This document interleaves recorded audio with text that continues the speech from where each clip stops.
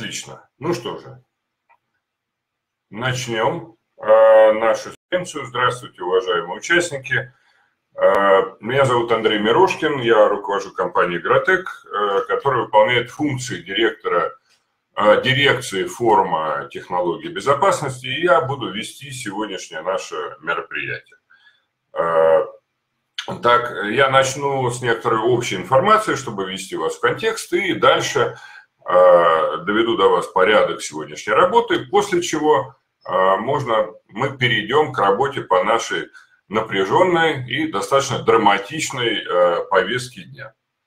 Так, прежде всего, я хотел бы отметить, что форум проходит уже в течение 26 лет, так и был и остается Э, ну, таким органично российским мероприятием. Э, был создан российскими владельцами, э, было, был период в работе форума технологий безопасности, когда владельцы становились иностранными, но с подключением как раз компании Гротек к этому проекту вернулся вопрос, вернулся форум, так сказать, в Россию, вот, и мы полностью сфокусированы на национальной повестке дня и на актуальных вопросах технологического развития и безопасности. Сегодня у форума технологий безопасности две основных э, опоры, два основных направления. Это, собственно, безопасность и это, и это цифровая трансформация. Цифровая трансформация а, – это то, что а, изменяет сегодня ландшафт, изменяет управленческую практику, изменяет рынки. Вот, и в рамках мероприятий форума технологий безопасности мы концентрируемся в том числе и на вопросах как проходит цифровая трансформация в различных э, российских крупных предприятиях. Э, посвящаем много э, времени обмену опытом, разбору кейсов, активно работаем с регуляторами, так и все это вместе дает нам очень неплохой контекст, особенно с учетом того, что классическая безопасность, как мы привыкли понимать ее, дала достаточно много технологий в набор, в стек э, технологий цифровой трансформации. Так, не буду их здесь перечислять. Э, мы, собственно, ну, в том числе сегодняшняя технология, о которых мы будем говорить сегодня, технологии управления доступом, контроля доступа, безусловно, это вклад в общий такой набор, в общий, в общее множество технологии цифровой трансформации.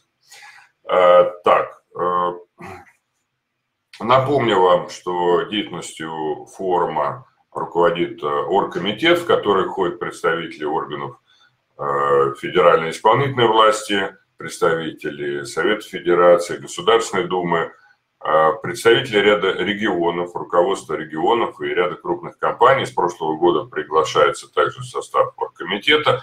Таким образом, мы имеем а, вот такую а, среду, обладающую некоторым эффектом сверхпроводимости, высокую экспертизу, ну и хорошую площадку для налаживания сотрудничества.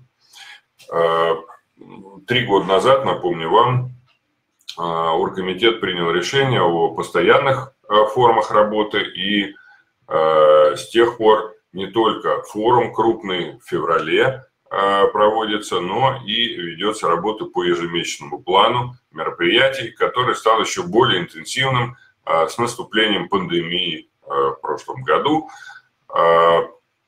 И сегодня масштабы онлайн-программы формы технологий безопасности вполне сопоставимы с тем, что происходит, как принято сейчас говорить, вживую или в офлайне, ну то есть что происходит на мероприятиях э, форума, дни форума в феврале месяце.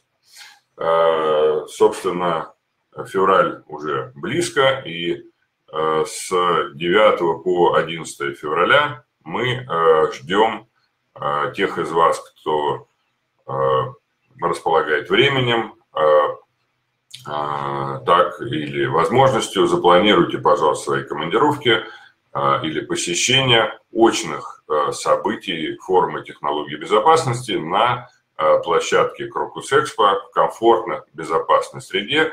Безопасности в этом году уделяется особенное внимание. Там целый сложный комплекс мер, э, позволяющий э, существенно снизить риски распространения коронавирусной инфекции, выполняются государственных органов рекомендации. Вот так. Ну и программа обещает быть столь же, столь же интересной, как обычно. Пожалуй, будет несколько особенностей. Во-первых, мы понимаем, что есть запрос на личные встречи, на личное общение. Нам всем его немного не хватает. И, конечно, это главная идея, почему мы, несмотря на очевидные некоторые сложности организации живого события, в, вот в это время мы делаем его. Очень много запросов, Э, так, ну и э, второе, особ... вторая особенность, будет много э, трансляций, то есть, конечно, форум будет проходить его мероприятие в гибридном формате. Там будет экспозиция, очень интересная, смотр технологий, и переговоры, и кулуары, и большое количество конференций. Традиционно мощная, мощнейшая часть форума технологий безопасности будет проходить на площадке. Так, теперь э, к повестке дня сегодня. Э, сход на крупных распределенных э, промышленных объектах, новые вызовы э, и особенности применения. Прежде всего, э, это, конечно, тема, э, тема года, тема прошедшего года. Так? Э, можно так сказать, что э, СКУТ, система СКУТ – это герои ушедшего 2020, 2020 года по очевидным причинам. Так, здесь и пандемия подстегнула интерес к самым современным и новым методам интеграции, детекции, управления. Вот. И, конечно, все мы вынуждены были уделять внимание входным группам, вот, э, естественно, э, контактам, естественно, допуску, недопуску в различные э, мероприятия. Ну и плюс системы СКУТ обладают не только возможностью детекции, но и действия, да, пропустить или не пропустить. И в этой части функционально и идеологически дополняют любые сложные системы, которые создаются на объектах, на магистралях и так далее. А, у нас сегодня прекрасный состав, который я рад вам объявить. Генеральным партнером конференции является компания Nodar, это подразделение ITV Group. Партнерами конференции выступают компании HIT, HID, RusGuard, Parsec, Ista Systems и партнером онлайн программы форума является компания Атом Безопасности. Сегодня будут использоваться рядом участников, прежде всего генеральным партнером конференции онлайн-переговорка.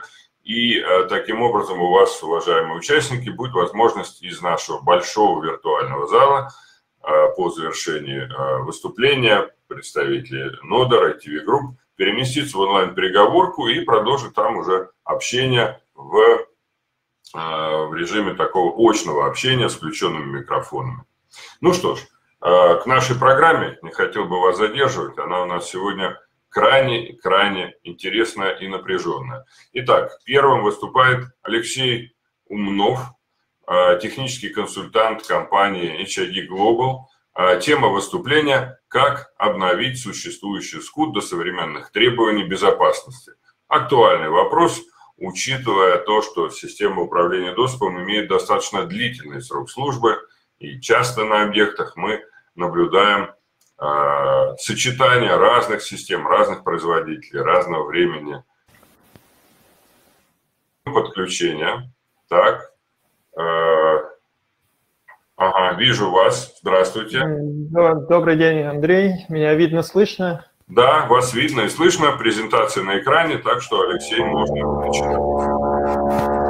А, спасибо большое. А, доброе утро, а может быть для кого-то добрый день, добрый вечер, уважаемые коллеги.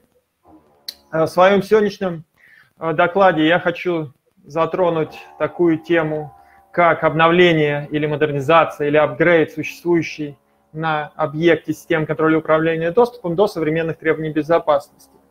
А, эта тема по нашему опыту в HID очень актуальна именно для больших распределенных объектов, и, ко всему прочему, она может являться еще и очень болезненной в свете того, что такая система на крупных объектах э, и стоит много, и ее обновление тоже требует значительных трат. Поэтому мы в том числе рассмотрим, как эти траты свести к минимуму.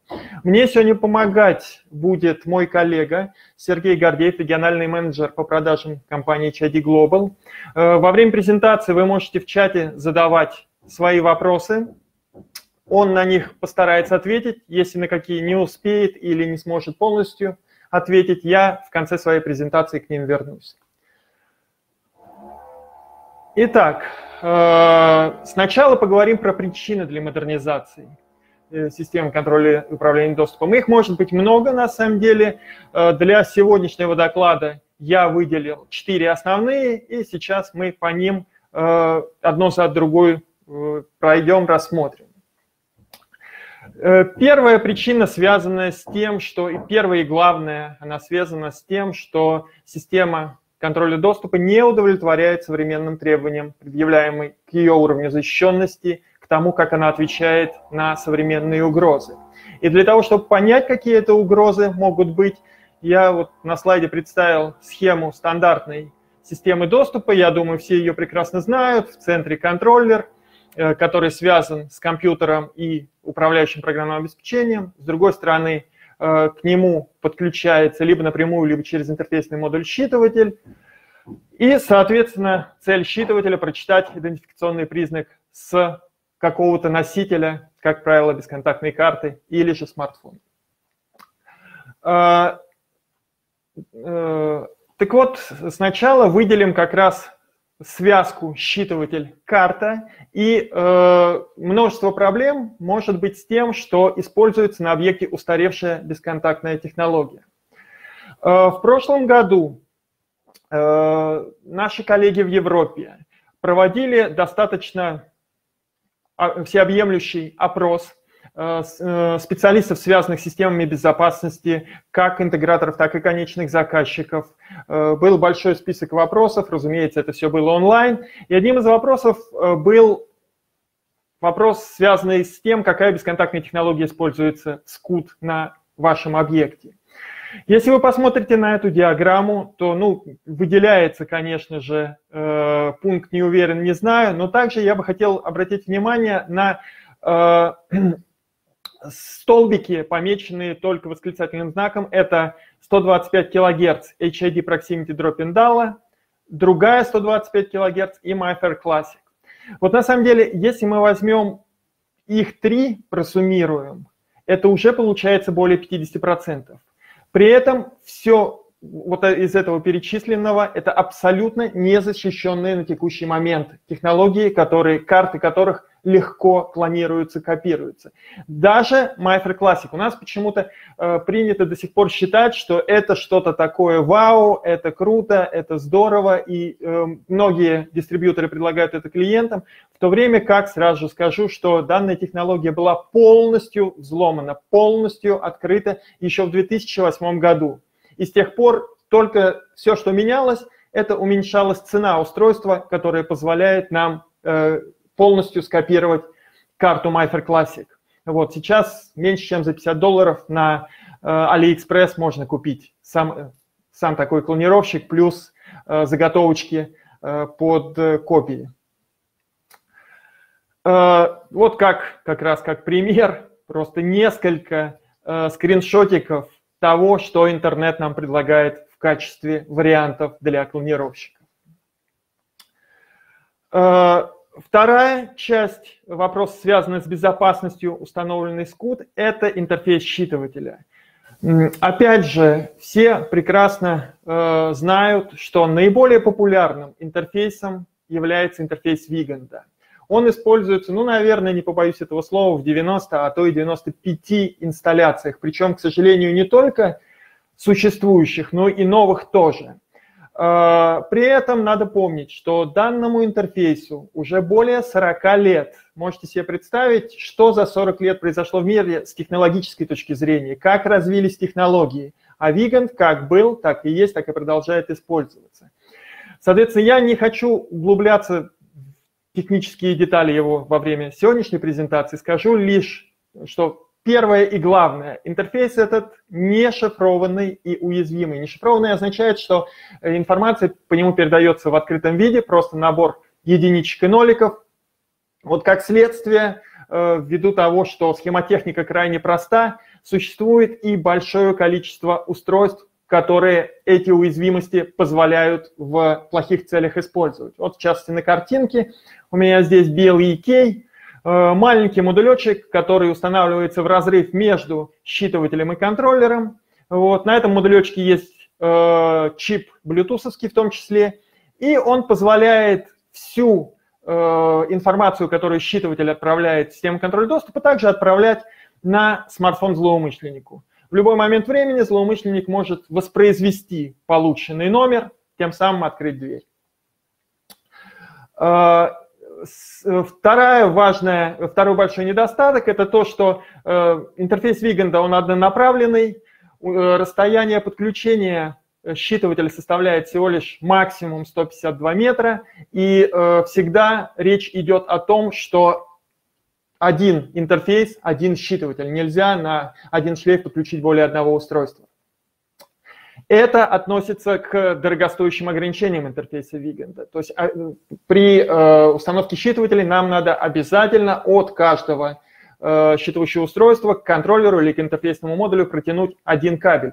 Причем и цена этого кабеля тоже получается достаточно существенной, особенно если мы хотим использовать по максимуму светодиодные возможности и звуковые возможности считывателя. То есть если мы хотим, чтобы э, управлять цветами светодиода, на каждый цвет свой провод. Управлять пищалкой – отдельный провод.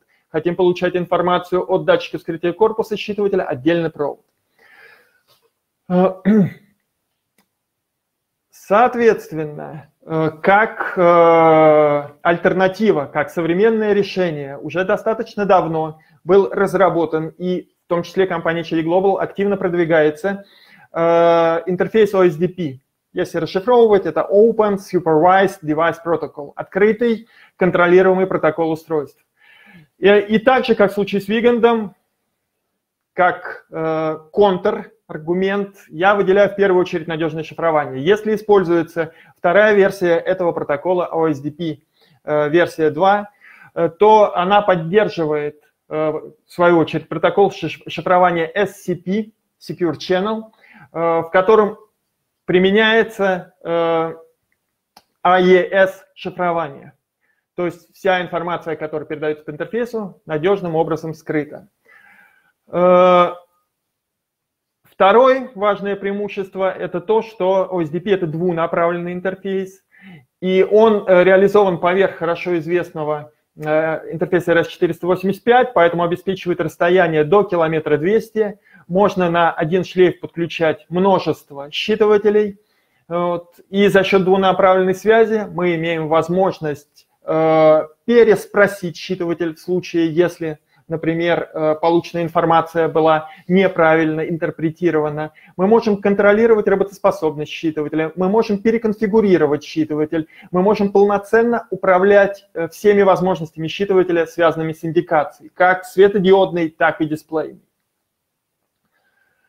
Э, ну и за счет таких вот преимуществ у нас и ниже совокупная стоимость владения, и нам сильно упрощает жизнь централизованное управление, то, что уже не требуется, как в случае с интерфейсом Виганта, идти к каждому считывателю ножками для того, чтобы узнать, э, корректно ли он функционирует или требуется ли обновление его конфигурации. Вторая основная причина для модернизации SCUT – это популярно стало в последнее время. Клиент хочет добавить доступ с помощью мобильных устройств, с помощью смартфона, с помощью часов. Вот. Э, несколько, пару лет назад компания IHS Market сделала анализ и предсказания на то, как будет развиваться рынок мобильного доступа. Э, на слайде вы видите табличку или диаграммку. Э, главное, что можно, какой вывод можно сделать из этой диаграммки, то, что начиная с 2017 года количество скачиваемых мобильных идентификаторов каждый год увеличивается примерно в два раза. То есть массивный рост. Э, это э, происходит благодаря тем преимуществам, которые есть у мобильного доступа. Если говорить про мобильный доступ HID, Mobile Access, то четыре основных преимущества – это безопасность, независимость от платформы, повышенная гибкость и удобство. Я не останавливаюсь подробно на каждом пункте, потому что э, у нас не так много времени, а все вы получите возможность скачать презентацию и более детально это э, рассмотрите. Э, также про популярность э, мобильного доступа говорят и вот эти цифры. Это данные еще даже годовалой давности, февраль 2020 относятся только к мобильному доступу HID. Вот и на, соответственно, э, то время, год назад, это уже работало в 3400 почти что организаций в 85 странах мира. Если говорить про Россию и СНГ, то вот такой вот заполненный слайдик, где вы тоже можете видеть Э, тип и количество клиентов, основных клиентов, которые используют мобильный доступ. Э, следующая причина для модернизации, которая может быть, это необходимость использовать один и тот же идентификатор, одну и ту же карту для нескольких применений, для нескольких приложений. Если говорить про карту устаревшей технологии, такую как там, карта Proximity, то единственный способ использовать ее и для скут, и для безопасной печати и так далее и тому подобное, э, единственным способом является чтение ее одного основного идентификатора, что не всегда правильно и тем более безопасно. Поэтому нормальная современная карта позволяет иметь отдельные приложения внутри себя для, для каждого из применений. И, соответственно, будут использоваться отдельные идентификаторы или пароли. Э, ну и, наконец, последняя причина для модернизации, которую я хочу выделить, и она тоже очень актуальна для больших объектов, это э, проблемы, э, возникшие в результате слияния или поглощения компаний. При таком процессе у системы безопасности в ведении оказывается зачастую множество разрозненных систем контроля доступа, построенных на разных контроллерах, разных считывателях и в которых используются различные идентификаторы.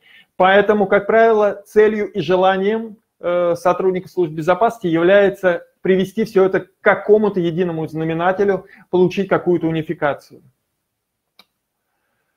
Э, теперь про препятствия, которые стоят на пути апгрейда. Опять же, они разные, по данным того же самого э, э, прошлогоднего опроса.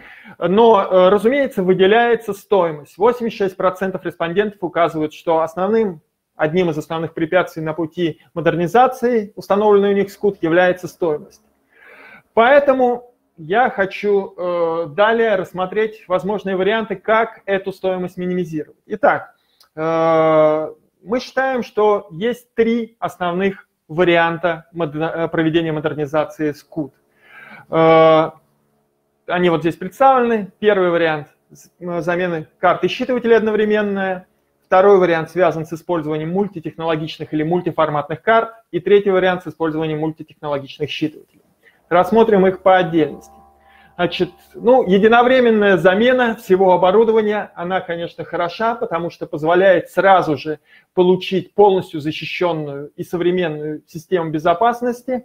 Вот, э, и в итоге даже общая стоимость затрат на оборудование окажется меньше, чем в случае использования мультиформатных устройств. Но это, тем не менее, эту общую стоимость затрат необходимо сразу же внести. Э, и к тому же Э, так как объект у нас действующий, необходимо обеспечить его э, непрерывную работу, то все надо будет делать очень быстро, менять считыватели очень быстро, да еще и желательно в нерабочее время, что приведет к дополнительным расходам на их монтаж. И то же самое с картами. Второй вариант мультитехнологичные карты – это когда у нас э, используются карты двух технологий, старый и новый, которые мы хотим, поэтому их мы желательно их заменить надо сразу у всех пользователей, а считыватели могут меняться постепенно. Э, здесь могу сказать главное, что если говорить про HID, то HID является чуть ли, пожалуй, не единственной компанией в мире, которая может предложить карту с пятью разными идентификационными технологиями. Тремя э, бесконтактными, одна технология – это контактный смарт-чип и магнитная полоса, если кому-то это еще надо. Третий вариант э, – мультитехнологичные считыватели, комбинированные считыватели. Здесь в противовес предыдущему варианту, наоборот, мы на первом шаге меняем все считыватели, а потом постепенно меняем карты.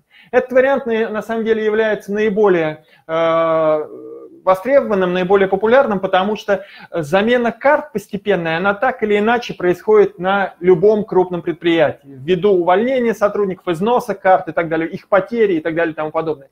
Поэтому такой вариант – это наиболее экономный, что ли, с точки зрения размазанности по времени.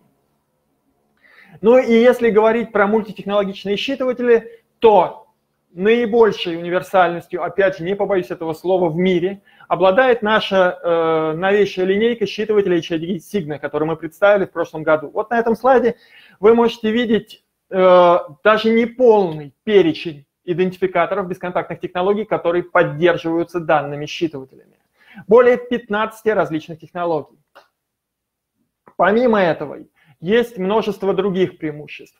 Все считыватели Signa по умолчанию оснащены интерфейсами Bluetooth и NFC и полностью готовы для использования в мобильном доступе. И в отличие от предыдущего поколения iClass SE, Multiclass SE, мы в них добавили и новые функции, которые улучшают э, производительность при использовании смартфонов, такие как iBeacon, такие как Enhanced Step. Абсолютно, если вы э, приобретаете считыватель с клавиатурой, абсолютно новая переработанная клавиатура. Емкостная, э, с, отлично защищенная от воздействия окружающей среды и также э, с новым режимом для людей с ослабленным зрением. Э, считыватель Signa первый наш считыватель, который обладает функцией автоматического детектирования типа поверхности. А поэтому даже при установке на металл он будет работать значительно лучше, чем любой другой из считывателей.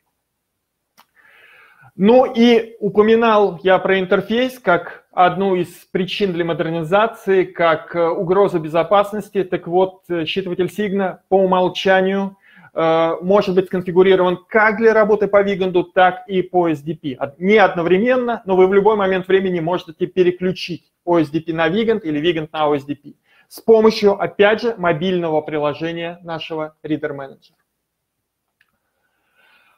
Ну и в заключении э, своей презентации несколько общих рекомендаций по плавному апгрейду Scoot. Разумеется, на первом шаге э, моя главная рекомендация – это детально изучить то, что есть на объекте, провести полную инвентаризацию тех считывателей, которые используются, тех э, карт, которые используются – вот, и тщательно спланировать, как мы будем что менять. Причем э, лучше всего, если это будет сначала сделано на каком-то малом участке, будь то этаж, здание, в зависимости от объекта, а потом, в случае успешного, успешной реализации, э, мы это повторяем на всем объекте.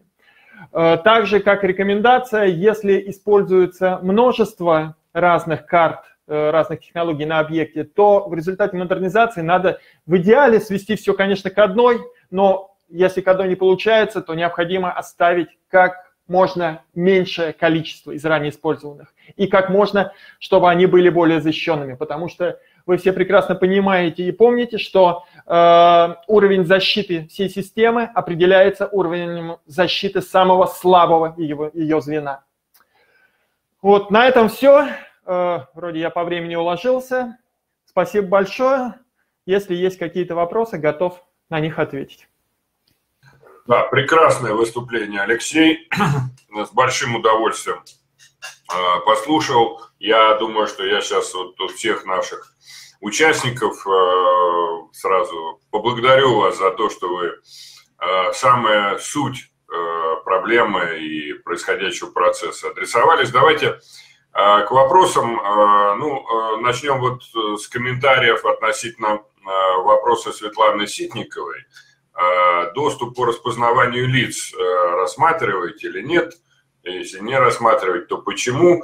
Есть краткий ответ, что э, Сергея Гордеева, что это есть в планах HID, но тем не менее, пожалуйста. И э, ждем ваших вопросов, уважаемые участники, в чате. Да. Пожалуйста. Алексей. Ну, э, смотрите, здесь несколько аспектов, почему, ну, да, скажу две вещи. Во-первых, что на текущий момент времени у HID нет Э, устройства для распознавания по лицу. Э, момент номер два, да, в планах это есть. Э, теперь более детально, если говорить, то для компании Cherry Global всегда одним из краеугольных моментов в том, что она делает, что производит, являлась безопасность этих продуктов. Соответственно, если сравнивать биометрический... Да, и второй момент – это то, что ну, основное, за счет чего известна компания HID Global, это, безусловно, бесконтактные технологии. Вот, э, биометрические э, решения никогда э, не являлись, ну, что называется, основным коньком HID. Это всегда было как дополнительная возможность, как дополнительные устройства. Два года назад мы решили э, очень серьезно сконцентрироваться на Э, биометрики и разработали, выпустили, соответственно, биометрический считыватель по отпечатку пальца, который сейчас проходит очередную модернизацию, будет тоже частью линейки Signa. Вот. Э, поэтому, опять же, с нашей точки зрения, с точки зрения защищенности, использование шаблона отпечатка пальца – это более надежная технология, нежели Э, распознавания по лицу. Хотя мы прекрасно понимаем тренд прошлого года, связанный с этими печальными событиями, поэтому мы его отслеживаем, и поэтому в, нашей, да, э, в нашем родмапе, в наших планах есть, э, тем не менее, реализация такого вот устройства. Спасибо. А, вопрос Александра Баранова. Какая версия OSDP поддерживается? Э, мы поддерживаем обе, и OSDP версии первой, и версии второй. При этом, если, опять же, говорить про считыватели, в которых есть интерфейс Bluetooth, то э, поменять версию клиент может самостоятельно с помощью приложения Reader Manager нашего. А так надо смотреть, вот как, когда используется OSDP, то даже в первую очередь надо смотреть на то, что поддерживается со стороны контроллера. Мы всеми руками и ногами за то, чтобы использовался OSDP версии 2, потому что только он э, поддерживает шифрование на этом протоколе, на этом интерфейсе. А, вопрос э, Федора Рабанчука, э, ну, наверное, требует такого общего, общей характеристики. Э, насколько контроллеры с OSDP широко представлены на рынке? Да, очень хороший вопрос. На самом деле, я помню момент, несколько лет назад, когда мы сами начали вот э, очень активно продвигать OSDP. Э, кстати говоря, компания HD Global – это одна из трех компаний, которая э, стояла у истоков этого протокола. Был консорциум из трех компаний, вот, в который мы входили и разработали этот протокол. И, соответственно, вот, да, несколько лет назад еще возникали вопросы, насколько широко это распространено. Сейчас это реально очень широко. Если брать зарубежные системы контроля доступа, практически все они э, имеют контроллеры, э, поддерживающие OSDP. То есть тут я могу сказать, это и Mercury, и Honeywell, и Bosch, и Apollo, и Linnell, у всех, и, и даже вплоть до эксисовского контроллера на два считывателя, он и то поддерживает OSDP. Спасибо. А, Андрей Орехов интересуется, ну вот, э, если уменьшать количество кабелей, да, если одна, один кабель, одна шина, то что будет происходить, если сократить кабель в одном месте?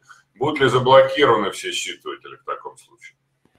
Ну, если вы действительно обрубите кабель или закоротите его, то да, считыватель потеряет связь с контроллером неизбежно, вот, и, соответственно, никакую информацию о э, картах он не передаст, не сможет уточню, передать. Уточню вопрос. Ну, обычно все-таки у вас был нарисован там, а, обычно есть два провода, да, не, не один, да, ну, вот если их два, или там два подключения возможно, то есть как можно профилактировать, э, чтобы одно затруднение э, привело бы к, тому, что вся цепочка отвалилась?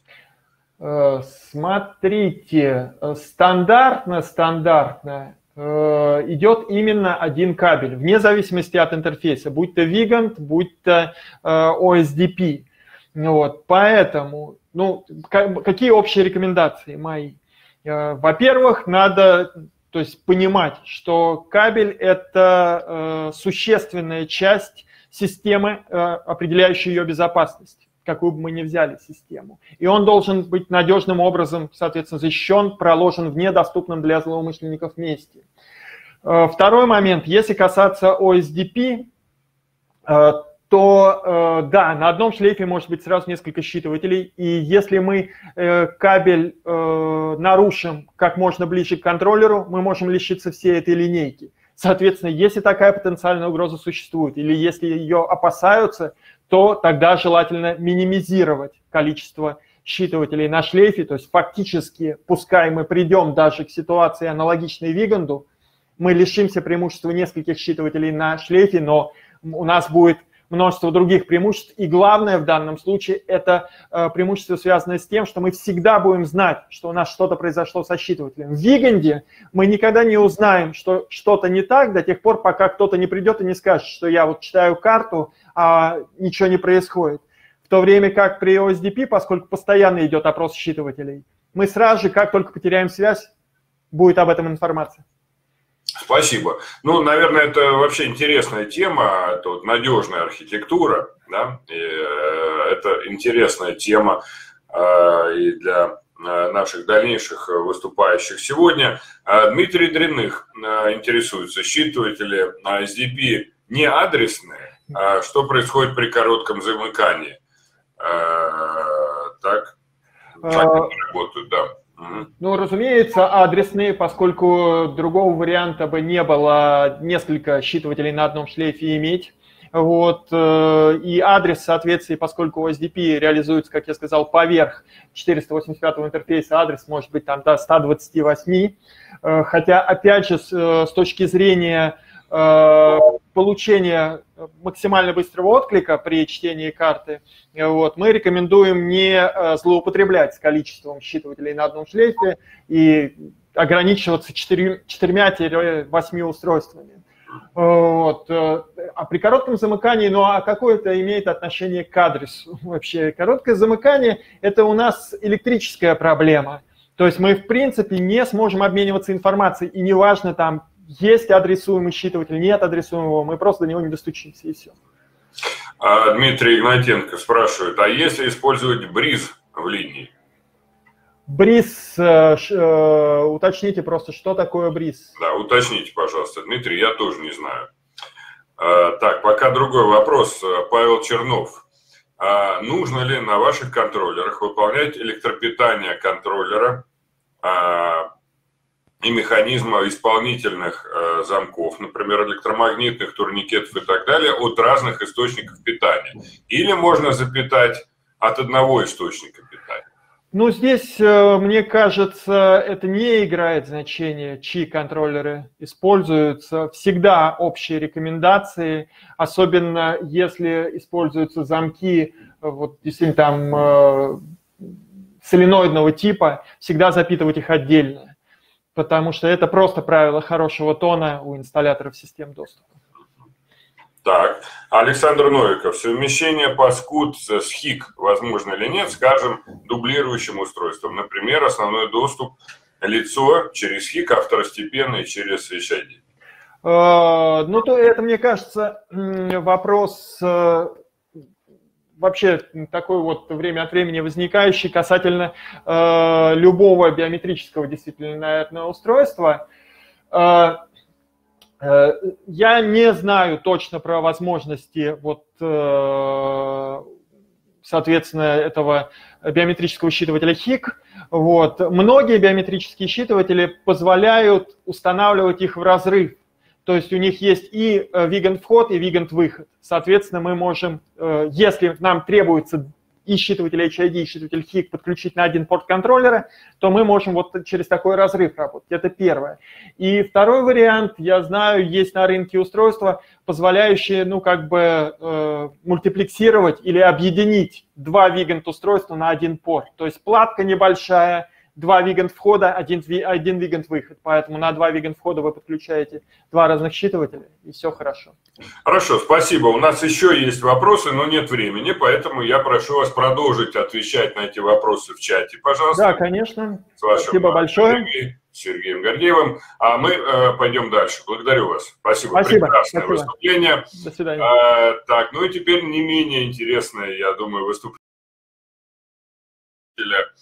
развития направления СКД ITV Group. Э, так, подводные камни при построении систем контроля доступа на распределенных объектах, практический опыт. Вы знаете, что ITV э, Group компания с очень хорошей командой и компания, которая очень удачно упаковывает свои компетенции – в разные направления деятельности. И э, Александр Баранов занимается э, одним из самых быстро растущих направлений э, в деятельности ITV Group. Это Нодер, да, это системы СКД ITV Group. Так, ага, видим вас, Александр, здравствуйте. Андрей, приветствую, коллеги, всех приветствую. Спасибо за такое теплое вступление как обычно, для нас честь а, выступать, и, может быть, мы даже, может сегодня расскажу что-то новенькое, но на самом деле, а, что хотелось бы, долго думал, да, о чем рассказать. Большое спасибо, кстати, Алексею Умнову, он, наверное, рассказал 60, а, если не 70 процентов того, что я хотел, о чем хотел я рассказать, но на самом деле это все понятно, когда мы сталкиваемся а, с распределенными, ну, с компаниями, да, корпорациями, просто большими компаниями, которые имеют распределенную инфраструктуру, проблемы-то на самом деле у всех одни и те же. И вот я внимательно читал, да, что запрашивали в чате, а, собственно говоря, сам написал один вопрос. А, мы такие решения предлагаем, и наш скут на самом деле тоже на эти все вопросы вышеперечисленные отвечает. Алексей, спасибо большое был. Большое спасибо. Прекрасное выступление. Коллеги, у меня не будет а, схем, у меня не будет э, каких-то там формул, э, портфелей решения, но э, на чем я хочу остановиться. Даже не то, что остановиться, да, а чем хочу поделиться. Я как человек, который в группе компании TV отвечает за развитие всего направления СКД, да, мы не только имеем свое управляющее ПО но и, и, и контроллеры, да, мы все-таки пополняем свой портфель различными решениями, и мы можем работать со считывателями HID, а, применяя вышеперечисленные Алексеем технологии, и биометрические считыватели, и в рамках нашей системы мы можем использовать и, э, да, и HIT, и э, Hikvision, и у нас есть возможность подключать эти устройства одновременно на Vigant и так далее. Ну и общаясь, конечно, с конечными заказчиками, понимая их потребности, а, мы видим одни и те же проблемы. А, я их попытался вот объединить в такие группы. Да? Конечно же, за 20 минут не обо всем можно рассказать. А, можно обращаться к нам за компетенцией, кулуарно мы расскажем, как мы решаем ту или иную проблему. Итак, поехали. Про подводные камни. Ну, конечно же, это зоопарк устройств, то, о чем и Алексей говорил, и я думаю, не, я думаю, даже все коллеги про это скажут.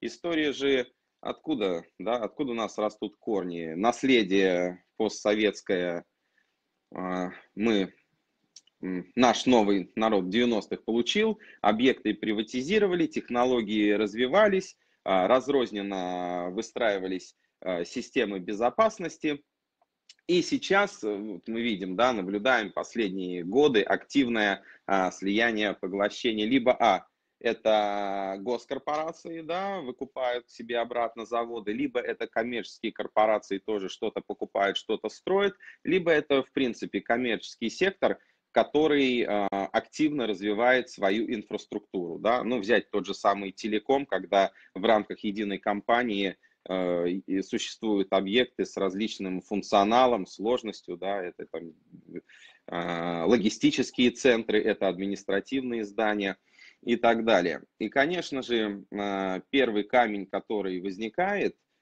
если какой-то системный интегратор, партнер, неважно, кто-то приходит на объект, то зачастую, зачастую при да, формировании некой концепции, как должна выглядеть система контроля доступа, ну и вообще, в принципе, система безопасности.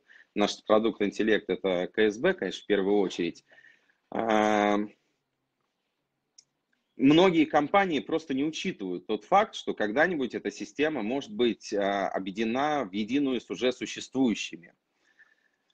Но при этом, даже если у заказчика есть ТЗ, который не учитывает этот факт, а, я все-таки предлагаю обращать на него внимание, и ведь заранее можно предусмотреть такую систему, которая решит вопрос интеграции.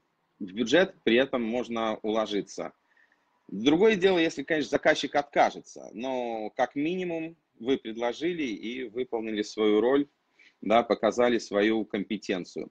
Если говорить про нас, что мы предлагаем клиенту, конечно, мы предлагаем интеллект, да, это программная платформа, которая может выступать и софтом верхнего уровня, объединяя в себя уже существующие СКД, либо же платформа, на которой может быть построена одна серверная система, и данная система будет выполнять задачи, которые относятся к всему вот наследию систем контроля доступа. В дальнейшем эту систему можно масштабировать, и в том числе добавляя скуды сторонних производителей, если необходимо э, систему централизировать.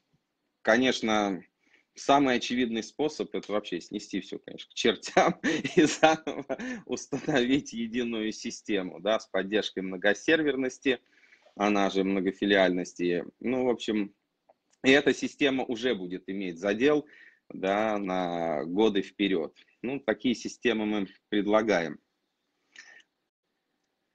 А, дальше.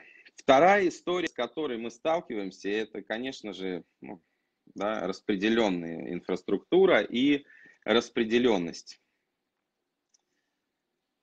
Так, здесь я хотел бы обратить внимание, что многие скуды, конечно, современные контроллеры СКД, как мы все знаем, да, подключаются по интерфейсу Ethernet, нет никаких проблем с помощью IT-инфраструктуры а, на центральный сервер подключать все эти контроллеры сервер, как правило, используется один, но, опять же, это некая производная, да, вот, э, распределенность, производная от, э, там было, от зоопарка решения.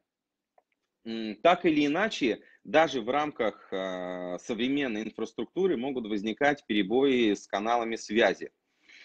И таким образом все-таки надо обращать внимание на то, чтобы система а, поддерживала многосерверность. Я имею в виду про скут-систему. Потому что даже если у вас будет центральный сервер, у вас будут а, контроллеры, которые имеют возможность автономной работы, так или иначе, да, да, да.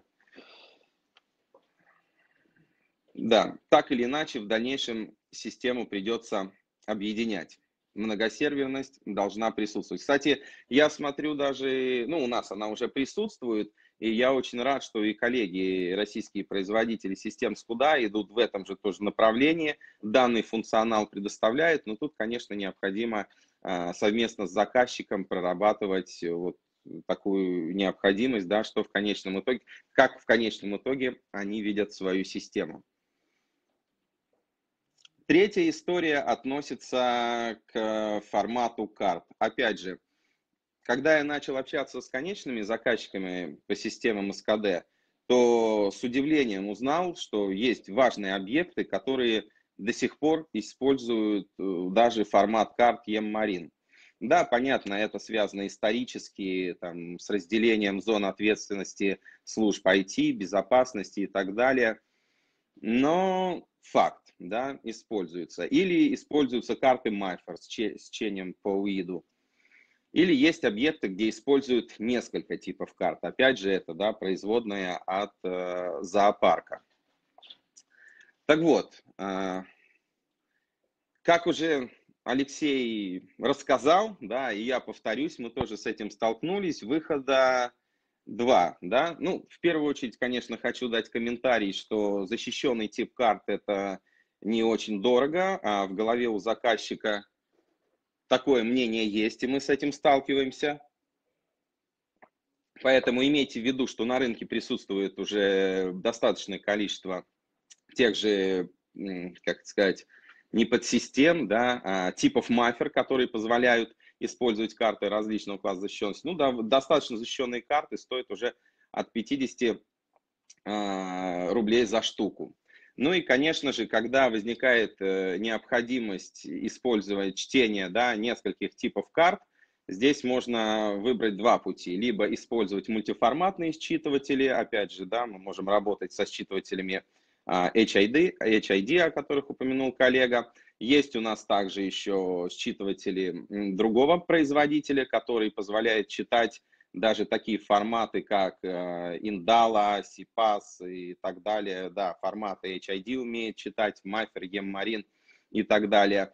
Либо же, если на объекте используется а, считыватели, например, не хочется менять считыватели, да, но используется EM Marine Miffer, можно заменить карты. Да? Можно использовать карты, которые имеют встроенные чипы EM Marine и Miffer. Ну, кстати, мне было очень интересно узнать, э, что предлагает э, компания HID. Достойно уважения, да. А, я про количество да, поддерживаемых форматов одной карты. Дальше. Форс-мажоры со связью.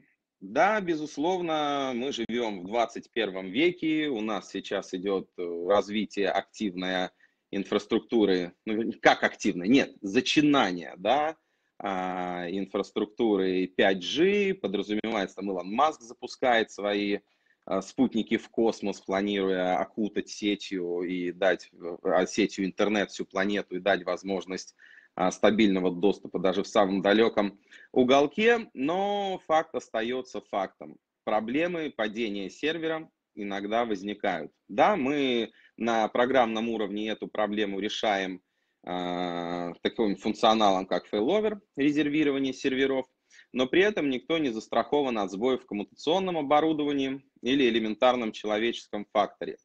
Поэтому обращайте внимание, чтобы контроллеры СКД, которые вы используете, а, умели реализовывать максимально возможный функционал в режиме работы офлайн, да, то есть когда связь с сервером теряется чтобы не просто отрабатывалась логика, да, открыл дверь, закрыл, открыл по кнопке, но даже если вы используете двухфакторную идентификацию, кстати, опять же, да, вопросы э, упоминался вопрос, можно ли в рамках единой системы терминал ХК использовать и считыватель HID, э, и предлагалось решение, да, ну, некий такой промежуточный, там, я так понимаю, платку использовать, да, когда два входа в Виган, да, один выход. Так вот, а, в наших контроллерах, которые организованы на, бану, на базе Linux, мы как раз один из проектов выиграли, доработав функционал, а, возможности работы двухфакторной идентификации в режиме офлайн.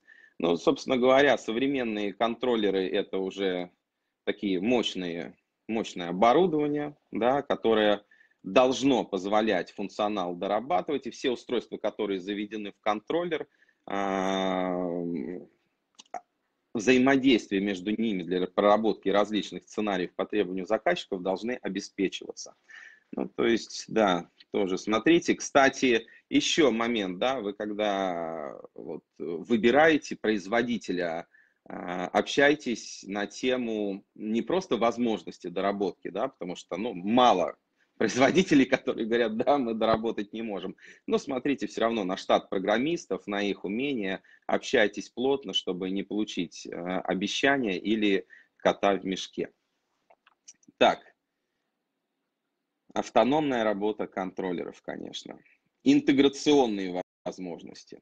Ну, естественно, если мы говорим про распределенные объекты, да, и я уже сказал, что, ну и как я сказал, это так и есть, вы это сами видите, что в рамках одной инфраструктуры может быть и административное здание, и промышленный комплекс, и логистический комплекс и так далее. И каждый из этих объектов имеет свои особенности и задачи. А, при этом в рамках а, всего комплекса могут задействованы быть э, различные подсистемы, да, и вы с этим сталкиваетесь, это и биометрия, и это досмотровое оборудование, алкотестирование, мобильный тот же доступ, ключницы, сейфовые ячейки и множество других подсистем, которые так или иначе можно отнести а, к семейству СКД. При этом в каждом из этих направлений еще и присутствует ряд производителей да, со своими протоколами, со своими, опять же, там правилами операционного взаимодействия между производителем, партнером и заказчиком. И здесь важно понимать, что холдинг так или иначе, если выстраивает да, полноценную такую интегрированную систему, а, может запросить работу с тем или иным оборудованием, которое представлено на рынке. Так вот, надо понимать, что не каждый разработчик системы СКД э, представляет возможность использовать весь спектр подобных систем. Почему? Ну, на это есть ряд причин, я не буду погружаться, времени у нас мало, а, но факт остается фактом. Мы не раз сталкивались, когда заказчика ограничивают в выборе интегрированных устройств. В нашем случае мы либо уже имеем интеграции с существующим оборудованием, либо оперативно реагируем на требования рынка, связываемся напрямую с производителем, при этом нам не важно, а, в какой стране производится то или иное оборудование, и организуем интеграцию, развязывая руки заказчика для выбора того решения, которое будет не просто решать поставленные задачи, но и быть максимально эффективным по цене, что в наших реалиях а, немаловажно. Ну и сегодня в завершение, Андрей, да, я, я сегодня постарался уложиться, обычно много да, выбиваюсь из регламента. Так вот, и очень интересная вещь, которую заметили, да, э, заказчик э, все знает. То есть, приходя на объект, на крупную компанию, особенно этим грешат небольшие компании, которые поставляют оборудование конечному заказчику с рынка, да, с систем безопасности. То есть заказчик, да, всегда прав. Но на самом деле не всегда так. И при всем уважении к нашим заказчикам и всем специалистам рынка знать все невозможно, это нормально. Но все равно, все-таки многие поставщики решений считают, что представители заказчика уже все проанализировали и на 100% уверены в своем выборе.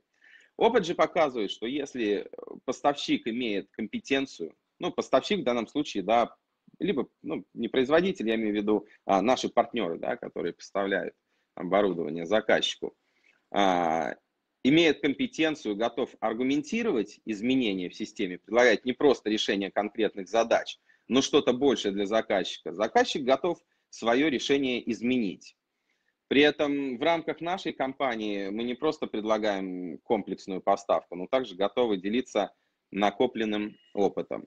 Кстати, да, Андрей, тоже большое спасибо. Мы заметили, что на предыдущих мероприятиях мы встречаем компании, которые а, не знают, что такое группа компаний ITV, поэтому я все-таки скажу, что для тех, кто сталкивается с нами в первый раз, наша компания существует с 2003 года, у нас 15 собственных офисов в России, СНГ и более офисов, а, включая Америку, более 40 офисов, включая Америку, Европу, Азию, Австралию, Ближний Восток и так далее – а, то есть мы имеем компетенцию решения задач, собранную со всего мира. Ну и разработанные нами программные продукты, в частности интеллект, который может выступать да, как система СКД тоже. И AxoNext обеспечит защиту более 30 тысяч объектов по всему миру. Так что увеличивайте свой багаж знаний. Спасибо ТБ форуму за это. И закончить свое выступление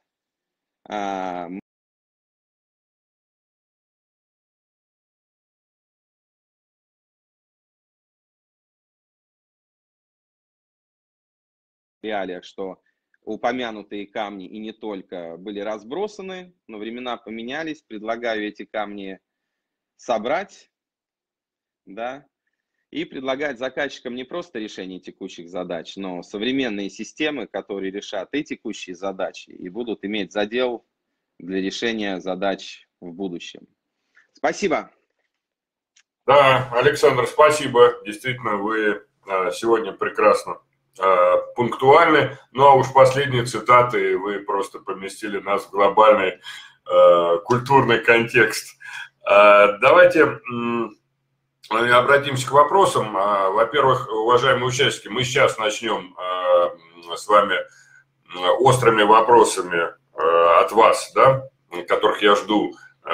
Начнем с вами, так сказать, разговаривать с Александром, ну и потом у компании TV Group Nodar есть сегодня онлайн-переговорка, куда можно будет перейти для того, чтобы уже обсудить конкретные моменты э, сотрудничества, ну, либо э, конкретные ваши кейсы, да, а, и причем сделать это можно будет э, голосом. Так, информация о переговорке у нас появится в чате. Давайте к вопросам. А, так, ну вот Александр Одинцов, в общем, поднимает такую тему жизненного цикла, да, систем контроля управления доступом. А, то есть вот вы говорили, Александр, снести, лучше всего снести, поставить новое. И Александр говорит, и так делать каждые 7-10 лет. А, э, ну, на самом деле, отчасти Александр-то прав. Да.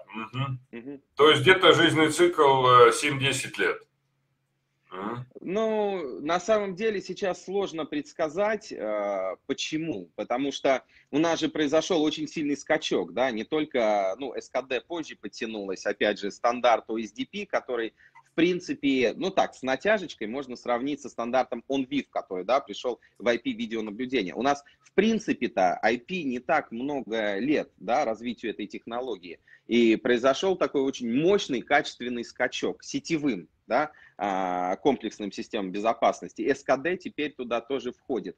Поэтому, ну, плюс еще у нас есть документ, я не помню, как он называется, там, не ГОСТовский, ну, что-то такое, государственный документ с рекомендацией, и там сказано, да, что не менее пяти лет СКД должна работать.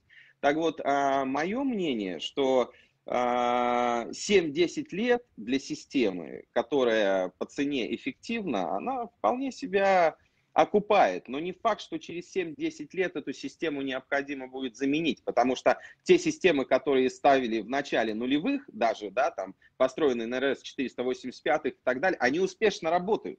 Я приезжаю на крупные объекты, эти системы работают еще. Другое дело, что а, появился вот, вот этот скачок Ethernet, да, появились там различные интерфейсы, вот OSDP только-только начинает иметь проникновение в рынок, и мы тоже одни из там первых кто предлагает контроллеры с OSDP. В частности, мы умеем работать со считывателями HID. Так вот, я вижу, что э, сейчас уже нынешнее оборудование, если вот, вот, вот то, что сейчас будут российские производители на МИПСе, я думаю, будет тоже колоссальный скачок. Я слышал, что там э, наши конкуренты делают это прям в кайф, да, то, что там российские производители, мы прям а, я думаю, и зарубежные страны тоже в этом плане порвем, хотя у нас э, экономических ресурсов ну, меньше, да, денег, чтобы сразу развивать продукты. Итак, я считаю, что если сейчас установить современную систему, то ну, минимум на 20 лет она будет иметь задел, потому что мощные компьютеры, функционал мы дорабатываем, ПО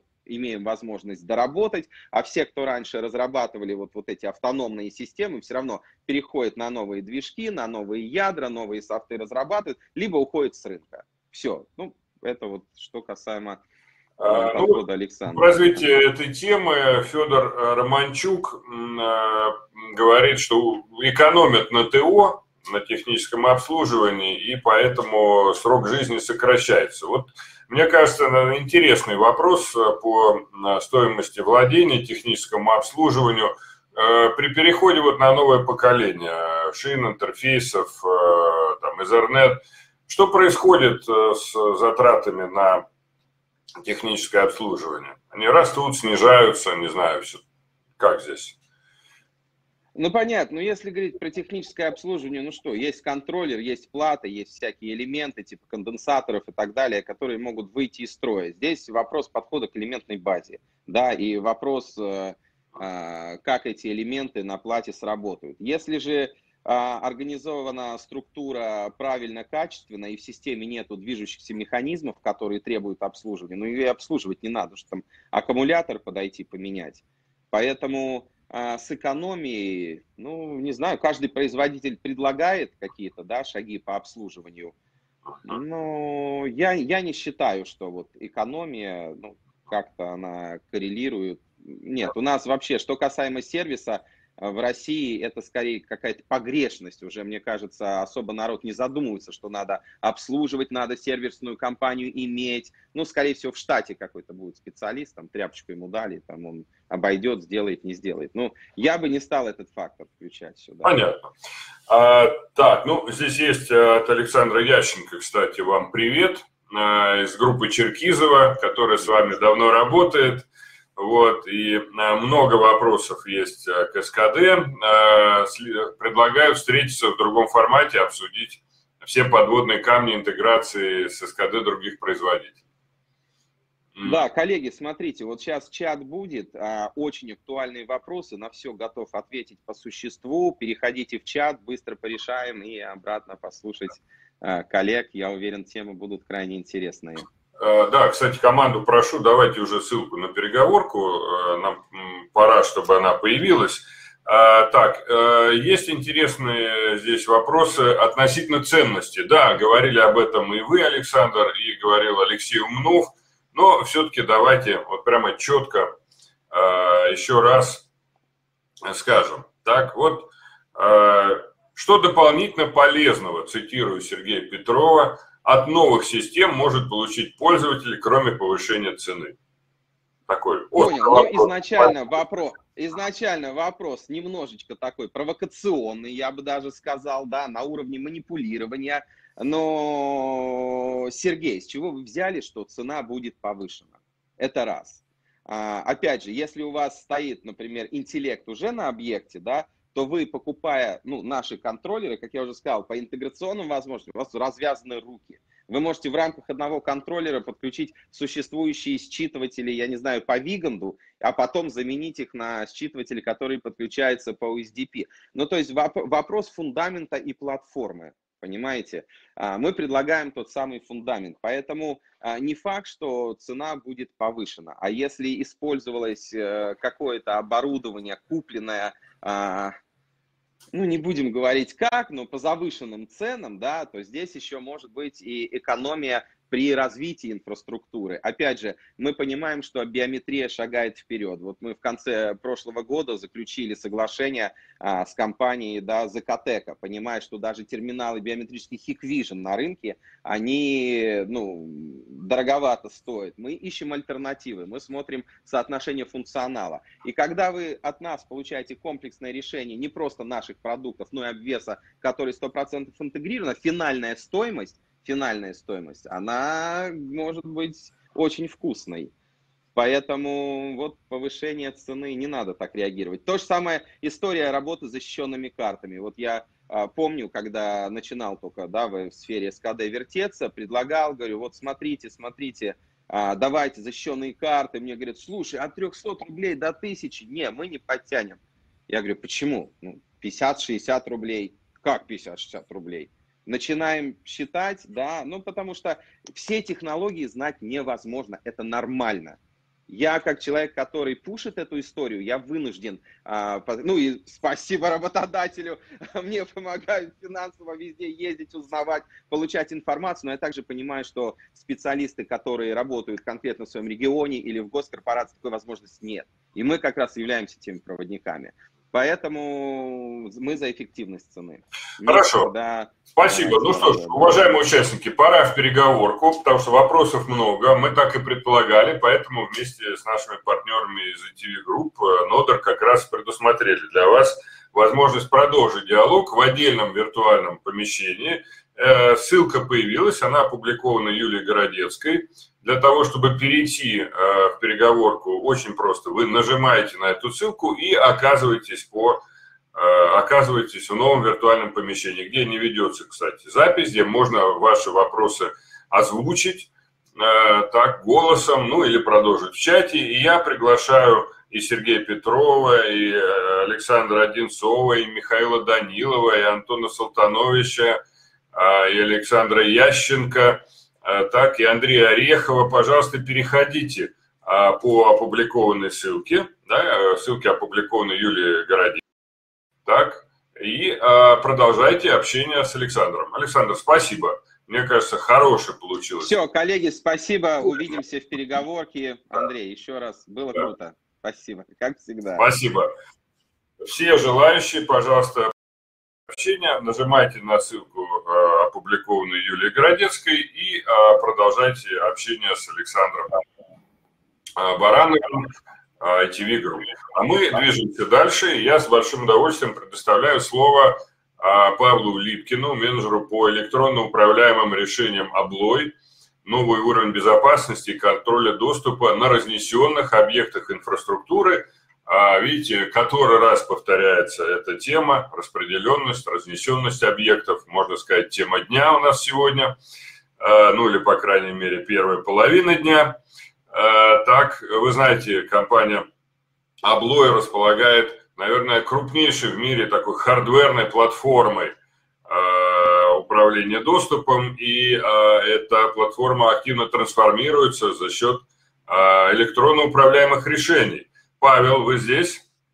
А, да, меня слышно, Андрей? Да, вас слышно, у вас не включена камера. Планируете включать? Меня пишут, что включ... Э, в левом нижнем углу выбор камеры, там вот изображение камеры, видеокамеры. Я, это не обязательно, можно продолжать и, и так, но если камера имеется, давайте попробуем. А, презентация ваша появилась на экране. Да, с камерой э, у меня показано, что все включено. Сейчас я попробую еще раз. Так. В окне вебинару в левом нижнем углу да, или да, на да, да, есть э, там кнопочка, галочка вниз, там выбор камер. Может быть, следует проверить, какой источник видеосигнала. Но если не получится, ничего страшного. Собственно, все уже готовы слушать вас. Так, так что вполне можно начинать. Павел, получается? Нет, к сожалению, не подключилась камера. Нет проблем, нет проблем. Слышно вас прекрасно, презентация на экране. Начинайте, пожалуйста. Угу, да, спасибо большое за возможность выступить. Всегда приятно. А, сегодня буду рассказывать про а, нашу систему, а, которая скомбинированная из механики и э, электронных компонентов Abloy Protect 2. Э, Вначале вкратце расскажу о том, кто такой Облой и э, что мы представляем из себя сегодня. Это компания, которая представлена э, более чем в 90 странах. В Финляндии это наша, так сказать, страна, где зародилась компания. Работает сегодня 700 сотрудников – и 240 приблизительно в офисах по всему миру. Производство основное – это Финляндии находится город Юэнцу. Международные продажи у Аблоя составляют сегодня более 60%, потому что Финляндия, как вы знаете, она наш сосед, но страна маленькая, и все больше и больше процентов продаж уходит за границу. Концерн АС Облой, в который входит Облой, э, на сегодняшний день э, их оборот составляет порядка 8,2 э, миллиарда евро. В концерне представлено более 200 производителей, которые производят оборудование систем безопасности.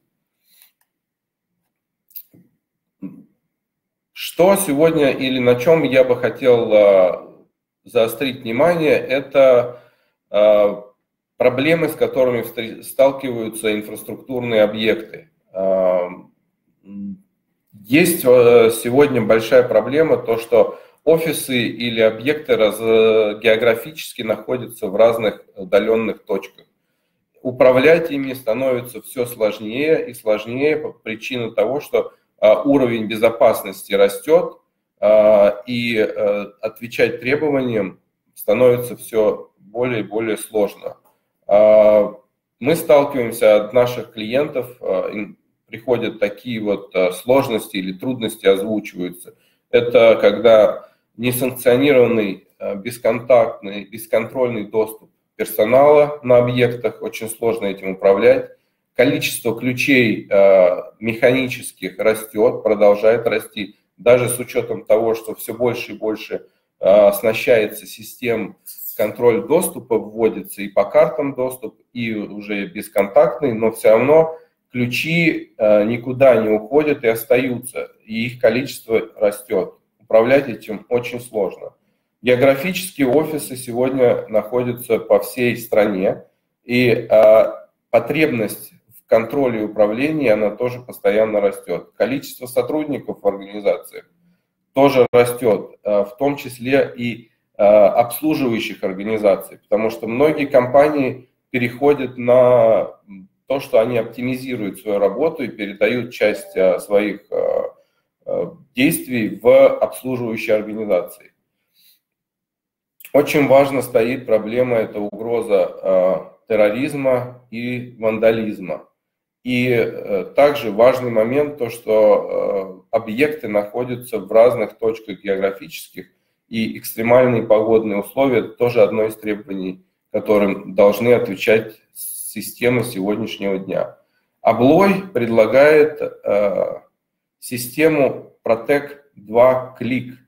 Это комбинация наших механических э, э, цилиндров и ключей, мастер-систем, который Облой имеет многолетний опыт в производстве и много, эм, я бы сказал, десятков тысяч систем по миру установлены и обслуживаются на механике.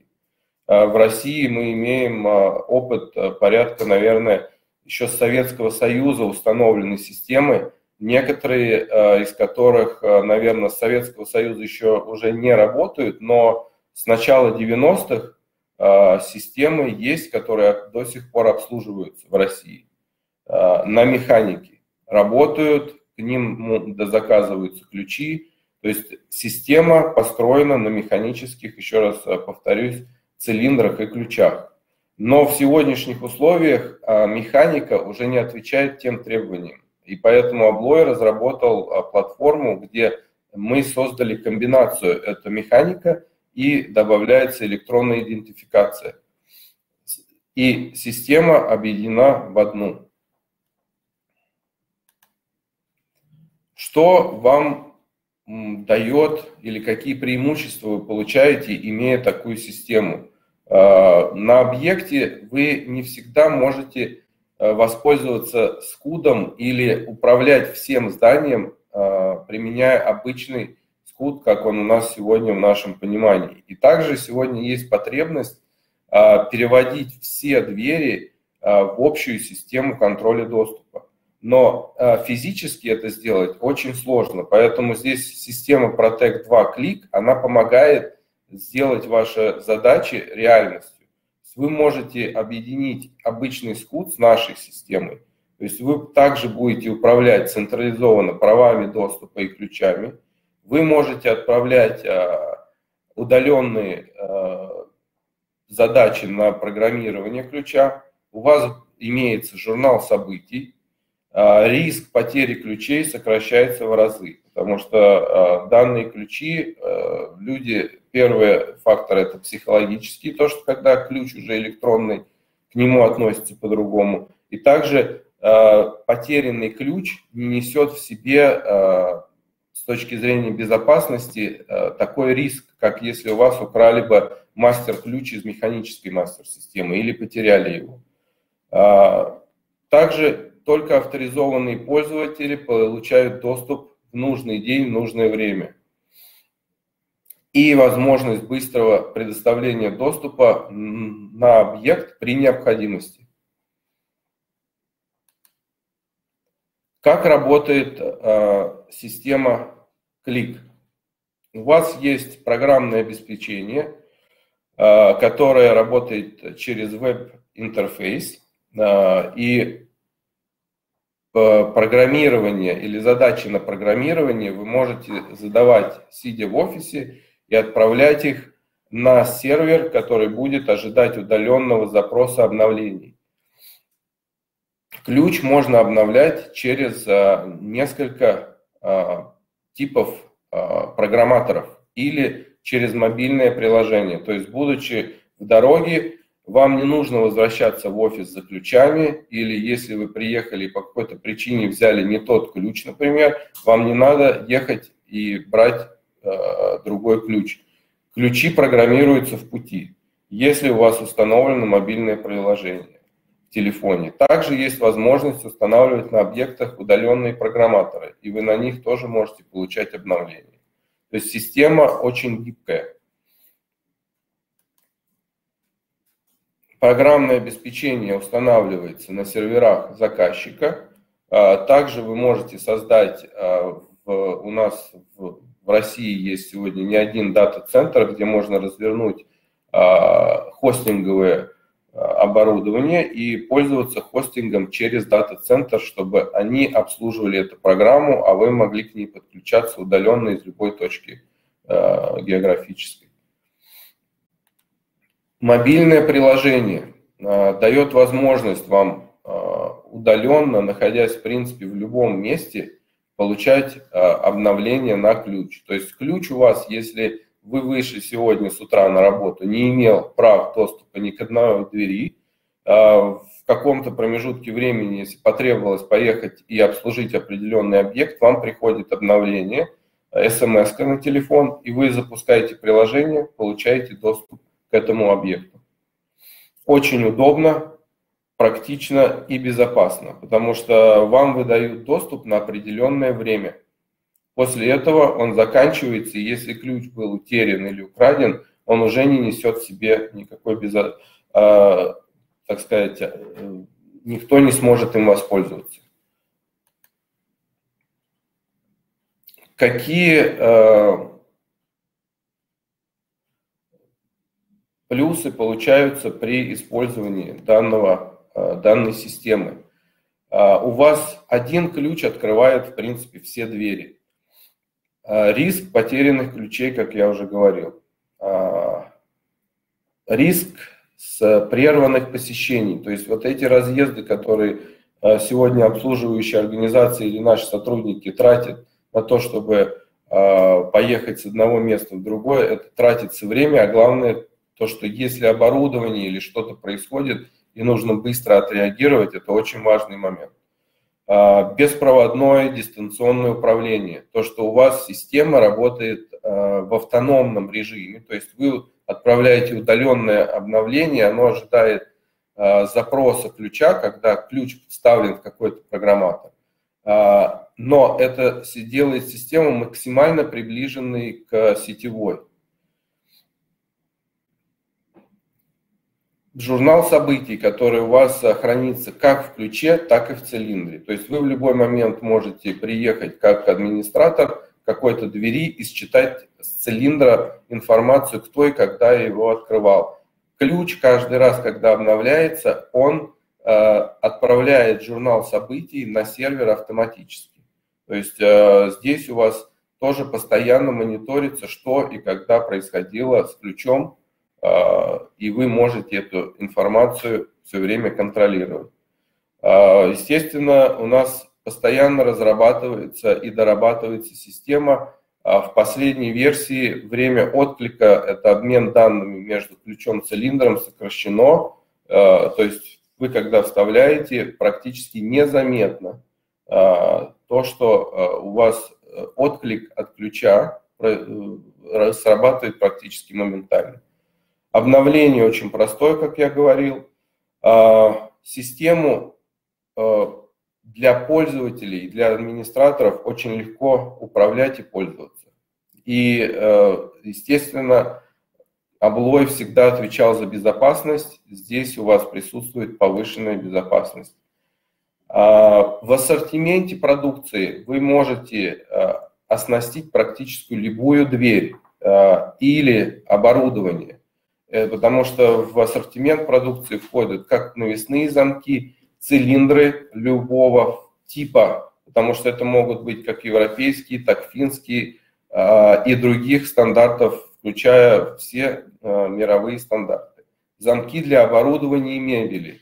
Также, то есть вы можете шкафчики, мебельные, тоже оснастить замками, которые будут работать от этой, в этой системе клик. Депозитарий для ключа и также кастомизированная продукция, которая может разрабатываться под заказчика, под потребности.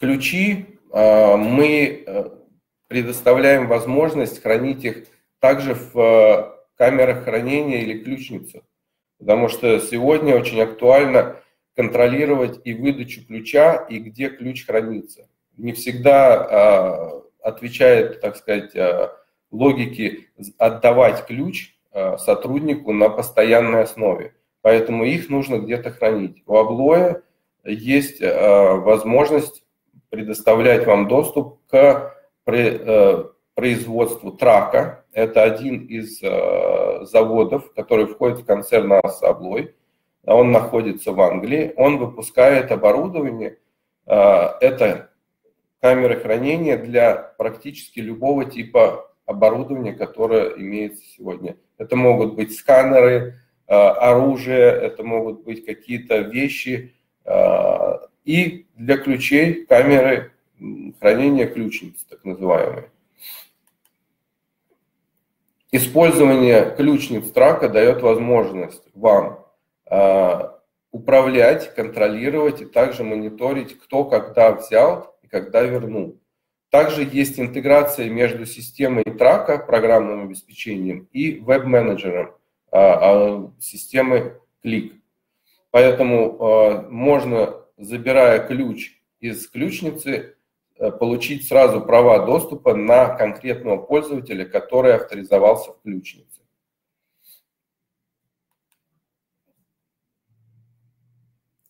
Протек 2 клик разработан практически для и подходит для любого сектора, а, который сегодня имеет потребности в системах контроля доступа, а, особенно на инфраструктурных объектах, которые а, находятся по всей России, я бы так сказал, или по всему миру.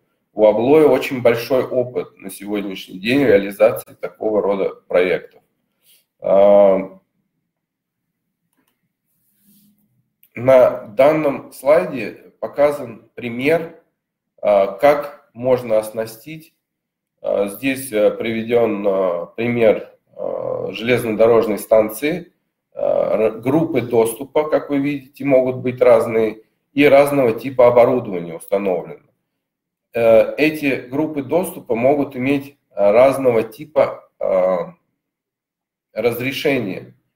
И эти разрешения, они могут быть э, как на механическом уровне организованы, так и электронно. То есть э, мы можем изначально заложить некие механические группы, которые между собой не будут пересекаться в принципе, и это уже не перепрограммируется. Но э, дальше мы можем использовать электронику там, где нам нужно передавать или менять права доступа постоянно. А, система дает возможность вам управлять этим гибко, и также это все может находиться очень и очень далеко друг от друга. А, в погодные условия а, было протестировано наше оборудование в очень жестких условиях. Это может быть минусовые температуры, пыль, грязь, замки навесные имеют класс защиты максимальный IP68. А, цилиндры, цилиндровые механизмы, которые в двери вставляются, а, имеют а, возможность, их заказать можно с шторками попадания пыли и грязи. Кастомизированное оборудование, опять же, как я говорил, тоже можно разрабатывать и учитывать такого рода потребности.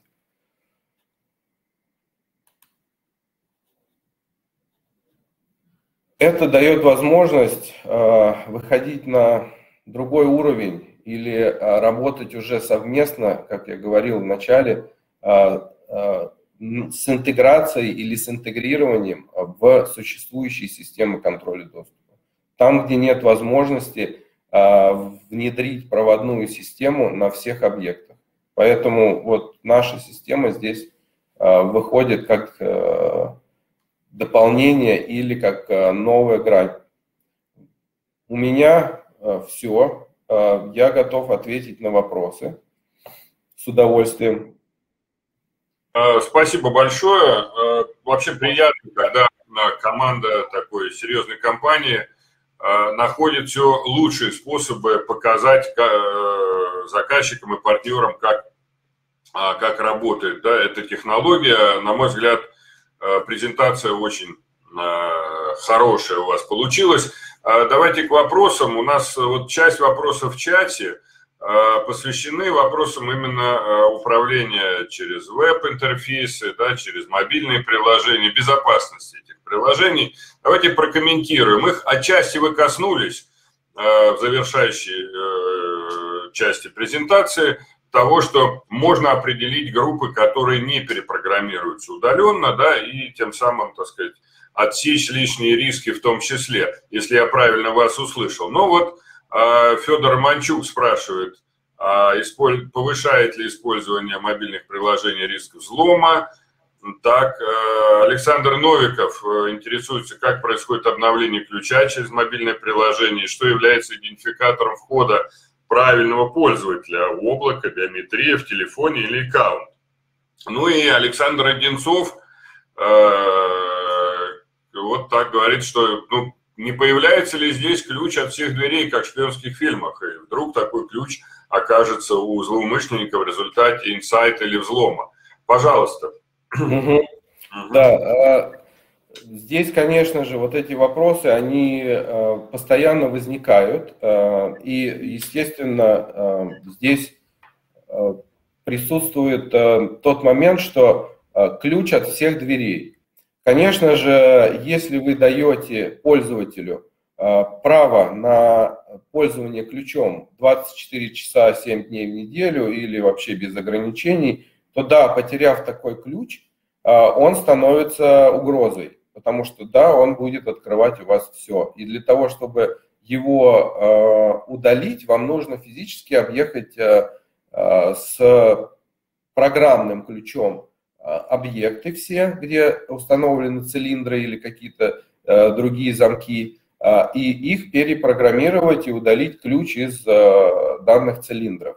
Но мы никогда и не рекомендуем нашим клиентам пользоваться вот такого рода настройками. Ключи можно настраивать и нужно настраивать так, чтобы он был максимально недолго активен а, и отключался как можно быстрее. А, для этого у этой системы есть э, много функционала и настроек, которые можно выставить при составлении, будем так говорить, графика работы или настроек ключа. Одна из таких функций, э, приведу как пример, это ревалидация. А, это у вас функция, когда график работы у вас может составлять от, к примеру, с 9 до 3, 7 дней в неделю.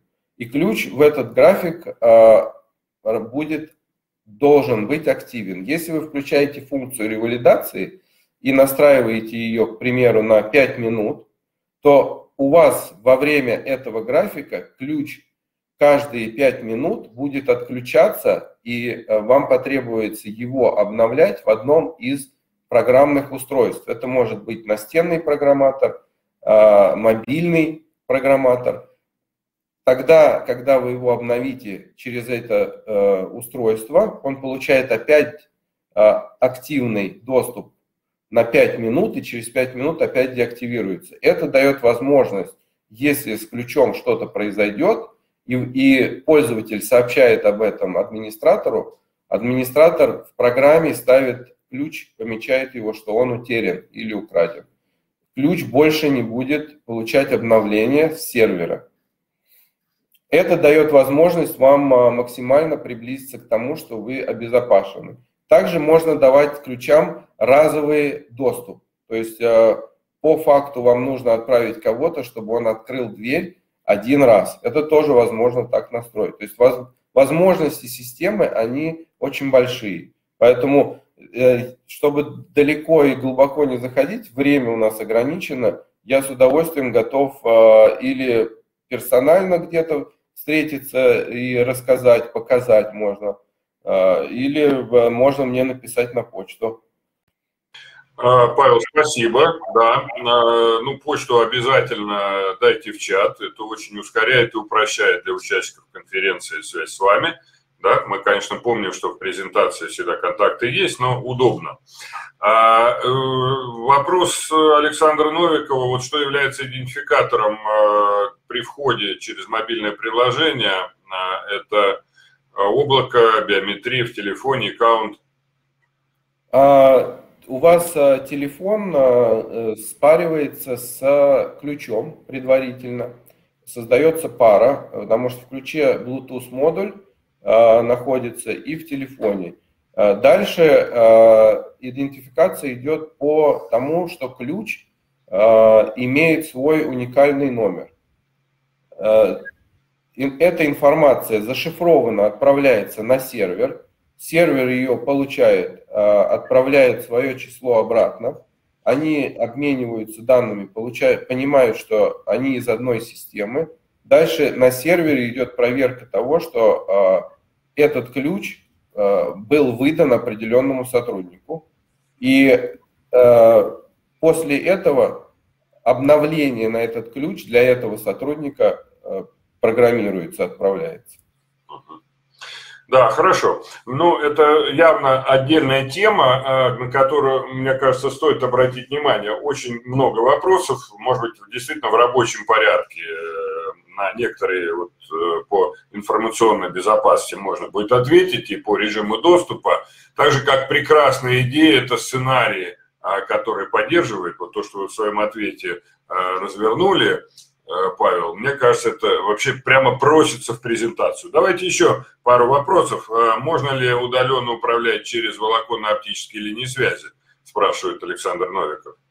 А, как я сказал, возможность развертывания э, программного обеспечения, она сейчас в основном мы инсталируем программу на серверах заказчика.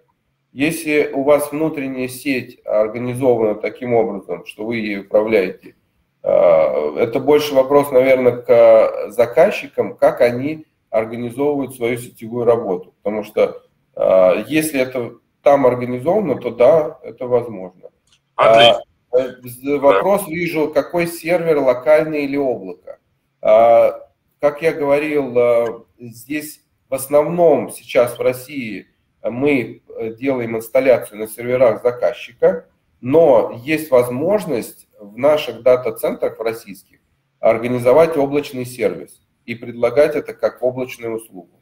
Да, такая функция есть, она сейчас, э, будем так говорить, в проработке, потому что закон Яровой нам э, не дает возможность пользоваться зарубежными услугами, поэтому мы его сейчас переводим на российские сервера. А, видел вопрос по влагостойкости ключей. IP57. А, все ключи а, имеют защиту. То есть э, это подразумевается, что вы их, конечно, в воде купать не будете, да, но они к погодным условиям таким вот и жестким предрасположены. Навесные замки IP68 – это максимальная защита. Остальные цилиндры не сертифицированы под IP, э, но они могут быть вот защитными шторками, которые защищают от попадания э, пыли, грязи. Понятно. А позвольте уточнить по ключам. Понятно, что если э, ключ упал, не знаю, куда-то там в воду, то он не будет сразу работать, но выйдет ли он из строя, или можно будет его использовать, просушив? Вот это не совсем понятно. Ну, 57, я думаю, дает вам возможность, протерев его или просушив, дальше им пользоваться, потому что прямое попадание влаги там а, будет ограничено. Ясно. Отлично. Ну что ж, спасибо. Хороший темп, прекрасная презентация. Павел, я вас благодарю. Да, большое спасибо. Контакты. Да, сейчас напишу контакты. Спасибо. Спасибо. А, Так, спасибо команде Облой. И э, мы э, идем дальше. Я представляю Алексея Киндялова, маркетинга АО «Русгард». Э, так, и здесь продолжаем мы развивать тему распределенных систем э, и ключей, я так понимаю. Э, тема выступления Алексея Киндялова «СКУ для завода «Гиганта». Как это устроено?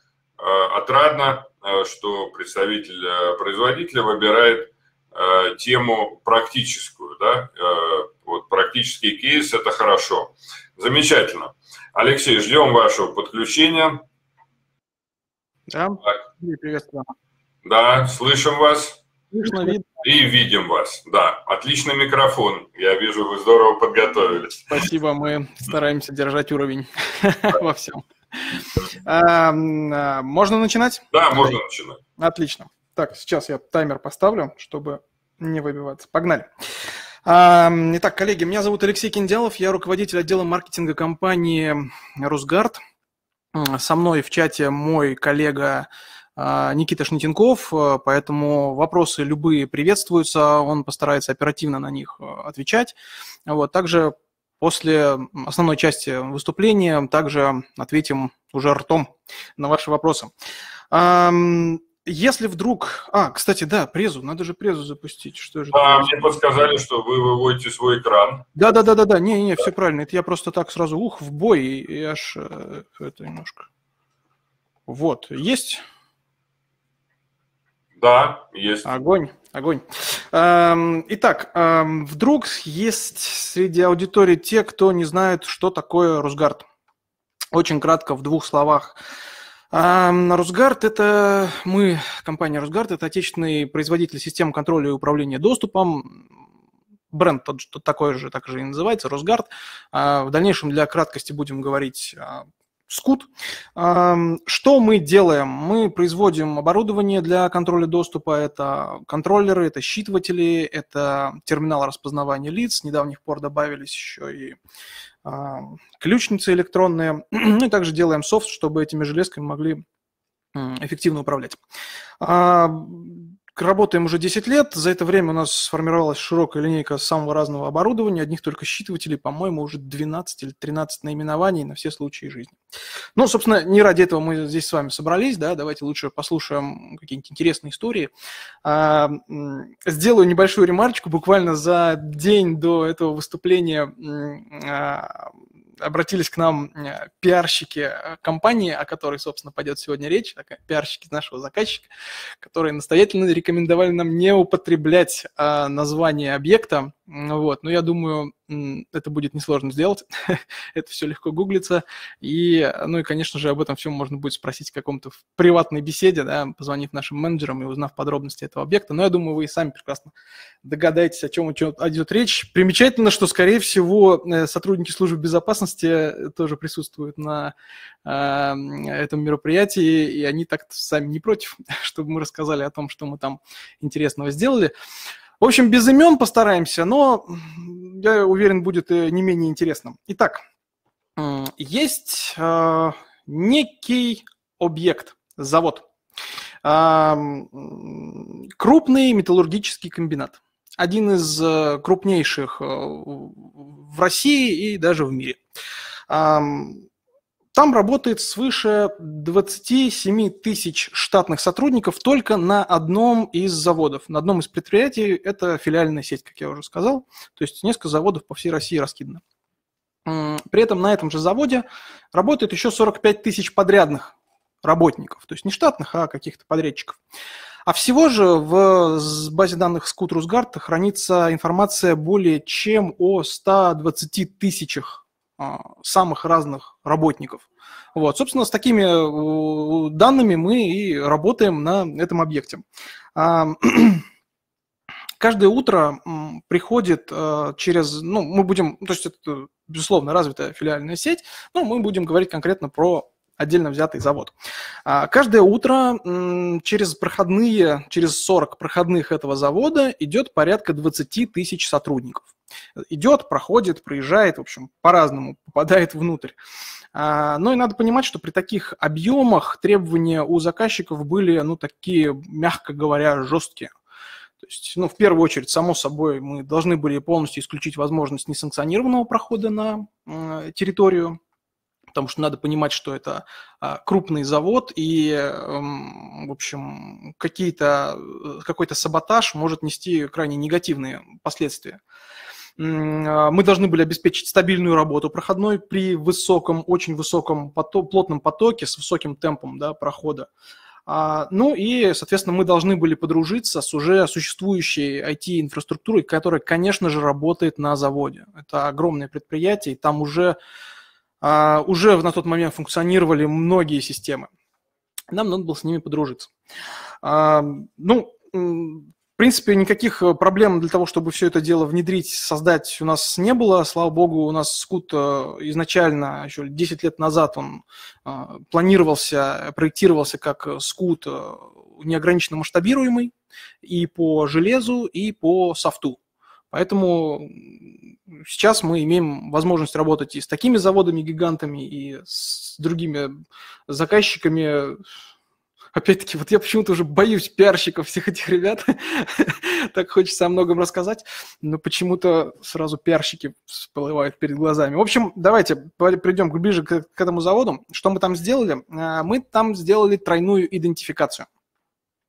Э, сразу по трем признакам мы проверяем сотрудников. И первым идентификатором у нас являются защищенные карты формата MyFair. А, эти карты невозможно подделать. Ну, конечно, если мы говорим про карты ну, последних поколений, да, более новых форматов, их невозможно подделать, и э, на завод могут пройти только сотрудники с теми картами, которые были выпущены непосредственно на заводе. А, ну, в отличие от э, уже устаревших и э, таких э, не очень защищенных карт формата там Yamarin, Hitprox 2 и прочих подобных. Итак, выдали мы карточку. Следующий идентификатор. Следующий идентификатор у нас это, конечно же, лицо. На первом этапе внедрения мы сделали интеграцию с отечественной системой видеоаналитики ASS, а, а, конкретно продукт SecureOS. А, мы сделали интеграцию с ними, и в результате у нас распознаются лица, соответственно, сотрудников. При этом по заказу завода, то есть по желанию заказчика, скажем так, там стоит идентификация или. То есть если лицо было распознано, то сотрудник проходит. Если лицо не было распознано, он прикладывает карту. Если карта подходит, дверь открывается, ну или турникет открывается. При этом автоматом э, э, службе безопасности улетает уведомление о том, что был проход э, с не тем лицом. То есть это все происходит быстро, и, соответственно, служба безопасности может отработать э, этот инцидент э, довольно оперативно. На втором этапе внедрения мы э, установили на проходных терминалы уже нашего собственного производства, терминалы распознавания лиц Росгард, причем с датчиком для измерения температуры. Тем самым мы убили еще одного зайца, такого очень важного зайца в последнее время, последний год, наверное. Мы измеряем температуру сотрудников, и что самое главное, что больше всего требуется всем таким объектам, мы создаем автоматический электронный журнал измерения температуры. Это самая важная вещь, потому что представьте, что у вас 20 тысяч сотрудников ломятся через все двери, и у каждого измерить температуру, пусть даже этим ручным пирометром, да, и записать от руки это все в бумажный журнал, это нереально. А, мы все это дело автоматизировали. Теперь у нас мы отвечаем, придет к нам какие-то управляющие, не управляющие, а проверяющие органы. Вот у нас все есть. За любой день можете посмотреть, сколько у кого какая температура была. А, больше рассказывать про терминалы распознавания лиц, я думаю, нет смысла, потому что эта штука настолько уже громкая, распознавание лиц в маске работает, конечно же, без проблем. А, настолько громко, настолько это такой мощный тренд э, последнего времени, и даже в рамках э, этих конференций мы неоднократно рассказывали о своих решениях, о своих терминалах распознавания лиц. Вот, и вся информация есть у нас на YouTube, на YouTube-канале, там, на нашем сайте. В общем, информации полно. Как бы, знакомьтесь, звоните, спрашивайте. А, штука классная. Я думаю, в ближайшее время вы, если, если не поставите у себя на объекте, то задумайтесь серьезно об установке. Едем дальше. А, помимо третий идентификатор у нас будет являться выхлоп точнее, количество алкоголя, промилле алкоголя в выдохе человека. Были установлены на всех проходных алкотестеры. Это алкорамка от АО лазерной системы. Почему именно она? Потому что а, это самая высокая скорость распознавания. От э, момента выдоха до готовности рамки принять следующего сотрудника где-то около двух, максимум трех секунд, а, очень быстро. И что самое главное, и ну, для нас главное, то, что это сетевое устройство. А, и значит, мы можем им полноценно управлять из куда? Управлять, настраивать. А, ну, в частности, мы можем установить э, минимально, максимально допустимый уровень алкоголя в выдохе. Можем поставить 0, и у нас э, рамка будет реагировать на квас и на кефир. А, можем поставить более гуманные 0,3, там 0,4, а, и уже отлавливать э, и уже отлавливать каких-то, скажем, более таких несознательных сотрудников. А, вот. Кроме этого, можно настраивать группы алкотестирования, то есть мы определяем, что, допустим, руководство условно мы никогда не тестируем, там одних сотрудников мы тестируем с какой-то периодичностью, а водителей мы тестируем каждый день в обязательном порядке. А, опять-таки, частота тестирования, она тоже настраивается, это очень полезная вещь на самом деле. А, ну, просто потому что идет огромный поток, как я уже сказал, и если мы будем тестировать каждого, это будет заминки. Но если же поставить даже 20-25% вероятность э, тестирования, то очередей практически не будет, да их, по-моему, сейчас и нет. А, но при этом а, даже вот этого небольшого процента, 20-25, достаточно для того, что а, сотрудник как-то более осознанно подошел бы к употреблению алкоголя и лишний раз бы подумал. Опять-таки, вероятность распознавания, она выбирается рандомизатором. То есть э, ты никогда не знаешь, попросит тебя сегодня алкорамка дыхнуть или не попросит. Итак, вся схема э, на этом заводе идентификации сотрудников выглядит следующим образом. То есть сотрудник подходит к турникету, попадает э, в зону видимости терминала, терминал измеряет температуру сотрудника, терминал распознает лицо сотрудника. Если по какой-то причине лицо не было распознано, то он прикладывает карту к считывателю, а, совершает выдох в алкорамку, опять-таки, если он ну, день у него сегодня неудачный, и алкорамка заставила его сделать выдох, и если все эти условия были соблюдены, и ничего не нарушено, и все в порядке, то дверь, там, дверь или турникет э, открывается. Выглядит на самом деле все сложно, но по, по факту, э, если разложить по секундам, все это происходит довольно быстро. Температуру мы померим за одну секунду. В это же время мы проводим э, распознавание лица, то есть по сути, время на него не тратим. Если вдруг что, карту приложить, распознать это одна секунда, ну и выдохнуть в алкорамку, это 3 секунды. Ну, опять-таки, каких-то максимальных значений. Итого 5 секунд. Это при максимально возможном сценарии. Вот, а все остальные проходят буквально за 2-3 секунды. Это очень быстро на самом деле для такого большого потока, для такого объекта. Ну и э, еще один момент, э, надо обязательно сказать про интеграции, которые были сделаны, потому что это важное требование заказчикам. А, в первую очередь была сделана интеграция с SAP. Я думаю, знают здесь, что это за система, и, черт возьми, сколько она стоит, что она умеет. Вопрос был в том, что э, у вот эти все 120 тысяч сотрудников, которые уже присутствовали, все они были заведены в SAP, и там была подготовлена уже структура, иерархия всей компании. Вот, поэтому вручную переносить это все в скут, э, заново создавать все эти зоны, это невозможная работа, то есть это, это очень сложно. Поэтому мы сделали, импортировали все данные из SAP себе в Росгард с сохранением структуры компании и синхронизировали все это дело. То есть если у нас сотрудник, появляется новый сотрудник, мы его создаем в SAP, кадровик создает ему карточку, а, определяет его там должность, его там подразделение, эта вся инфа автоматом улетает в Росгард. А, и, соответственно, когда он получает пропуск, он уже получает пропуск с определенным уровнем доступа. То же самое происходит, когда мы увольняем сотрудника, кадровик ставит галочку «уволен», сразу же об этом узнает СКУД, и пропуск такого сотрудника автоматом блокируется, все, он к нам больше не пройдет. Есть еще интеграция с системой учета посетителей, регистрации учета посетителей Visitor Control, тоже от нашего производителя отечественного компании Insiris. Это, наверное, лучшее решение для регистрации посетителей, особенно если у вас прям большие потоки гостей каждый день, сотнями, тысячами к вам ходит, то, в принципе, это отличное решение. А, быстро регистрируем гостя, быстро выдаем ему пропуск.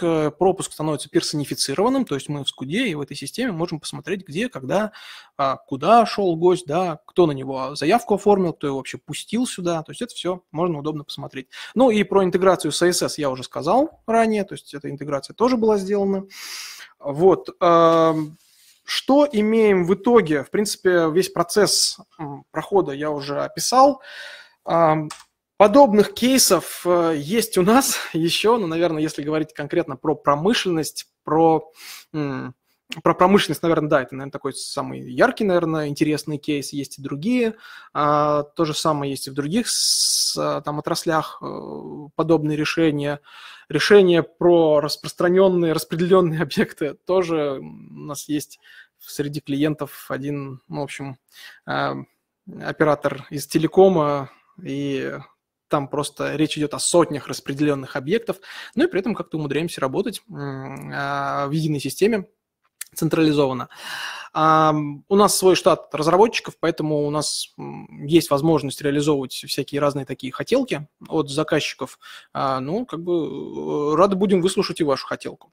А, Андрей, на 30 секунд всего лишь. На 30 секунд не успел. Хорошо.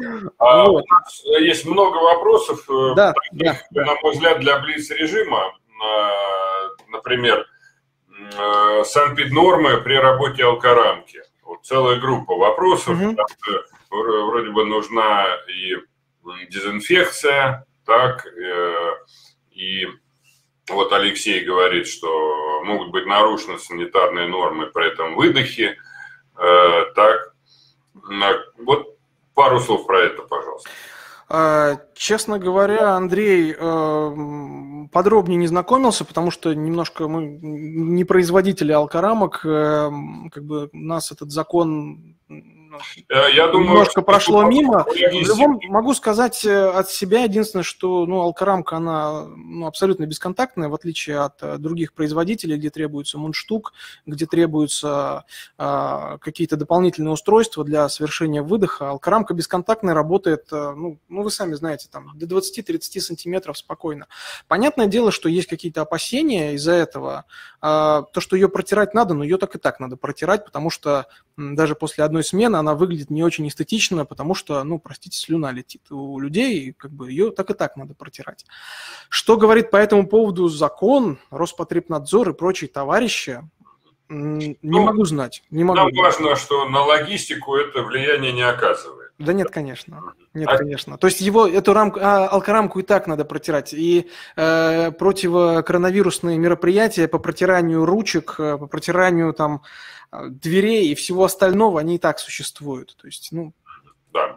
А, тоже в этой связи вопрос э, Игоря. Как происходит информирование о нужных действиях э, на проходной? Что надо приложить карту, что надо дыхнуть? То есть как оповещается а, да все просто. Ну, то есть к терминалу подходишь, э, если он тебя распознал, то и терминал говорит, что как бы э, welcome, и считыватель светится зеленым. То есть э, он понимает, что прикладывать ему уже не надо, потому что считыватель уже отработал.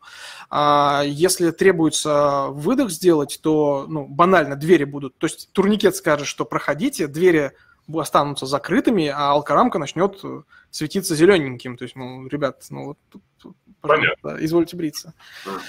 Ну, то есть, э, очевидный, на самом деле, очевидный процесс. Конечно же, были сложности при внедрении, когда только эту систему начинали запускать. Первый месяц буквально ушел на то, чтобы заводчане поняли, что от них хотят вот эти все железки, которых понаставили вокруг. Но, опять-таки, это вопрос э, ну, месяца, двух, и как бы все привыкли, все поняли, что от них требуется, и как бы все пошло гладко. А, Фарида спрашивает, э, данные, полученные во время идентификации, новый номер карты, распознавание лица, результат алкотестера, можно ли хранить на едином сервере? Номер карты, распознавание лица... Так они, по-моему, хранятся на едином сервере. Так это же все в рамках, э, в рамках одного скуда это же у нас реализуется. То есть это мы, мы сами все это сделали и сами у себя все это и храним. То есть э, и это для того и надо, чтобы ты мог э, от нечего делать, посидеть, ткнуть пальчиком и на сервере Русгард посмотреть, кто насколько выдохнул, у кого насколько температуру намерили и в какой туалет зашел сотрудник. А, кстати, скут установлен ваш или интеграция стороннего? Нет, скут, конечно, наш. наш. Это наш скут наши, наши контроллеры, наши считыватели, наши терминалы распознавания лиц. То есть это все, все наше. Ясно. По какому протоколу интеграция SAP и зачем нужна интеграция CSS, спрашивает Дмитрий Дряных. Про протокол SAP немножко, наверное, не в моей компетенции. Это, наверное, к товарищам программистам надо обращаться. Или вот э, Никита, я думаю, оставит свои контакты, или я оставлю свои контакты, и после конференции можно будет задать этот вопрос, уже компетентные сотрудники на него ответят. Зачем нужна интеграция SAP, я, в принципе, говорил, потому что изначально на объекте планировалось распознавание лиц реализовывать при помощи ASS. То есть у них стояли купольные камеры наверху над э, проходной, и предполагал, что они будут производить а, распознавание лиц. В принципе, так оно и было. А, но, да, кстати, надо заметить, что ISS-то никуда не делся с завода. Он по-прежнему работает успешно, но он работает для видеоаналитики. То есть изначально, как он и планировался. То есть это, не знаю, детекция касок, это контроль за рабочими зонами, чтобы никто никуда не ушел. То есть это серьезная большая работа. Они ее по-прежнему ведут, он никуда не делся. А уровень доступа э, определяется HR в САПе или службой безопасности в СКУД, спрашивают? А, это уже внутренняя кухня завода. Это не знаю, как у них э, делегирование этих полномочий происходит.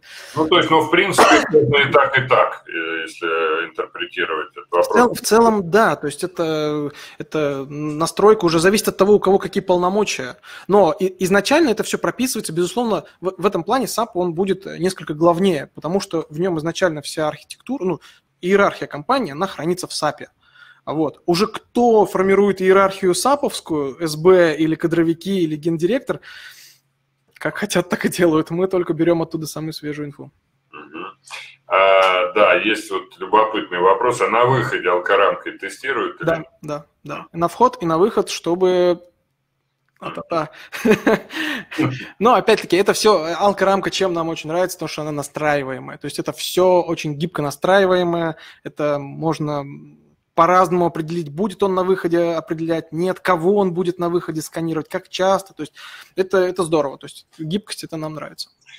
А, замечательно. Евгений Лобанов, при интеграции в SAP данные о проходах э, можно передавать в SAP? Или передаются ли они? Ну, или можно ли передавать? Хм, Хороший вопрос, э, но точно не отвечу на него. Ну, то есть а, можно, можно, нельзя... Вот, э, сейчас Никита, если подскажет, или вот коллеги, которые э, есть... Да, Никита, это, это актуальный очень вопрос для крупной промышленности, как вы понимаете. Я, я думаю, что возможно, просто не хочу сейчас э, э, там лишнего сказать, поэтому э, лучше написать отдельно, или сейчас вот если коллеги ответят, то а, да, будет все работать без Да, этого. хорошо. Да. Есть ли распознавание по QR-коду вместо лица для посетителей? Um... Опять же, или можно ли его сделать? Да, конечно, можно. Все можно. У нас у самих есть свои же считыватели своего же производства, которые поддерживают работу с QR-кодами. А, тема интересная, тема популярная, потому что это самый дешевый пропуск, который можно придумать. Распечатал на бумажке и поднес. Ну, конечно, отдельную проходную надо желательно под это дело вывести, да, ну, турникет хотя бы. Вот. Но, конечно, можно реализовать. Тем более это все работает, как я уже сказал, гости, они работают с визитор-контролом. Мы с ними очень плотно, с этими ребятами интегрированы и очень хорошо дружим. В принципе, можем построить ну, практически все, что угодно, все, что касается посетителей, и как угодно реализовать, да хоть э, венами ладони. А вот этот самый э, визитор-контроль, а им нужно, чтобы э, регистрация по пропуску была плюс плюс терминал распознавания, то есть плюс лицо. Вот. В смысле, да. можно ли сделать у них двойную? Да, да, возможно, вот Андрей спрашивает, возможно ли регистрация посетителя э, У нас с ними уже есть интеграция по лицу, она уже работает. То есть, более того, даже через терминал распознавания, термин, у них есть терминал выдачи пропусков, это отдельный такой Э, ящичек, который сканирует пропуска, там все это делает. И мы даже через него уже реализовали а, доступ по лицу. Грубо говоря, мы там с паспортом сравнили, с лицом сравнили, который сфотографирован был, и уже он может пройти на объект по лицу. Карту сюда подвязать, я тоже думаю, это не составит проблем. А Анна Маликова вот по QR-коду уточняет, а может ли терминал э, распознавания лица считывать и QR-код? Частый вопрос на самом деле. А, спрашивают а, и такое.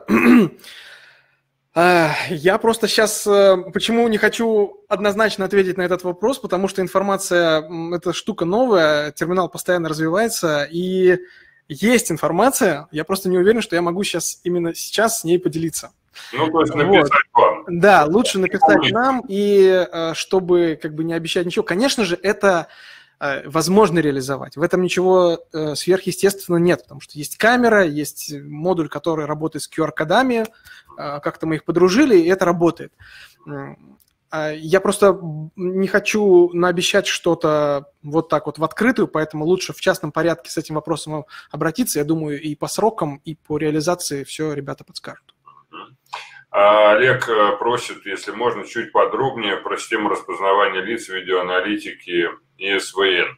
Имеют ли они сертификат по 969? Ну, ваш коллега ответил, что имеют. Да, да. А, да. Так, ну, чем-то дополните здесь, э, кроме сертификатов, я так понимаю. Да нет, ну у нас все оборудование сертифицировано по 969, э, потому что мы много работаем с транспортом. Это метро, РЖД, там, Мосгортранс, то есть, поэтому 969 для нас стоит в красном углу вместе с другими иконками, вот, такая штука, штука для нас обязательная, без нее никак. Тут технические пошли вопросы. Анна Маликова, BioSmart, э, антифейк э, на вашем терминале по лицу. Да, конечно, работает э, антифейк, то есть по там с телефона, с листа бумаги и какие-то другие, скажем, такие а, методы обмануть систему, они не прокатывают, live detection есть, то есть э, терминал понимает, живой человек перед ним стоит или какой-то фейк. Ну, там обычно целый набор же признаков. Э, ну, конечно, конечно. То есть это не, не камера. Это как минимум, еще, да? Как, да, это как минимум двойная камера, которая понимает, э, как объект передвигается в, в, в пространстве и анализирует его. Ну, банально, если мы даже на видео запишем человека, который крутит головой, и покажем его терминал, он скажет, эй, нет, что-то здесь нечисто. А какими аппаратными решениями работает антифейк? А, с какими... Ну, аппаратными решениями. Немножко не понимаю вопрос, но, очевидно, вот как раз про камеры речи идет. То есть... Э, ну, видимо, здесь как, либо это все в терминале, да, тогда это ваш терминал, либо это алгоритм, который... Нет, нет, все распознавание происходит только в терминале. То есть распознавание происходит в терминале, тем он на самом деле и классный, потому что он может работать автономно. Если вдруг у нас по какой-то причине наворачивается сеть локальная, то терминал будет работать, он будет распознавать лиц, у них у него есть своя внутренняя база данных. Просто когда появится связь снова между сервером, э, э, он передаст все там накопленные данные, получит э, новые данные о свежих лицах и также будет работать. Этим и вот в случае сбоя в этом комплексе, который описали с алкорамкой, угу. если засбоит локальная сеть, продолжать будет работать система? Это Там есть у нас специальная настройка. У нас есть отдельная настройка, которую можно выставить, что если по какой-то причине а, скут не видит алкорамку или вообще система, где-то алкорамка потерялась в системе, ну, допустим, заглючила, что-то с ней произошло, то проход будет возможен без нее, ну, опять-таки, при условии, что она была выключена. Если система понимает, что она выключена, проход без нее возможен, но соответствующая пометка отобразится в скут, что человек прошел, но не дыхнул, потому что алкорамка не работала, как бы на него можно обратить внимание. Это, да, это реализовано. Хотите ставьте, хотите нет. Галочка, если не включена, то, а, ну, просто двери не откроются, пока не дыхнешь. Ну, как бы решение от этого у нас есть тоже. А, планы по переходу на отечественные сервера, Олег спрашивает. Отечественные сервера именно а, какие отечественные сервера? Ну, сервер Русгард отечественный. Или имеется... Если в виду имеется конкретное железо, то... Да, да, ну, отечественные процессоры, да, отечественные блоки, да. Да на самом деле каких-то прям ближайших планов э, нет. Равно как и у всей отрасли в целом. То есть это узкие задачи, наверное, каких-то отдельных объектов. Э, ну, то есть это явно не масс-маркет, это такая очень... Ну, то есть при наличии э, серьезного, достаточно объемного запроса, да, это как бы... Ну, да. Мы все прекрасно знаем, как бы есть проект, есть заказчик, есть цель, есть бюджет. Поехали завтра делать. Хорошо. Ну что ж, спасибо. Да, спасибо. Очень насыщенно, очень много вопросов. Э, Андрей, вы помогли их разрулить немножко, и коллеги э, помогли. То есть э, было, было классно. Спасибо большое, что позвали. Спасибо большое. Спасибо. Да, в чат почту отправим. Да, пожалуйста. Ждем. Да, контакты есть. Все, всем спасибо. Дальнейшей хорошей конференции, интересных спикеров и интересных кейсов. Всем пока. До свидания. Благодарю. Так, ну что ж, Геннадий Кузнецов, директор проектно-конструкторского инжинирингового центра ISTA Systems. А, так будет презентации с докладом «Новая платформа для нейросетевых контроллеров Scoot Keeper для сложных алгоритмов доступа». А, видимо, сложные алгоритмы имеются в виду какие-то комплексные сценарии. Так я понимаю, Геннадий. Меня слышно? Да, вас слышно. Угу. Хорошо. Ну, как бы я бы с презентации бы и начал, если вы ее да. сейчас запустите. Она уже на экране. Отлично. Да, можно начать. Да. Здравствуйте, коллеги. Очень действительно интересно, с удовольствием слушаю, как бы отличная конференция. И буду рад, если мой доклад тоже вам будет полезен. Значит, меня зовут Геннадий Кузнецов, представляю компанию Ista Systems. Значит, э, в, в, тема скут обширная для специалистов, как система безопасности. Я поэтому буду ну, только на отдельных аспектах останавливаться. То есть в своем выступлении я бы хотел бы затронуть те новинки, которые на нашей компании появились за последнее время, которые мы вот, ну, скромно объединили в понятие «новая аппаратная платформа для промышленных нейросетевых контроллеров ScootKeeper для сложных алгоритмов доступа». Значит, так, единственное, напомните, а, как... Угу. Наши... Да, да, да, да, справился. Справился, да. Ну, как это, минута рекламы. Наша компания на рынке 30 лет. За это время накоплен большой опыт в создании систем безопасности и скудов. В частности, э, ну, на объектах промышленности, прежде всего, конечно, это ТЭК, транспорт.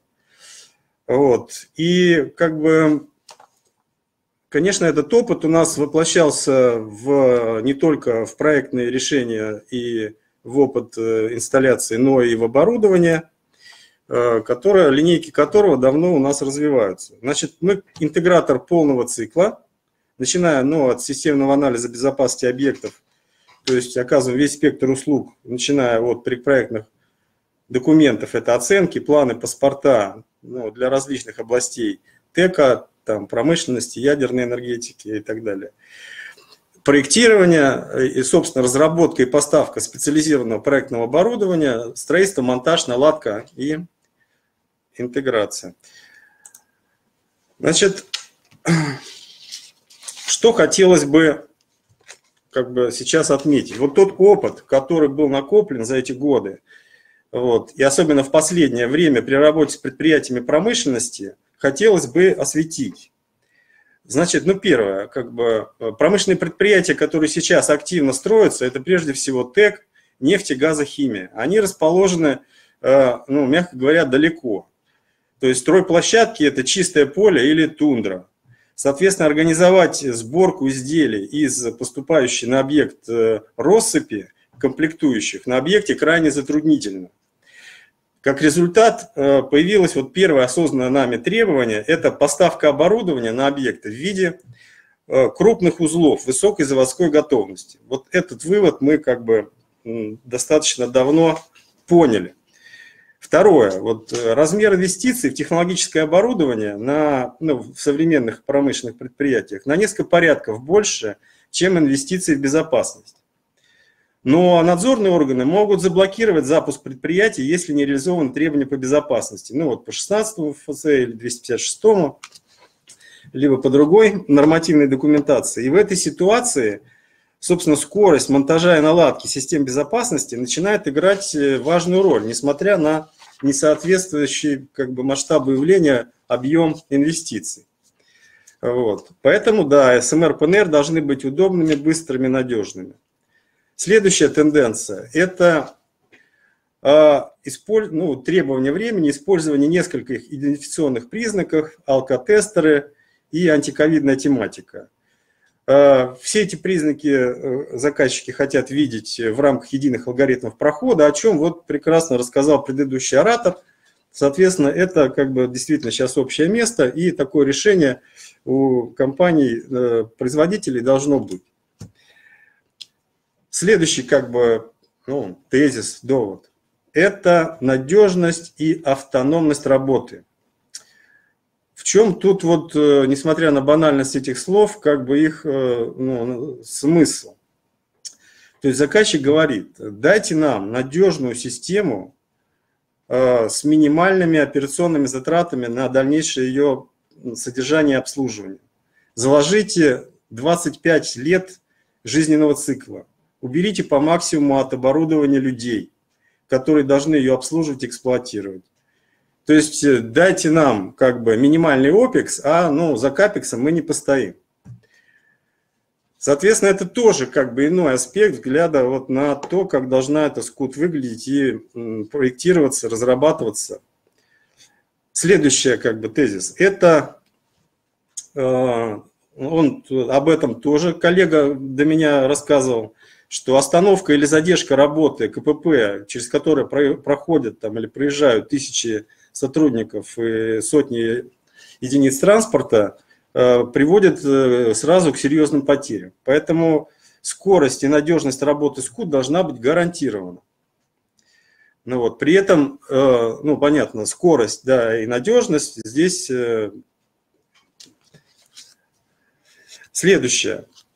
Вот, э, собственно, для решения вот таких э, вводных, ну, для удовлетворения таких запросов рынка и было проведено обновление нашей линейки, о которой я хотел бы, значит, коротко рассказать. Значит, э, в чем, как бы, ну, еще пару слов про особенность. Значит, у нас группа компаний, есть компания-производитель, и трем, которая у нас разрабатывает базовое, так сказать, программное Э, изделия и базовое оборудование. И мы, как э, компания-интегратор, разрабатываем на ее основе специализированное проектное оборудование. Ну, то есть базовая это вот платформа Neiros, контроллеры Barrier, Yars, пак интеграция, другие продукты компании Itrium, с которыми можно познакомиться на ее сайте. И наше оборудование, это линейка оборудования Кипер, это вот специализированное проектное оборудование, набор типовых функционально законченных изделий, для высокоэффективного проектирования, поставки монтажа, последующего функционирования. Ну, и как бы мода последнего времени мы разрабатываем еще и э, описание для того, чтобы можно было оборудование использовать при BIM использовании BIM-технологии. Значит, э, предмет доработки, который мы, которым мы занимались. Ну, то есть было поставлено ОКР, который сейчас находится в стадии промышленный образец – Значит, э, что мы как бы брали за основу? Мы брали высокопроизводительный контроллер э, который доработали, плату расширения M2, тоже которую доработали, и использовали корпус в стандарте Евромеханика. Значит, э, был разработан блок защиты и коммутации для подключения точек доступа, расположенных в взрывозащищенном исполнении, ну, расположен в взрывоопасной зоне – и разработан биометрический мультиплексор идентификационных данных, идентификационных признаков. То есть это вот, э, собственно, то, что было сделано, то, что мы коротко хотели бы а, анонсировать. Ну, внешний вид платформы. Значит, э, что здесь мы как бы имеем? Значит, мы имеем плату управления распределения питанием, собственно, контроллер YARS и 4 платы расширения, которые э, значит, помещены в корпус Евромеханика. Все платы установлены на, кросс, э, на коммуникационную кросс-плату. Что мы получаем в результате такого значит, решения аппаратного? Ну, первое, все специалисты, которые значит, связаны как-то с проектированием, монтажом, эксплуатацией, видели на предприятиях вот эти косы, э, огромные сплетенных проводов, которые идут э, и петляют между расположенными на горизонтальных поверхностях, контроллерах и платах расширения. Это, конечно, ситуация, которая приводит э, к сложному монтажу, ненадежному монтажу, к тяжелой замене как бы элементов. И э, любая монтажная организация про себя знает, сколько плат она сжигает в процессе монтажа. Соответственно, как бы таким образом мы уходим от э, сложного монтажа, повышаем его надежность, качество, получаем возможность поставлять на объект изделия высокой заводской готовности. Это, значит, раз. Второе, значит, мы модернизировали контроллер, контроллер YARS э, для того, чтобы он мог поддерживать протокол CAN транспортный. Э, мы расскажем дальше, для чего это было сделано. Значит, и вот плата управления и распределения питания позволяет по тому же как бы, проводу, по которому идет информационная линия, и доводить питание до исполнительных устройств, как бы, что существенно тоже облегчает и проектирование, и а, использование данного решения. Как это, в принципе, ну, прошу прощения, если, конечно, качество рисунка, но у нас пока еще нету презентационных материалов высокого качества, ну, какие есть. Главное, чтобы было понятно. То есть, э, ну, вот такие корзины могут связаны, ну, к ним подходят э, по Ethernet, значит, информационные линии. По Кену они могут связываться как друг с другом, так и с отдельными, значит, э, платами, либо платами расширения, либо контроллерами. Каждая, каждая такая корзина питает, ну, поддерживает работу в 8 э, точек доступа, ну, соответственно, либо там однопро, односторонних, э, э, либо 4 двусторонних. Вот, э, и сделана линейка оборудования для взрывозащищенной зоны. Соответственно, периферия питается, по информационному кабелю идет и управление питанием. А, значит, кабель, понятно, для этого требуется либо витая пара, либо просто телефонный. Это тоже удобно. Что здесь еще важно? Что мы вот получили благодаря тому, что а, ну, подключили э, значит, CAN-протокол? Ну, во-первых, мы удлинили существенно возможность вот этого, вот этого плеча. То есть, если в RS-485 это 1,2 километра максимум на скорости 9600 бит, то а, по CAN это уже 6 километров. То есть, это больше возможностей, больше гибкости для проектирования и, для, ну, и, и в принципе можно делать более дешевые проекты с помощью такого решения. Значит, э, что здесь еще важно? Что один контроллер в совокупности с четырьмя блоками управления питанием обеспечивает питанием 32 односторонние точки доступа 128 шлейфов сигнализации, 128 реле. реле. То есть э, контроллеры не только для э, скут, но и для других систем безопасности. Значит, э, пару слов о блоке защиты коммутации. Он нужен для того, чтобы подключать точки доступа, расположенные во взрывозащищенных зонах – Соответственно, необходимо для, того, для их питания поддерживать э, ну, развязывающие цепи, ну, цепи гальванической развязки и ограничение токов. Ну вот здесь вот фотография данного узла, который сделан вот в морском исполнении в частности. Значит, э, какие новые функциональные возможности мы получаем, я в принципе уже кратко сказал. То есть это простота, удобство монтажа, потому что платы меняются так же, как в компьютере, то есть держится только на разъемах. Но вот вся как бы коммуникация через кросс-плату. Изделие обеспечивает надежное распределение, удобный контроль питания периферийных узлов SCUT, что немаловажно.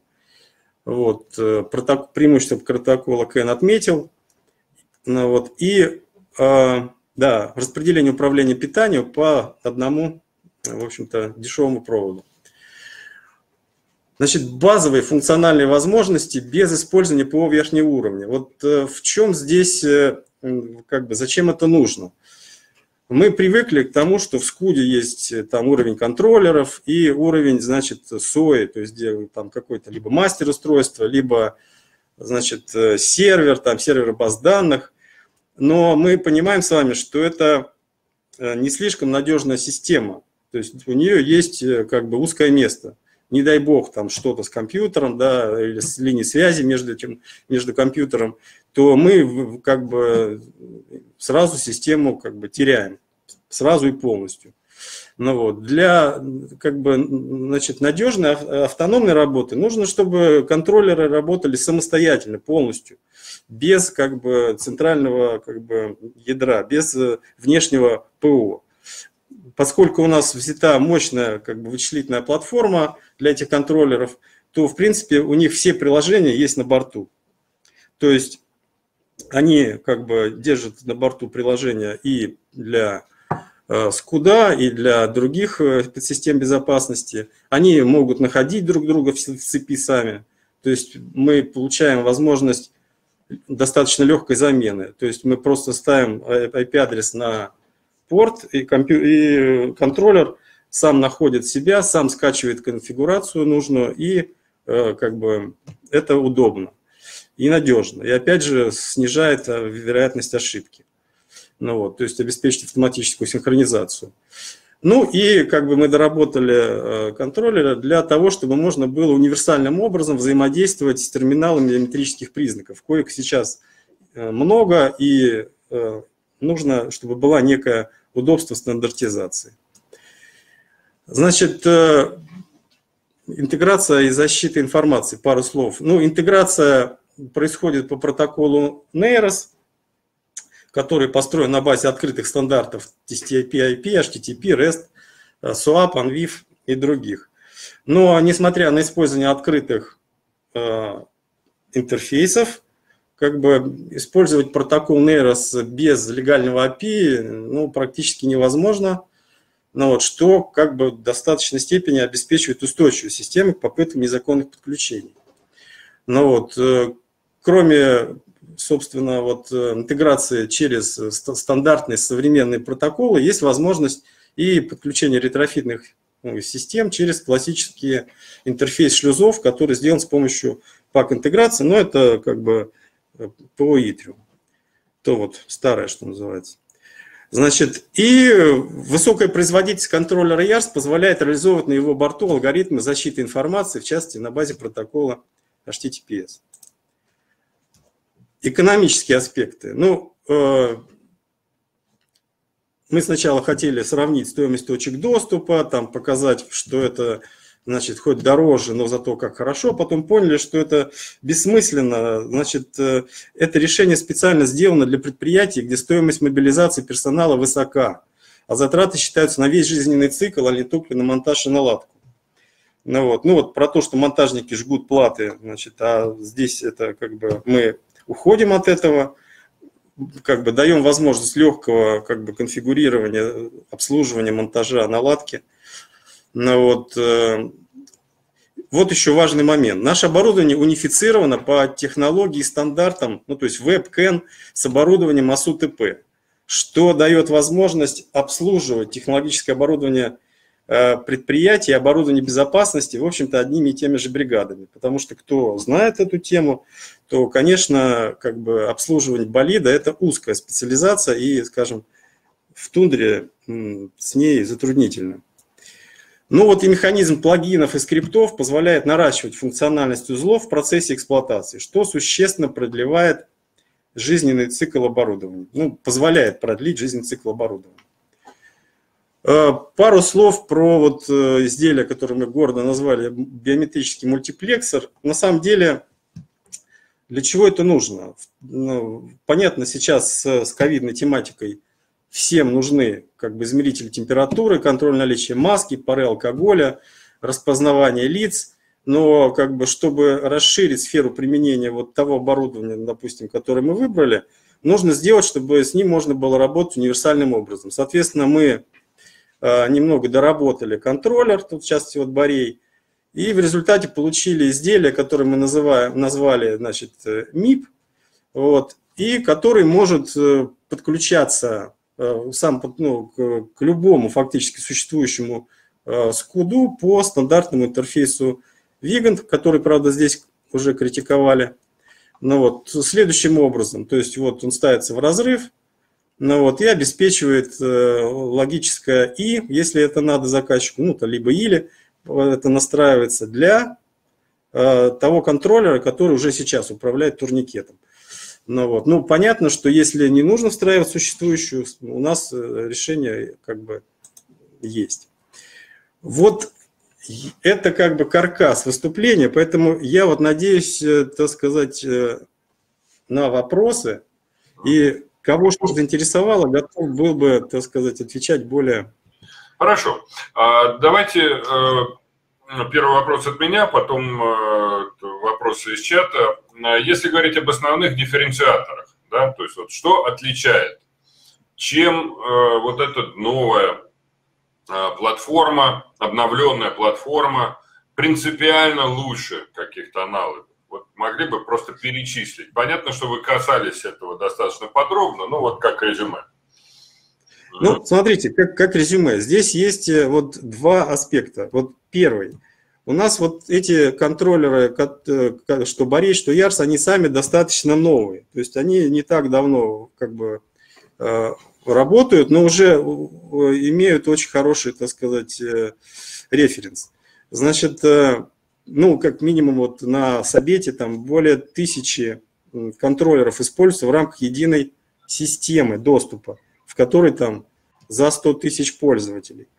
Ну вот, э, Значит, поэтому это контроллеры современные, как бы в значительной степени автономные, вот, надежные и как бы полностью а, как бы вот, э, построен на современной э, технологии э, веб-приложений. То есть мы ушли здесь фактически от вот этой классики там с компьютером там какой на Windows, который значит чем-то управляет и все такое.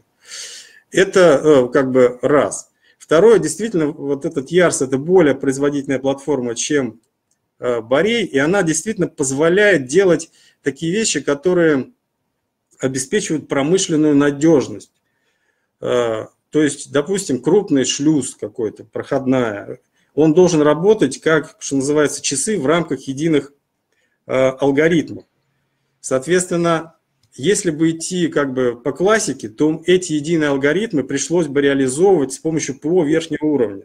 Здесь же этого не нужно. Здесь все это можно сделать в рамках одного контроллера, на который через платы расширения заводится практически любая периферия, которая гарантированно закроет такой объект, как крупный цех, там, склад, э, сложный транспортный узел, то есть как бы любую логическую единицу предприятия. Понятно. Ну вот. Это как бы важно.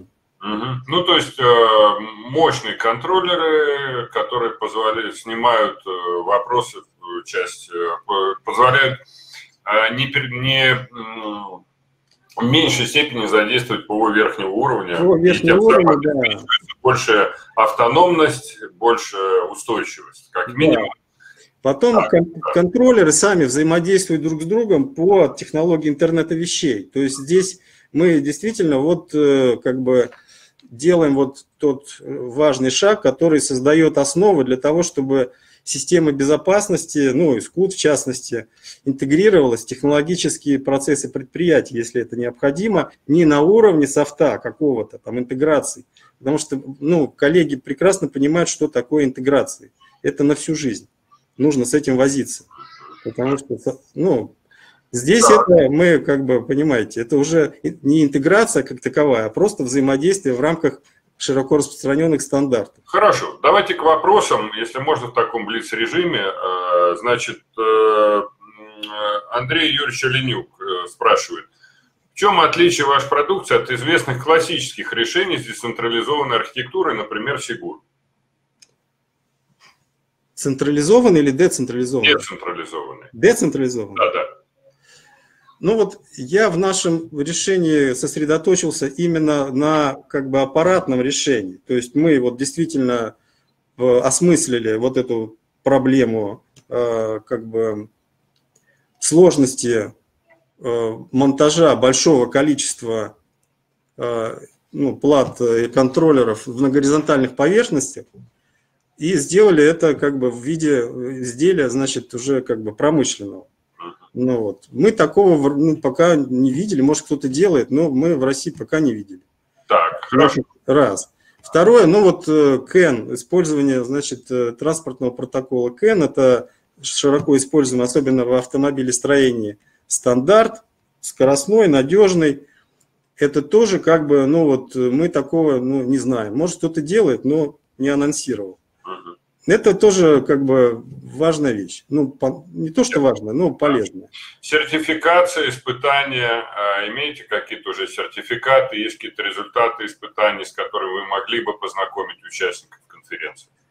Ну, здесь какой вот э, важный момент. У нас э, как бы вся линейка оборудования имеет, э, понятно, все те сертификаты, которые нужны для работы на рынке и по 969. Соответственно, у нас сейчас как раз подходит время обновления сертификатов, и в этом году мы все оборудование будем э, уже как бы в, в рамках обновления сертификатов добавлять в свои ТУ и ну, в свои как бы э, сертификаты.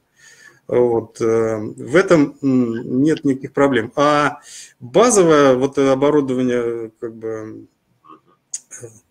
ну, в смысле, ответ, да, такой, сертификаты, безусловно, будут. Ну, и можно запросить у вас, и особенно если там об испытаниях идет речь, то можно запросить еще информацию, видимо, да? Можно, конечно, мы, так сказать, э, вот видите, еще как бы не, ну, не продали, да, уже начинаем как бы про это. Да. Но все эти вещи были ну, сделаны действительно, потому что нам пришлось э, столкнуться с требованиями. Реальными. Мы как бы делали это под конкретный проект. А, поясните, Геннадий, вот если вы это делали, вы, очевидно, а, взяли других производителей, построили некоторую таблицу отличий, да, ее реализовали. Да? И вот э, такое сравнение с другими производителями вы можете предоставить по запросу участникам конференции? Ну, Понимаете, сравнение как бы, ну давайте при, при, по запросу предоставим. Сейчас в онлайне я не хотел бы, понимаете, говорить о других производителях. Да, да, пожалуйста, жду. Да, это всегда такой разговор не совсем объективный. Да, предупрежу. Да, спасибо. 14. А, так, а, по поводу а, алгоритма распознавания биометрии лица. На каком алгоритме работает ваше устройство? Ну, понимаете, это в чем как бы здесь э, наше устройство работает с любым алгоритмом. У нас реализованы сейчас, вот сейчас как минимум три интеграции. Одно там, там где надо 969, ну, не, ну там, где надо сертификат. Э, вот. Одно и два еще, где его не нужно.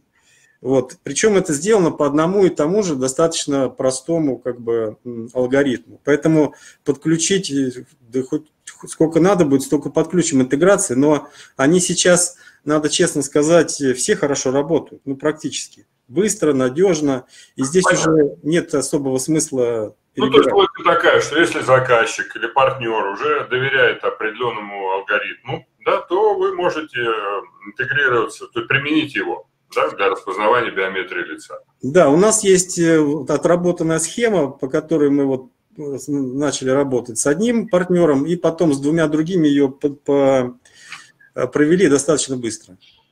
Понятно. А болит плюс борей? Вот э, вопрос Александра Новикова, ну такой короткий. Может работать? Ну, болит может, конечно, работать через у нас э, вот пак интеграция, ну, то есть через софт верхнего уровня, как бы, то есть специально он сделанный для вот именно работы с такого вида оборудования. Так, а Анна Маликова, какое сочетание фар ФРР при распознавании на базе 10 тысяч шаблонов? Можете сказать? Ой. Ну, можно ответить в чате или... Да, знаете, я вот сейчас не стал бы вот э, давать цифры. Спасибо. А, Геннадий, я смотрю за временем, в принципе, мы активно поработали с вопросами, я вас благодарю. А, пожалуйста, посмотрите на чат, и, возможно, вы или ваши коллеги какие-то вопросы дополнительно прокомментируйте. Так, прошу вас это сделать. И обязательно дайте а, ваши контакты в чат сейчас. Хорошо? Да, сейчас дам этот самый, как бы, я, наверное, ну, ожидал, наверное, больше вопросов, поэтому ужал. У нас нет больше времени. А, я понял, да. да, ну, да. Чат, значит, э, во-первых, э, контакт есть э, в презентации. Да, сейчас... да, дайте и в чат тоже, пожалуйста. Да, сейчас попробую. Спасибо. Спасибо. И обратите внимание, пожалуйста, на вопрос Дмитрия Дряных по поводу нейросетей в контроллерах. Ответьте в чате, пожалуйста. Да? То есть зачем? Да. Спасибо. Хорошо. А мы пойдем дальше, уважаемые участники. А, так, я а, предоставляю теперь слово Антону Сердюкову, директору по маркетингу компании «Парсек». А, тема, которая вызвала определенные дискуссии, даже в бондовском стиле, сболтать, но не смешивать, если помните.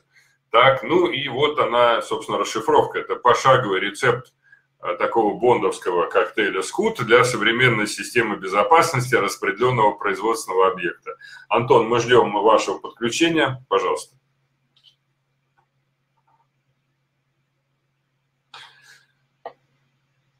Так, ждем подключения.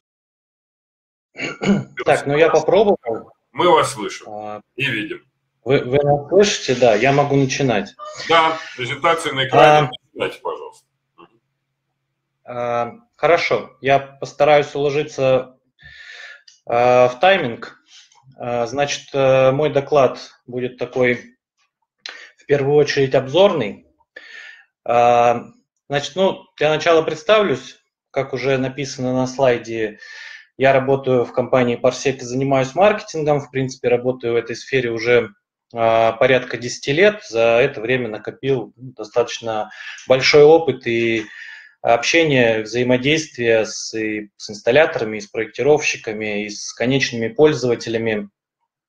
А, в том числе выступал и в качестве технического эксперта со стороны вендора при выборе каких-то конкретных а, решений. Вот, собственно, этим опытом я бы и хотел а, поделиться и постараться рассказать то, что мы знаем и понимаем сегодня в Парсеке про современные большие и э, распределенные объекты. Действительно, у компании, у продукта есть э, достаточно богатый многолетний опыт внедрений, но самое интересное – это скорее динамика и динамика последних лет.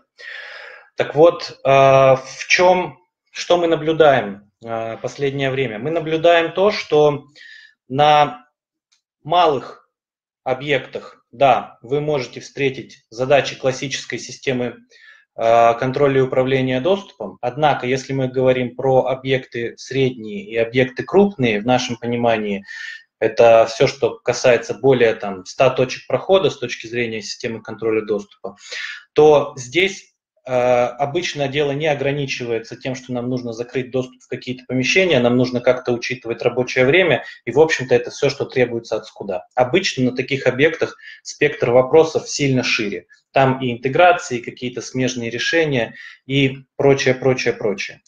Поэтому и тема названа таким образом и заявлена таким образом, что скут сегодня это далеко не только коктейль из какого-то одного ингредиента, это всегда большой микс разных технологий, разных решений, иногда от одного производителя, иногда от разных и так далее.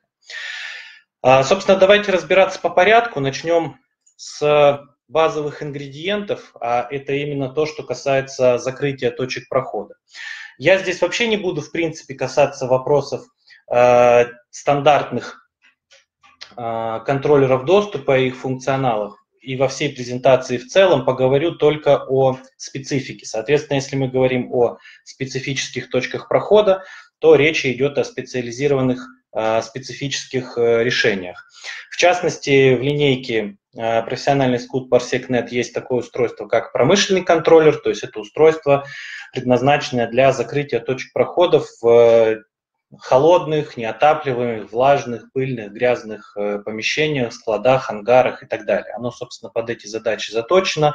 Оно имеет и ERS-485 и Ethernet на борту, и соответствующие специфические характеристики, специфический корпус для решения вот такого рода задач. Следующий тип точкой прохода ты особо не назовешь, но тем не менее элемент системы контроля доступа и управляет с контроллерами – это лифты. Соответственно, под это дело а, тоже в парсеке есть а, специальное прикладное решение. Это лифтовой контроллер NC8000E, а, который предназначен для разграничения доступа а, на этажи и а, вот соответствующее управление а, через а, лифтовую кабину. А, понятное дело, что если мы говорим о системе контроля доступа, то попытка закрыть все точки прохода объекта и предприятия а, контроллерами доступа, эта идея, конечно, хорошая, неплохая, достаточно удобная, но не всегда самая целесообразная. А иногда целесообразно часть точек прохода оставлять на обычных механических ключах, руководствуясь разными мотивами. Но при этом имея возможность включить состав системы так называемые ключницы или системы хранения механических ключей и грамотно их проинтегрировав в системы контроля доступа, мы получаем возможность э, ну, достаточно хорошо управлять, в том числе и строить отчеты, и в том числе реализовывать интеграции с охранными системами, например, э, теми точками прохода, теми дверьми, которые закрываются механическим ключом и ну, вроде бы э, не являются таким полноценным элементом системы контроля и управления доступом. Вот. Ну и последний аспект, э, который касается, скажем так, базовых элементов системы контроля доступа, это э, топология. Вариантов построения системы э, ParsecNet существует несколько, однако если заявленная тема конференции – это распределенные объекты, то здесь, э, конечно, есть смысл говорить про э, многосерверную технологию. А, система ParsecNet 3 еще в 2010 году изначально строилась под задачи распределенных объектов, тем не менее архитектура была выбрана а, хоть и распределенная, с локальными копиями баз данных на рабочих станциях, но тем не менее моносерверная. А, уже где-то 4 года назад э, в составе ParsecNet 3 появилась э, возможность строить многосерверные системы, то есть это уже для очень крупных, очень распределенных, каких-то холдинговых, возможно, слабо связанных структур.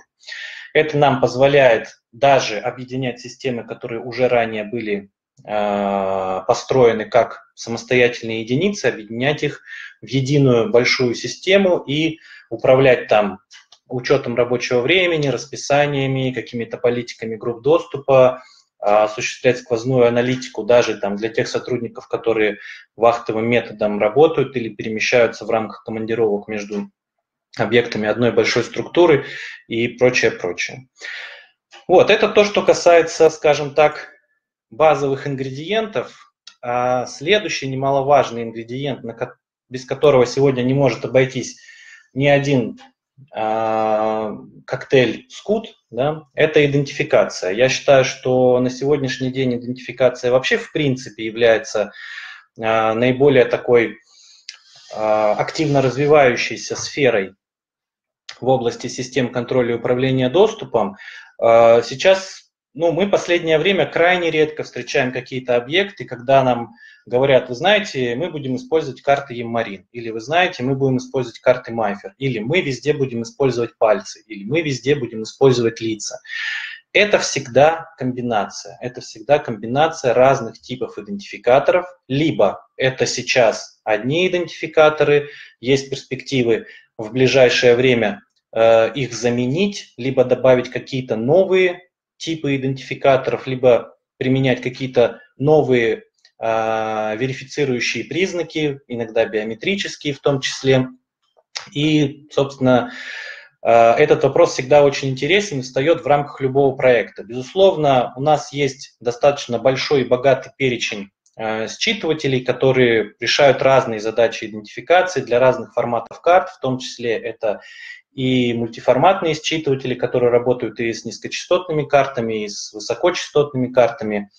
А, но, безусловно, сегодняшний рынок диктует требования и по применению каких-то внешних технологий, в частности биометрической идентификации в том числе. Соответственно, в составе системы Parsec такие решения а, тоже есть.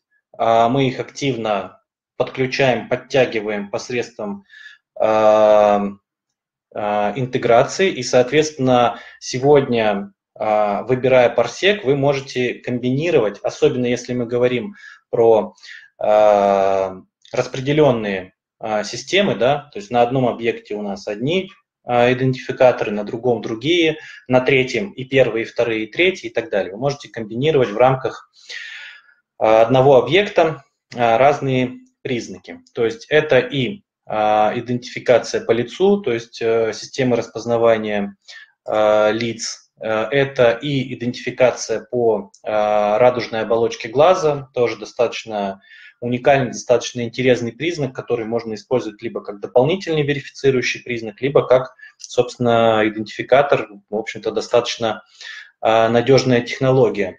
Субъектами доступа, естественно, могут являться не только люди, а, но и транспортные средства. Соответственно, иногда на некоторых объектах, входящих в состав системы, а, применяются и технологии распознавания автомобильных номеров. Их несколько. Обычно это а, технологии, которые мы получаем вследствие интеграции с внешними системами видеонаблюдения и их системами распознавания автомобильных номеров. Достаточно интересная тема сегодня с точки зрения идентификации – это применение смартфонов а, в качестве Э, в качестве идентификатора. Э, скорее, это представлено на этом слайде. Э, сегодня в парсеке вы можете использовать как айфоны, так и смартфоны на базе операционной системы Android и применять их в качестве идентификатора, так же, как обычную карту, прикладывая к считывателю. Технологии там несколько разные, но тем не менее. Не совсем по теме как бы идентификации, но тоже интересное применение смартфонов в Скуде – это применение смартфона в качестве мобильного терминала доступа, то есть это оснащение временных точек прохода, это оснащение, а, скажем так, смартфоном да, или человеком со смартфоном а, точек прохода, которые там, временно вышли из строя, ну и прочие-прочие режимы алгоритмы, обход территории и тому подобное. Это отдельная тема, про которую можно долго разговаривать, но не в рамках отведенного регламента. То есть, подводя некий итог, э, да, действительно, Парсек исторически занимался разработкой и производством считывателей. У нас есть считыватели под разные форматы карт, но мы понимаем, что идентификация и верификация сегодня это далеко не только считывание э, RFID карточки или метки. Да? То есть это э, сильно шире. А, теперь продолжим, собственно, разговор про продолжаем наполнять и намешивать ингредиенты в наш коктейль. Есть ряд добавок, которые могут потребоваться на, особенно на крупном, особенно на распределенном, особенно на промышленном предприятии. А, я тоже их немножко коснусь, так в обзорном виде, просто чтобы рассказать, что у нас есть и на что вы можете рассчитывать, выбирая парсек. А, это интеграция с э, алкотестерами. У нас есть интеграция с двумя типами алкотестеров, в том числе с алкотестерами Динго. Соответственно, а, содержание паров алкоголя в выдыхаемом воздухе может быть применено как дополнительный верифицирующий фактор. Долго на этом останавливаться не буду. Я думаю, все знают и примерную работу технологии, и примерные подводные камни, в том числе организационные и правовые, на тему того, как это грамотно организовать на предприятии. Это тоже отдельная большая история, надо разбираться в рамках каждого проекта отдельно. Также интересная история – это система дальней идентификации. А, применяется она преимущественно для а, идентификации автотранспорта, учета автовъездов, разграничения маршрутов перемещения автотранспорта по территории и э, других задач. Э, интересная технология, наша собственная разработка позволяет идентифицировать объекты на расстояниях до 50 метров, если этот объект оснащен, собственно, активной меткой, ну и э, соблюдены прочие условия по монтажу и установке антенн, которые являются неотъемлемой частью считывателя дальней идентификации. Также интересная история, которая может быть применена на объектах, это система распознавания документов. У нас есть интеграция и поддержка двух систем. В первую очередь это, конечно, ускорение работы бюро пропусков. То есть ну, просто, грубо говоря, вместо пяти сотрудников бюро пропусков мы садим двоих, троих, и они все успевают прекрасно делать просто за счет того, что э, существенно быстрее э, производится ввод данных в систему и выдача э, идентификатора э, посетителю. Вот такие могут потребоваться дополнительные добавки, э, скажем так, и ингредиенты и топпинги Э, к этому коктейлю. В общем-то, основу э, коктейля мы уже собрали. Безусловно, в каждом конкретном случае, в каждом конкретном объекте будет свой достаточно уникальный набор тех решений и технологий, которые востребованы. Ну и в конце мне хотелось бы немножко рассказать о некой вишенке, которой можно украсить этот коктейль, и он в общем-то, заиграет новыми красками. Вишенка в том, что далеко не всегда за этот коктейль вам придется заплатить самостоятельно, либо неполную стоимость вам придется заплатить за него самостоятельно. Это всегда очень приятно, когда кто-то готов субсидировать а, ваш выбор. И в этом смысле есть такая интересная технология и соответствующие, а, скажем так, коммерческие рыночные а, механизмы, которые позволяют а, субсидировать или иногда даже полностью оплатить внедрение системы контроля доступа на объект. Это технология а, банковских считывателей, то есть применение банковских карт в качестве идентификатора. Мы в этом случае выступаем качестве производителя и поставщика решений, то есть э, считывателей, а банк э, выступает в качестве интересанта э, и, соответственно, той стороны, которая готова субсидировать или полностью оплачивать э, проект внедрения Скуда. Идея состоит в том, что мы применяем карты какого-то конкретного банка, ну, в рамках проекта, да, то есть там несколько действующих лиц, это и проектировщик, инсталлятор, и банк, и компания, производящая соответствующие аплеты э, для банковских карт, э, и, естественно, конечный пользователь. То есть банк заинтересован в том, чтобы получить а, нового клиента, которому будет предложен зарплатный проект, которому будут предложены кредитные линии и прочие финансовые а, продукты, и за это готов субсидировать внедрение а, системы контроля доступа, поддерживающую такую технологию. Значит, э, есть э, несколько банков, с которыми мы сегодня работаем по такой программе, эти банки активно включаются в такие проекты. Начиналось все с кампусных проектов, но сейчас это вышло и на коммерческий рынок, то есть предприятия в том числе оснащаются системами контроля доступа по такой схеме. Здесь несколько слайдов от э, банка ВТБ, который ну, рассказывает принципиально о том, что позволяет делать эта технология и какие возможности она в общем-то, дает. Помимо а, нефинансовых приложений доступных, также могут применяться и нефинансовые приложения какие-то другие, которые также позволят облегчить жизнь на объекте, автоматизировать какие-то процессы, снизить какие-то издержки и тому подобное и так далее. Ну, соответственно, еще одной вишенкой, конечно, которую тоже можно добавить, я считаю, важно учитывать, это вопросы сервиса. Здесь нет времени рассказывать о том, что мы а, предлагаем. Лишь коротко скажу, что у нас выстроены достаточно хорошие а, программы поддержки как инженеров, так и проектировщиков, так и конечных пользователей. Соответственно, мы считаем, что а, выбирая парсек на конечный объект, вы можете быть уверены не только в решении текущих, но и перспективных задач и высоком уровне поддержки, потому что мы, собственно, все для этого делаем. А, принципиально о том, что из себя может составлять, из каких ингредиентов может состоять э, коктейль Скут для современного распределенного производственного предприятия, я рассказал.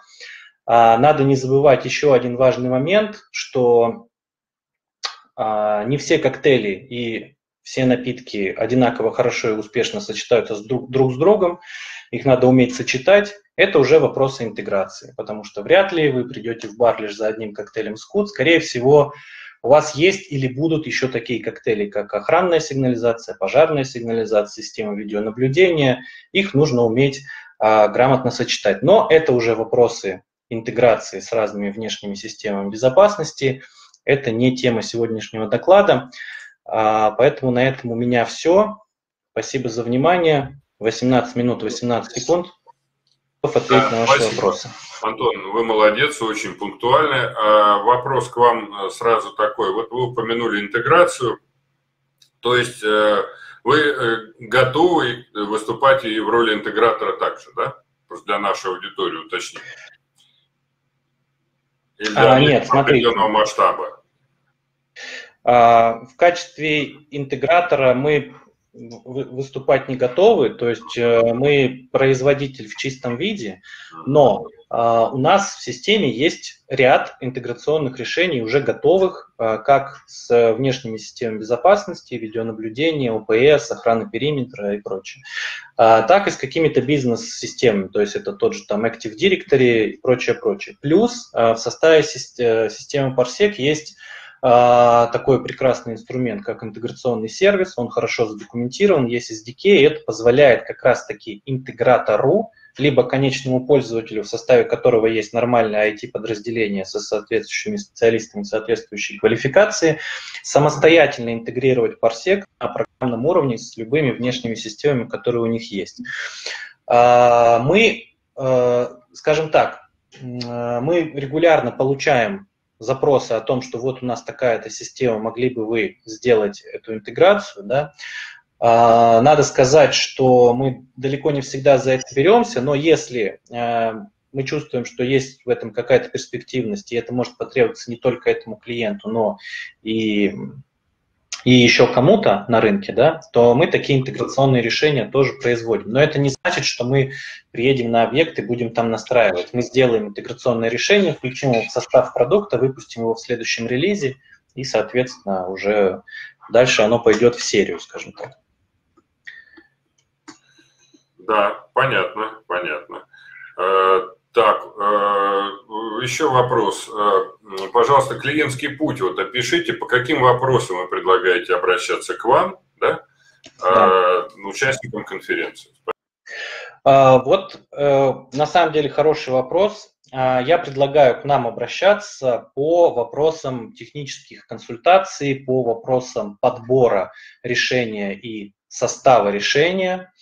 А, у нас под это дело учрежден специальный отдел, это отдел сопровождения проектов, который анализирует техническое задание, предлагает спецификацию, оказывает технические консультации и так далее.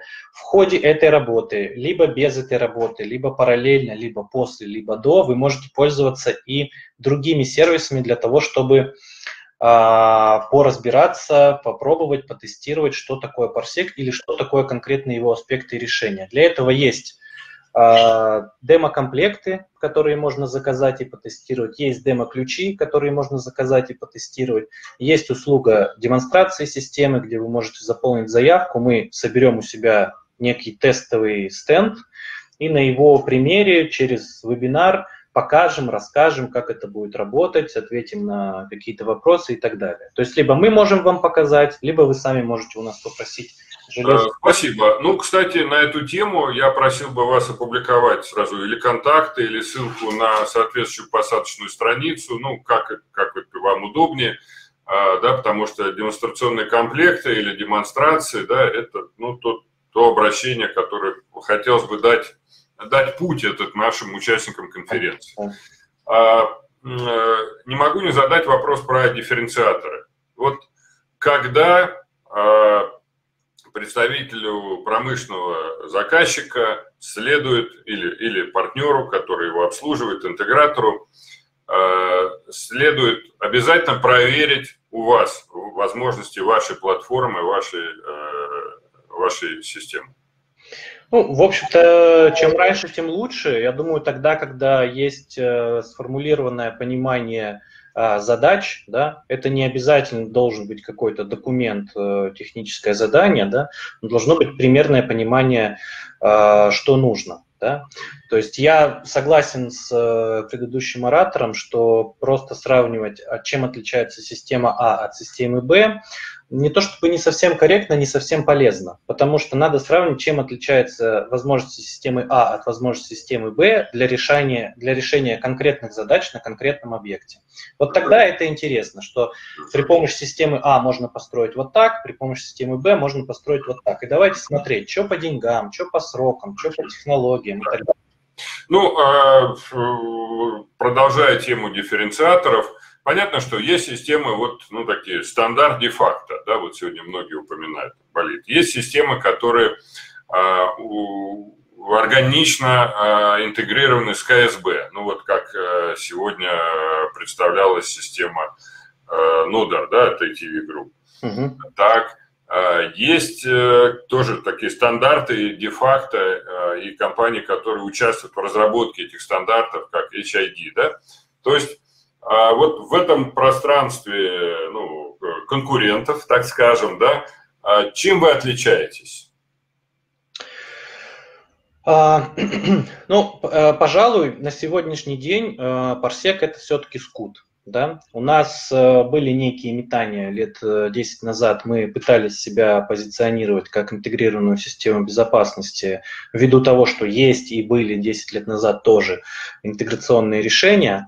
Но все-таки Parsec – это профессиональная система контроля управления доступом. Наш хлеб – это скут. У нас есть интеграционные решения, интеграционные возможности, но в первую очередь – сегодня мы фокусируемся именно на системах контроля доступа. А, соответственно, где наше место на рынке, а, то, пожалуй, наше место там, где сегодня, опять же, так уже получается, что это средний или крупный объект с нетривиальными, разнородными, разношерстными задачами в области контроля доступа. Можно ли построить маленький объект? Можно. Можно ли построить большой объект на тысячу точек прохода, где никакой интеграции, никаких спецрешений, а просто доступ? Можно. Но насколько это будет целесообразно, это вопрос. А вот если это крупный распределенный объект, где куча интеграций, специфических решений, и нужно это все увязывать, то Parsec – это хороший выбор. А вот здесь э, очень кстати вопрос Андрея Юрьевича Оленюка, который, кстати, благодарит компанию Parsec за огромный вклад в систему контроля доступа, но говорит, что очень сложны настройки софта, обычному инженеру э, уже не справиться с, э, э, как с тем же Перка, и приходится получать дополнительные здания в Академии Парсека. А будет ли что-то наподобие гейт-команда для простейшей настройки? А, ну, во-первых, уже неплохо, что есть Parsec Академия, где можно эти знания получать. А, не знаком, если честно, что такое Gate Commander. А, могу сказать, что у нас есть э, простой продукт, это так называемый Parsec Office. Это простой продукт для небольших систем до 16 точек прохода с простыми задачами. Там все несколько проще. А все, что касается ParsecNet 3, да, действительно, настройки достаточно развесистые, но это, опять же, не мы придумали. ParsecNet 3 10 лет назад был проще но все это время он обрастает новым функционалом. При этом, при этом э, есть такая история, как э, быстрый старт. То есть это документ, и есть соответствующие видеоролики в YouTube на эту тему, который позволяет очень быстро запустить систему, то есть в течение там получаса можно все настроить, и люди начнут ходить по карточкам, и начнет что-то учитываться.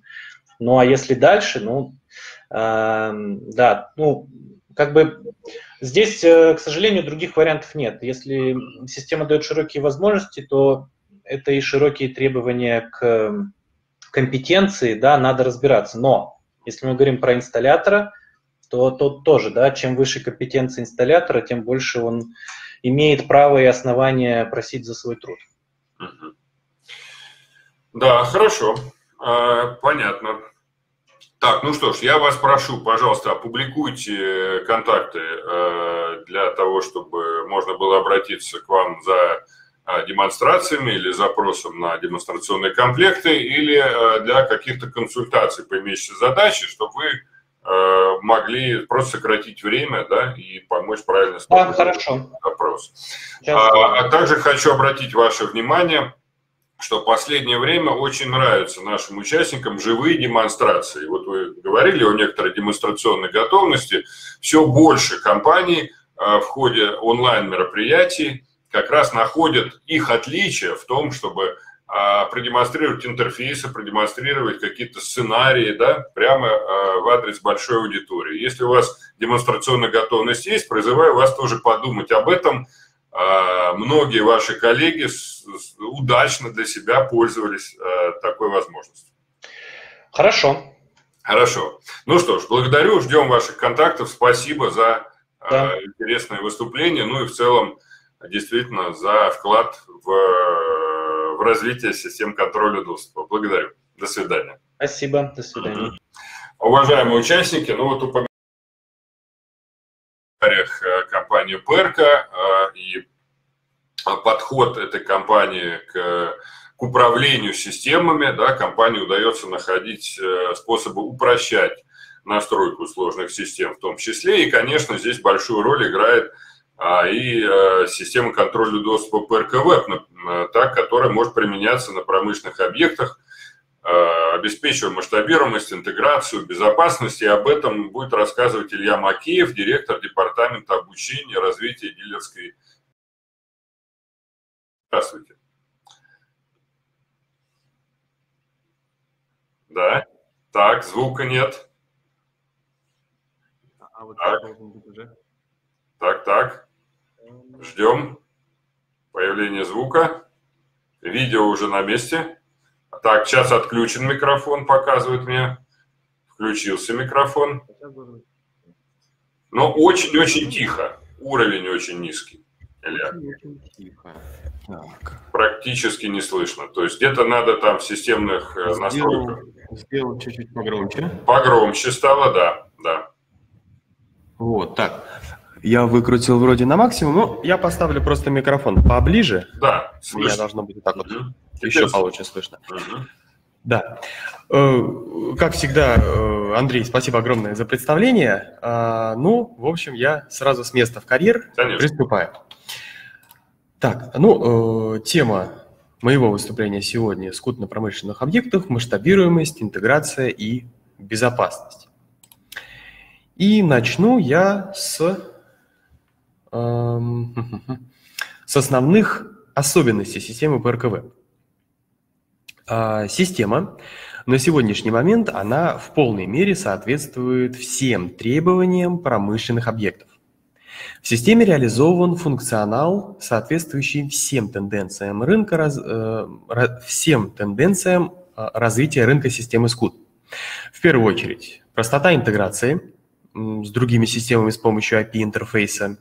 Это наличие интеграции с 1С, с э, видеоподсистемой Трассир, с охранно-пожарной э, системой Болид – возможности управления устройствами болида на мнемосхеме, э, возможности создания каких-то реакций на события, наличие возможностей алкотестирования. Если говорить о перспективах развития, то сюда можно отнести организацию АТП и работу с распределенными серверами – Перемены, связанные с пандемией, они сказались, конечно же, и на развитие самой системы ПРКВ, и среди новых возможностей появилась бесконтактная идентификация, в частности, доступ по смартфонам, распознавание лиц, использование штрих-кодов в качестве идентификатора, а также интеграции с пирометрами. Э, в связи со сложной э, эпидемиологической обстановкой по всему миру растет спрос на бесконтактные решения контроля доступа, позволяющие снизить риск э, заболевания ковидом. Распознавание лиц в СКУД – это общий мировой тренд. Терминал распознавания лиц и система контроля доступа взаимодействуют в режиме онлайн. Использование смартфона в качестве идентификатора в системе контроля доступа – это эм, сейчас уже э, функция, которая максимально отвечает всем запросам потребителей, во-первых, на удобство использования, да, и на безопасность при э, выдаче и идентификации. Ввиду ограничительных мер э, мобильная идентификация получила новый виток развития. Идентификация по штрих-коду, она позволяет организовать э, контролируемый доступ посетителей на э, территорию предприятия. Верификация по температуре. Сегодня тоже один из главных трендов в системах SCUD. В системе ПРК организация контроля по температуре возможна на базе пирометра ПРК АТ-01 или на базе терминалов Закатека, э, интегрированных в систему ПРКВ. Необходимость минимизации контактов, она э, не могла не сказаться и на рынке турникетов. В местах массового скопления людей э, чаще всего устанавливают скоростные проходы. Это турникеты с раздвижными или распасными створками.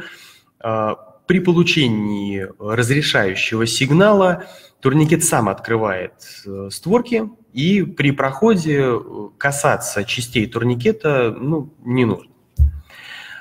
Скоростные проходы легко интегрируются с дополнительным оборудованием, например, сканерами штрих-кодов, э, терминалами распознавания лиц э, и так далее. Следующий момент – это учет рабочего времени, э, который реализован в Web максимально расширенно. Да, даже по-другому немножко выражусь. В PRK Web учет рабочего времени сейчас реализован максимально гибко и предоставляет максимальное количество функций. А, ну, например, контролировать дисциплину труда и сохранять комфортный климат в коллективе позволяет учет рабочего времени а, с расчетом баланса по алгоритму гибкого графика. При таком подходе сотрудник может самостоятельно планировать свое рабочее время, имея возможность э, прийти раньше да, или э, прийти позже, или же, опять же, уйти раньше, уйти позже, не нарушив при этом рабочий режим. Потраченное на личные дела время можно отработать позднее. Учет рабочего времени с расчетом баланса это удобное решение для предприятий и учреждений с недельными, сменными и скользящими графиками, при которых допустимы небольшие отклонения, подлежащие учету и э, отработке. А для компаний, где работа осуществляется на сдельной основе оплаты труда и, или выработки суммарной нормы, также подойдет учет рабочего времени по алгоритму гибкого графика – в компании регламентируется обязательное время присутствия сотрудника на рабочем месте.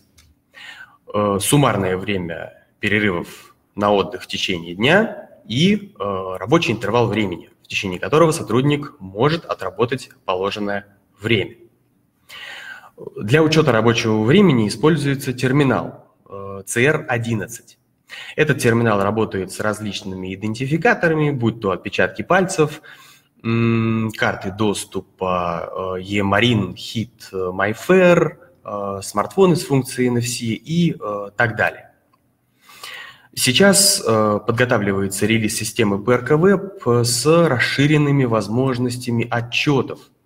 В частности, будет расширен функционал отчета по оправдательным документам, оптимизированы отчеты по времени присутствия, и также станет удобнее формировать э, классический табель T13. Э,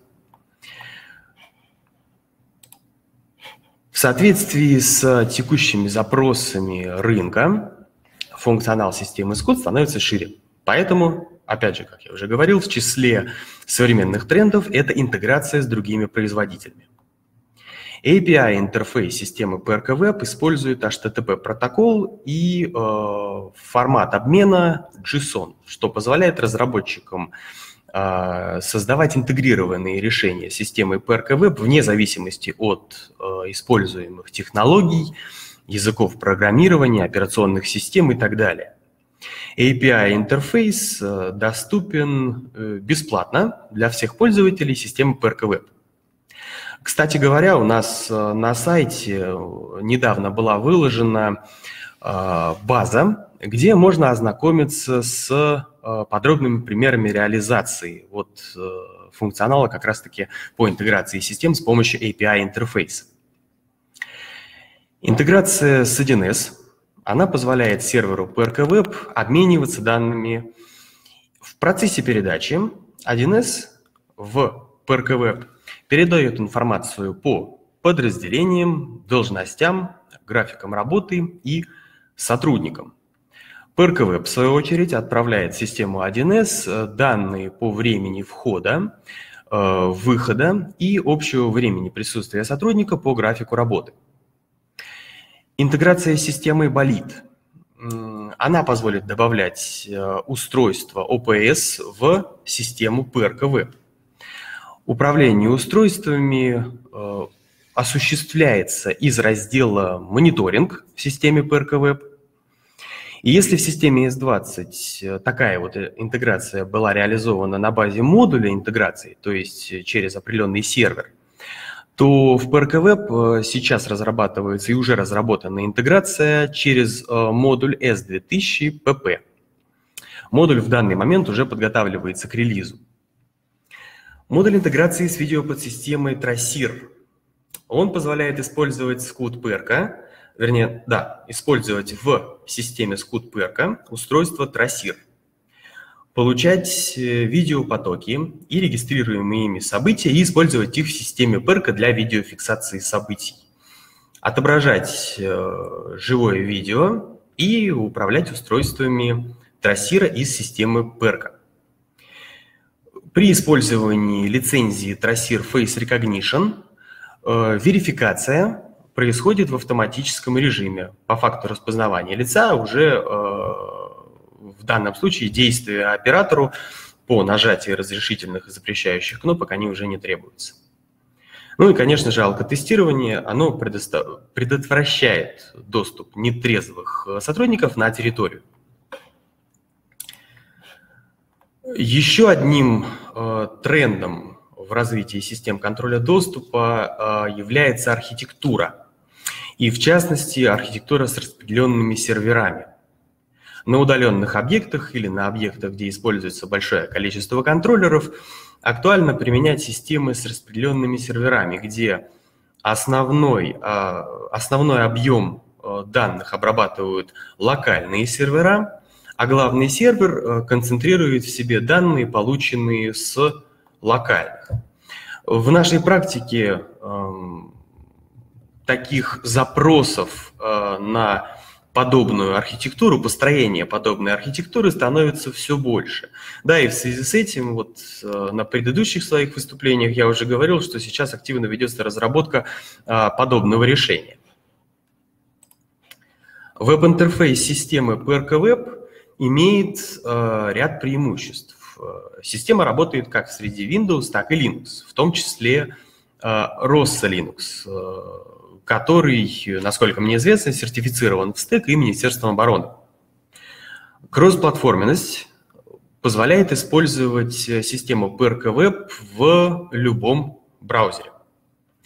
Веб-заказ пропусков способствует быстрой выдаче идентификатора, и э, возможность удаленной работы в системе позволяет использовать э, планшет или э, смартфон что в свою очередь позволяет руководителю всегда держать руку на пульсе.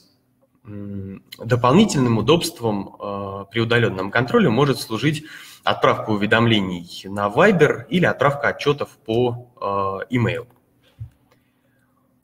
У системы PRK Web э, предусмотрен 60-дневный бесплатный период пользования системой, да, так называемый ознакомительный период. В течение этого периода система доступна с полным функционалом. После завершения этого ознакомительного периода необходимо получение свидетельства на право использования модулей программного обеспечения. Теперь, что касается идентификаторов. А, в системе PRKV применяются как биометрические идентификаторы, идентификация по уже э, классическим бесконтактным картам EMARIN, HIT, э, MyFair. Э, применяются смартфоны с поддержкой функции NFC, банковские карты с функцией PayPass или доступ по штрих-коду и распознавание лиц. Идентификация с помощью бесконтактных карт является наиболее таким привычным способом. Но сегодня все большее распространение получает биометрическая идентификация и мобильный доступ. Э, телефоны, телефоны на базе э, Android, они требуют установки специального бесплатного приложения. Смартфоны на базе операционной системы Apple э, установок каких-либо приложений они не требуют. В систему передается идентификатор, который является по сути своей токеном привязанным к одной из эмулированных в телефоне на базе операционной системы iOS банковских карт. При использовании смартфонов как на базе Android, э, так и на базе э, Apple э, в систему передается специально сгенерированный идентификатор, но не информация о смартфоне или тем более банковской карте. Поэтому безопасность данных пользователя в случае использования смартфона в качестве идентификатора ничего не угрожает.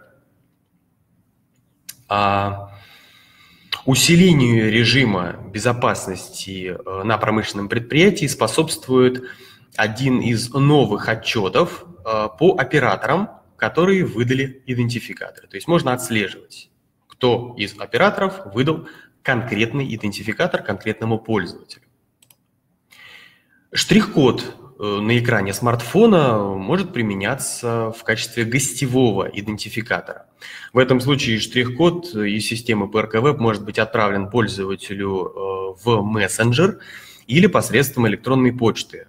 Ну, впоследствии, конечно, он может использоваться в качестве идентификатора при проходе. Биометрическая идентификация в системе Web возможна по лицу, ладони, отпечаткам пальцев. Э, терминалы распознавания лиц и система контроля доступа взаимодействуют в режиме онлайн. Данные посетителей, они э, могут добавляться в систему либо как основной, либо как э, дополнительный э, идентификатор.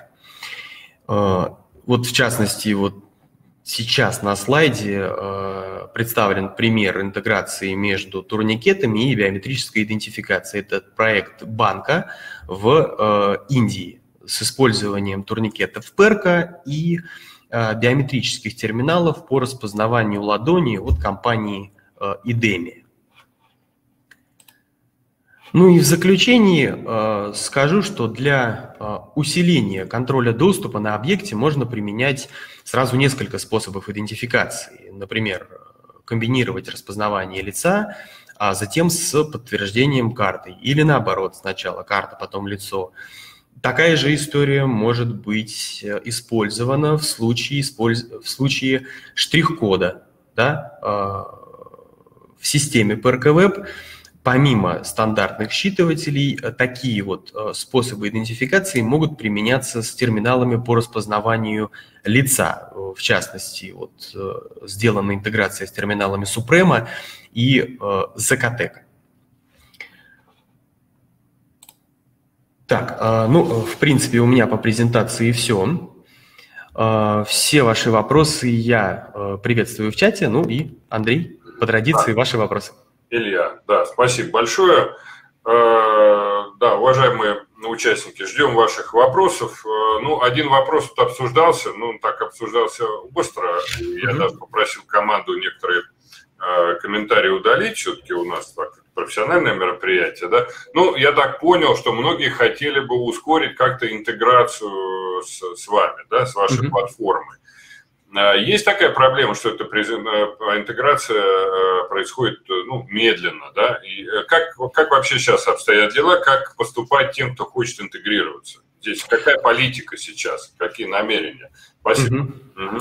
Ну, э, политика партии, э, как говорится, не поменялась. Э, у нас э, как система S20, так и система э, запросов на интеграцию очень большое количество, и мы чисто физически не успеем обработать все эти запросы, а тем более сделать и поддерживать да, э, требуемые интеграции. Поэтому как из системы S20 мы разработали специальный инструмент, который позволяет, собственно, интегрировать систему, в частности, PRK Web, с абсолютно любой системой. Да, э, этот, этот инструмент называется API протокол. Он э, использует э, стандартный протокол обмена данными, он не зависит от языков программирования, от операционных систем, поэтому в данном случае, э, если заказчик хочет какую-либо интеграцию, мы ему предоставляем этот инструмент, и он уже находит соответствующих специалистов, там либо в своем штате, либо как-то на аутсорсе, которые ему соответствующие э, соответствующую интеграцию могут э, сделать.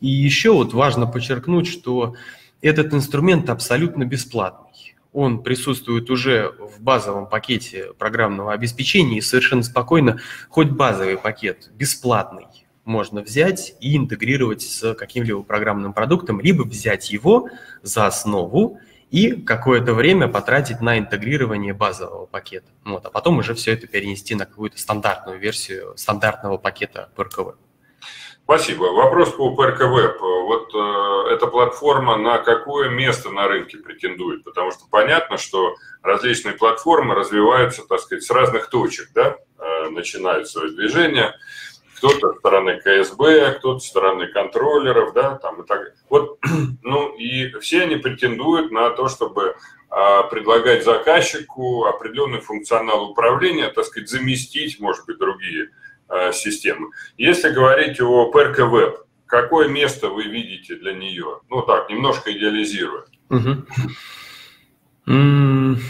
Я бы сказал, что постепенно система Web движется к некому комплексу, э, обеспечивающему безопасность со всех сторон. Не только э, преграждающие устройства, не только электроника, контроллеры, считыватели, а, но еще и система, которая включает в себя некие сторонние решения, будь то терминалы распознавания лиц сторонних производителей, э, интеграции с видеоподсистемой трассир, интеграции с э, охранно-пожарным оборудованием болит. То есть это некий комплекс, который может замещать максимальное количество э, каких-то вот как это правильно сказать, максимальное количество сфер безопасности непосредственно на предприятии. То есть это и пожарная сигнализация, и э, система контроля доступа, и какие-то охранные моменты с помощью серверных заданий и так далее. То есть это вот некий такой комплекс, который претендует э, ну, на замещение практически всех потребностей в безопасности на промышленном предприятии и не только, кстати говоря. И а, вот интересуется Дмитрий Игнатенко, а, вот а, развитие этого функционала, да, а, движение к этому видению, реализация этого видения, а как быстро а, будет происходить? Года, двух, да нет, например, вот э, гибкие графики уже реализованы, э, интеграция с трассиром уже реализована, уже выпущена версия рабочая лежит на сайте. Интеграция со штрих-кодом и использование штрих-кода в качестве идентификатора тоже уже у нас выложена в свободный доступ. Интеграция с терминалами по распознаванию лиц, аналогичная история. То есть у нас осталось э, буквально в течение месяца-двух э, будет готов релиз с системы Web и использование э, охранно-пожарного оборудования болида, да, и тут, собственно, остальное уже в ближайшей перспективе в течение года. То есть от АМАЗ остального осталось только распределенные сервера. А вот список платформ, с которым вы интегрируетесь, он будет тоже расширяться? Или здесь политика именно такая вот, ну, например, трассир? Окей, есть трассир, все, пока, больше ничего не надо. Или, и, или будут появляться через запятую другие системы? Там, ну, запятая. По... Пока э, я не слышал о каком-то расширении списка Э, в данном случае систем, с которыми мы интегрировались. Возможно, что-то подобное есть, просто ну, до меня эта информация пока еще не дошла. Поэтому вот, да. то, как а говорится, то, что знаю, то... Почему я э, на этом акцентирую? Потому что, когда вы говорите «мы», будем вот такое место занимать, естественно, у многих слушателей да, возникает запрос на интеграцию. Да? И куда эти запросы обращать? К вам, да, адресовывать или э, к вашим коллегам, да, тогда нужно как-то прояснить этот момент. Угу. В данном случае, да, у нас э, еще напомню, да, что э, у нас есть инструмент API, и э, чисто физически, э, даже при всем желании, э, мы не сможем поддерживать и развивать все интеграции, которые м, потребуются пользователям, поскольку производителей э, гигантское количество на рынке, запросов клиентов на интеграцию с теми или иными производителями еще больше, и возникает всегда вот этот вот момент с э, разработкой и поддержкой этих интеграций. Да, поэтому мы всегда мы открыты к интеграциям, мы всегда приветствуем какие-либо вопросы по тому, как эту интеграцию сделать, э, каким образом можно сделать те или иные решения. Да, в частности, вот я уже упоминал, что на сайте недавно была выложена база готовых решений, э, реализованных с помощью вот этой интеграции по API интерфейсу. Ну а дальше э, пользователь, когда будет понимать, какая интеграция ему требуется, что конкретно он хочет. Да, он совершенно спокойно обращается к э, программистам, да, они с помощью нашего вот этого API интерфейса интегрируют PRK в любой софт, э, да, у которого есть подобная поддержка подобных интеграций. Ну, хороший ответ. На самом деле компании, которые имеют развитую API-стратегию, а, да, они э, логично приходят к некоторым маркетплейсам для тех, кто сделал интеграции с помощью э, API. Да? И я думаю, что для вас этот путь тоже вполне естественный. Я так понимаю, вы на него уже вступили. Ну да, да. Вот. И, конечно, это позволит проще отвечать на вопросы об интеграции. И действительно, у компаний, кто вот имеет эти API-стратегии, есть интеграции, которые они сделали сами, за которые они отвечают, и интеграции, которые сделаны их партнерами uh-huh. с использованием API. В общем-то, обычная э, история – так, э, если вопросы на этот счет возникают, может быть, имеет смысл уделить внимание больше доступности этих, этих сведений. Так, ну и здесь, конечно, тогда вопросы вот по развитию API да, задает Дмитрий Дрянных. Э, так, что там э, вот говорит, что есть ограничен, ограничен, он считает API, ну, как там? Действительно, API постоянно развиваются, да, и, возможно, а, в одной из презентаций новости, которые будете сообщать, это новости о том, что дополнительно API а, дает. Да, да. Как вариант, действительно, какое-то представление API. Уж коль скоро возникают э, подобные вопросы по интеграции, было бы неплохо э, реализовать. Думаю, да, да. Ну вот, прекрасно. Дмитрий, а я бы э, вам предложил в рабочем порядке тогда сформулировать, что не хватает, да, вот, потому что сейчас, ну, у нас ограничено немножко время, так, и э, да, вот Антон Салтанович тоже здесь меня поддерживает. Угу. Хорошо, замечательно. Так, э, мы получили ответ, что интеграция, не интеграция, а вот эти самые сервера, да, масштабирование серверов ожидается летом. Последний вопрос, Левин, Сергей, тоже технический. Когда ожидать разделения серверов ПРК на ком-компонент? А, это и будет летом сделано, собственно, да? Да, это уже Ответ да. Прекрасно. Ну что ж, э, в общем, вполне э, так интенсивно. Так, что-то упустили, может быть. Сейчас я посмотрю. Так, так, так. Э, да, был, был вопрос про интеграцию в общую сеть домофонов от Татьяны. Не знаю, вот смотрите на это направление? Я, честно говоря, об этом не слышал, информация не доходила, но, скорее всего, скорее всего, а, я думаю, что вот э, Татьяне, наверное, проще попробовать зайти к решению этого вопроса с точки зрения API интерфейса, потому что, возможно, это будет проще э, реализовать, э, потому что, опять же, повторюсь, информации конкретной по какой-либо заинтересованности в э, сфере домофонов, да, я пока у нас не слышал. Спасибо. А давайте последний, последний вопрос, а то у нас время уже истекло. Вот на самом деле, возвращаясь к Web, вы э, показали, как, ну, пример ваш, это как платформы начинают адаптировать других функциональных служб, да, там, в частности, HR, да, вот с учетом времени и так далее. А что еще есть в вашей э, воронке разработки сейчас? Да, может быть, какие-то еще э, функции, адресованные другим внутренним функциональным заказчикам? Мгм. Такой хороший вопрос, я чувствую, Мгм. по вашей реакции, да? Пожалуйста. Помимо, соответственно, гибких графиков отчетов, то есть того функционала, который больше э, требуется как раз-таки службы HR, также в системе, например, есть компоненты, которые э, в основном за- будут задействованы э, сотрудниками, например, службы безопасности.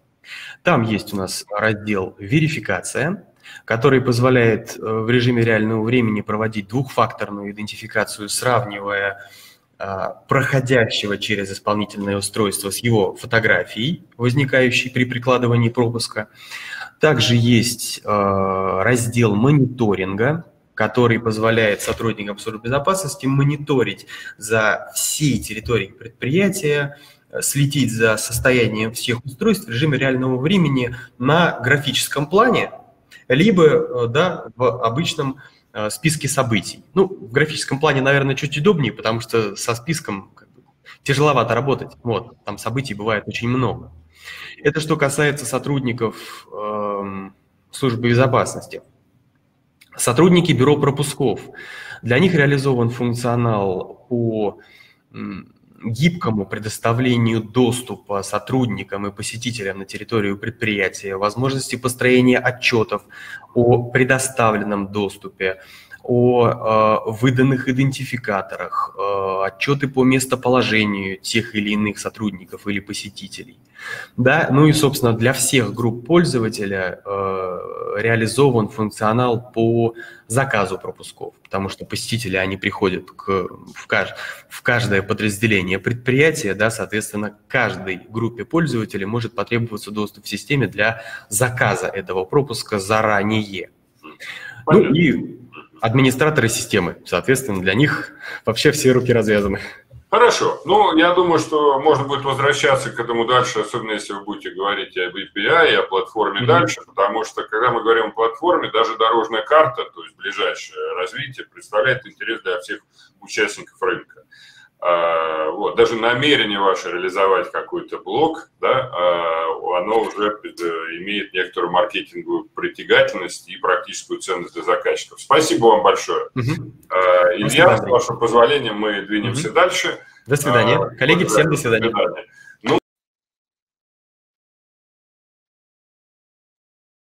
Даниил Бориславский из, прекрасной команды компании Ставкоп.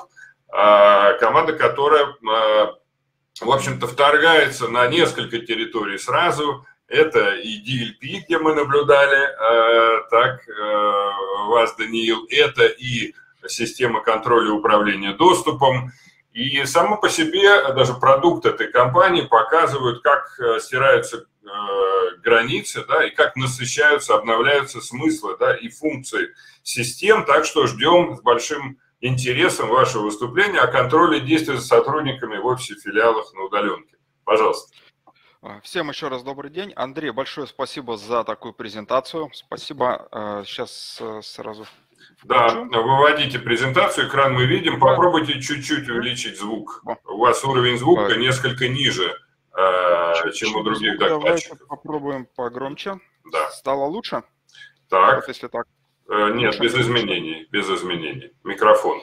Что, ж такое-то? Ну, а вот, сделаем... может быть, поближе чуть микрофон, да. Да, будем вот так сделаем микрофон. Итак, меня зовут Данил Бориславский, я из компании Ставкоп, руководитель аналитического отдела.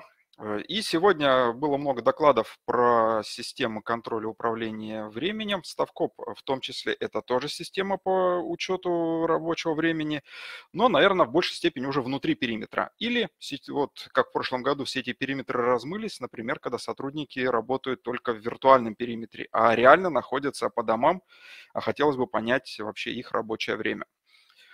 Вообще наше будущее, ну, всех компаний, которые занимаются и безопасностью, нет, это интеграция решений. И у меня в этом году предложили на выбор конференции, в которых бы я хотел поучаствовать. Я выбрал несколько, в том числе и именно про скут, потому что мне кажется, это очень интересно и послушать, и поучаствовать, и перспективно в плане интеграции разных решений друг с другом, в том числе Ставкопа с разными скут-решениями или какие-то другие системы.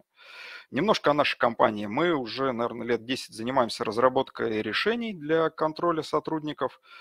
Полностью российская компания. Находимся в Новосибирске, в Академгородке. Входим в реестр отечественного ПО, имеем сертификат в стек на наше решение. Вот сейчас проходим сертификацию ФСБшную еще на наше решение. Э, и, наверное, наш такой лозунг – это доступное решение задач информационной безопасности. Э, ну так что же, контроль э, доступа, когда сотрудники прошли на территорию, все это хорошо, понятно, но офисы, наверное, в прошлом году долгое время выглядели примерно вот так. Да и сейчас у многих компаний тоже частично выглядят таким образом когда сотрудники виртуально внутри, а на самом деле находятся снаружи. И очень интересно понять, а что же они в это время делают, потому что если сотрудник рядом, рядом с другими коллегами, рядом с руководителем, ну, это одна история. А когда он находится дома, ну, так скажем, моральные этические принципы часто меняются. И вот э, конкретные примеры.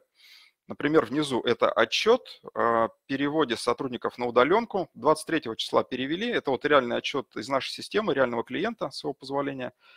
И сотрудник потом заявил, что 8 часов работал, а на самом деле его рабочий день состоял таким образом. Это 5,5 часов Ютуба, полчаса Твича. Ну и даже сотрудники, которые внутри офиса находятся, это не мешает э, тратить рабочее время на такие вот времяпоглотители, как здесь вот указаны, приведены всякие Алиэкспрессы, Валберисы или другие там стриминговые сервисы игровые. Э, хорошо, сотрудники, которые находятся даже внутри офиса э, или внутри на территории, часто приходишь в кабинет, а вообще где все?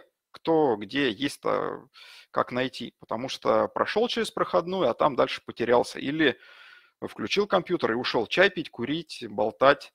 Э, для этого есть, например, у нас очень информативные отчеты по учету времени. Э, и Андрей сегодня упоминал про то, что интересно смотреть живые демонстрации. Если у меня останется время или немножко откушу от вопросов, обязательно покажу, как живую это выглядит.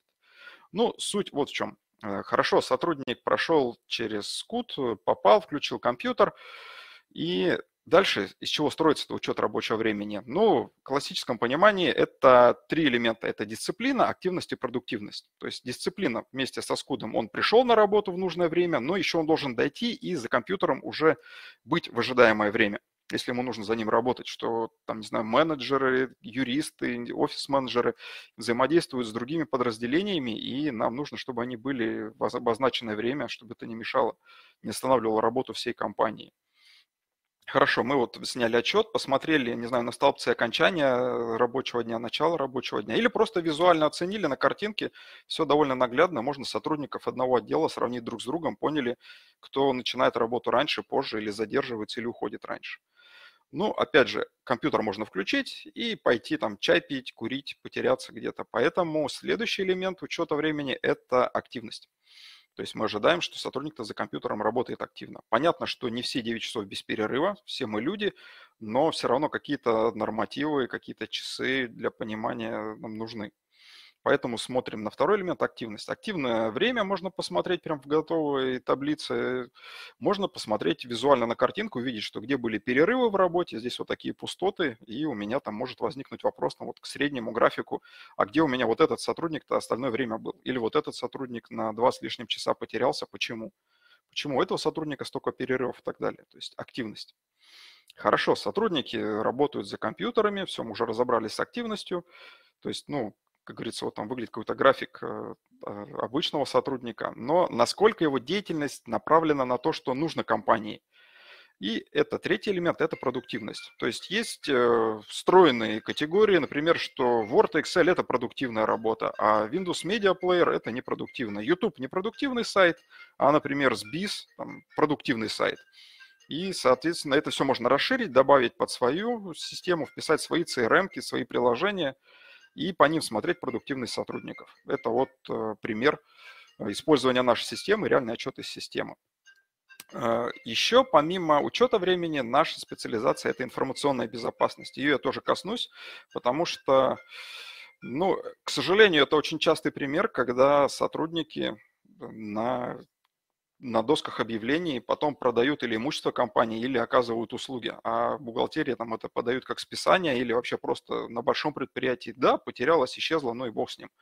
И это, опять же, вот реальный пример из моей практики работы с клиентами, когда было обнаружено, что сотрудник продавал на Авито. Мне потом клиент в, обратной связи связался, говорит, слушайте, как вы предупреждали, так и произошло. Настроили мониторинг, отловили, что на Авито продает наше сетевое оборудование и стационарные телефонные аппараты. Да, вроде бы они не нужны, но все равно это ущерб компании и в целом зачем такой сотрудник компании. Вот тоже сняли отчет, посмотрели посещение выбранных сайтов, посмотрели скриншоты, увидели свое знакомое оборудование.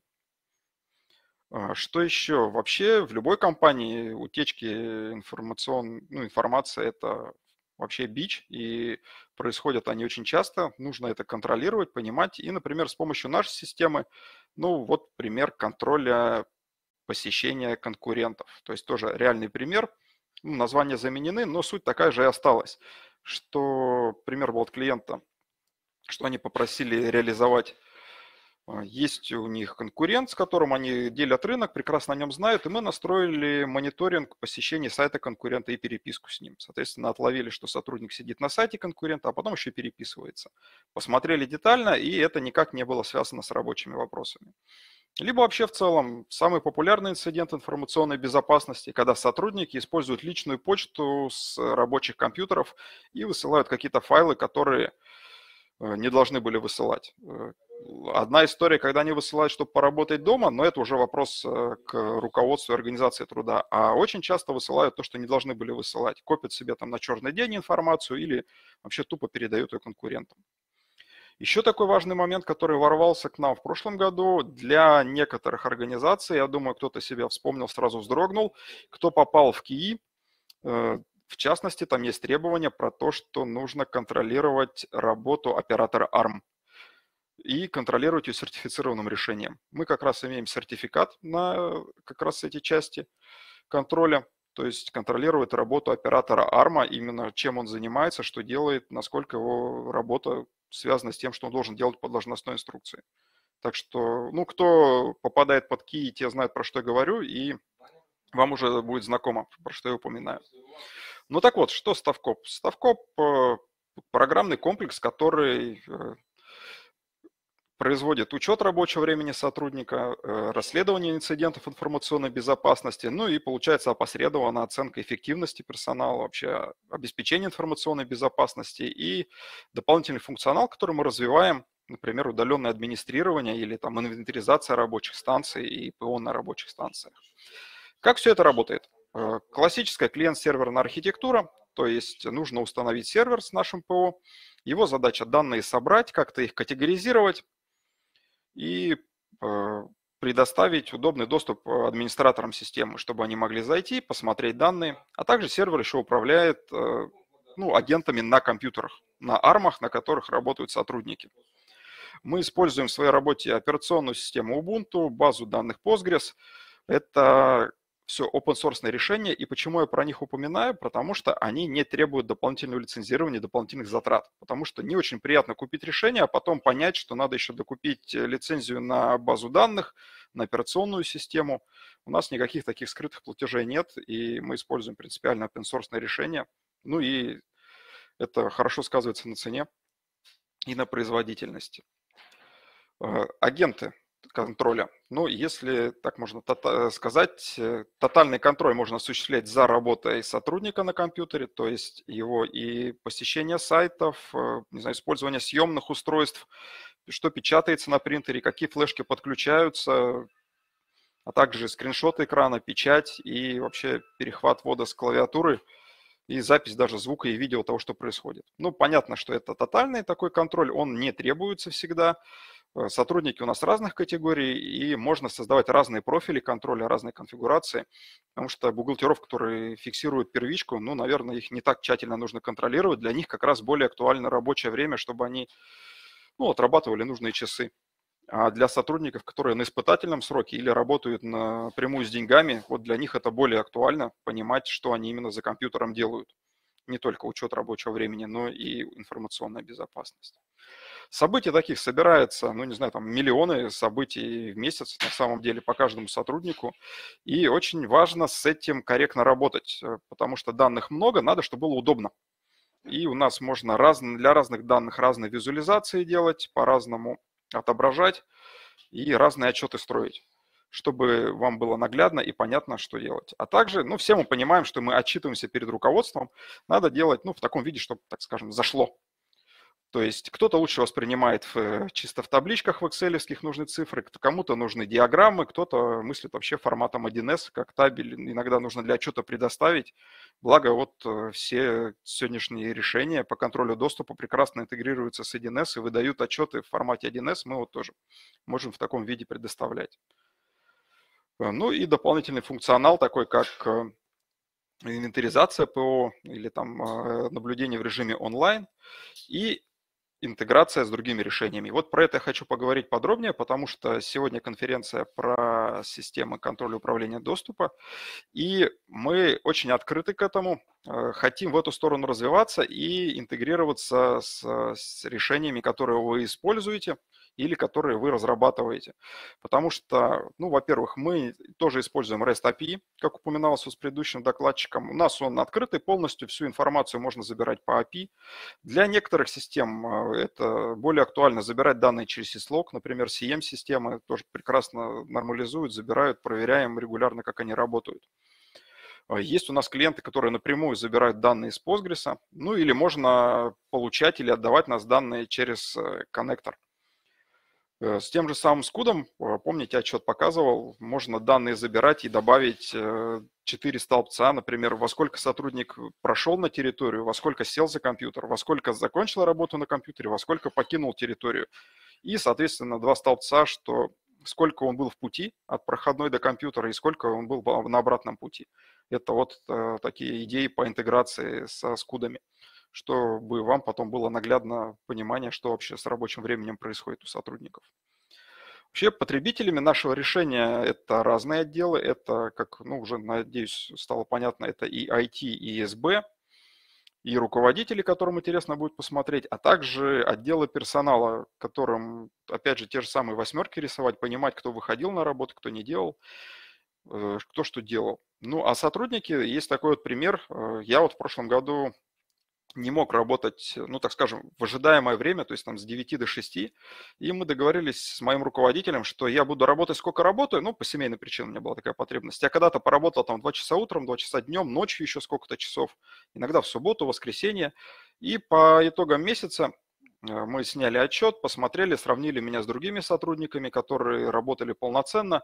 Все по часам все совпало, по активному времени, по общему. Ну, в целом неплохо, поэтому решили, что вот никаких там ни отпусков, ничего не надо включать в, в это время, а полноценно рабочий месяц мне закрыли. То есть для сотрудников тоже есть польза в таких системах.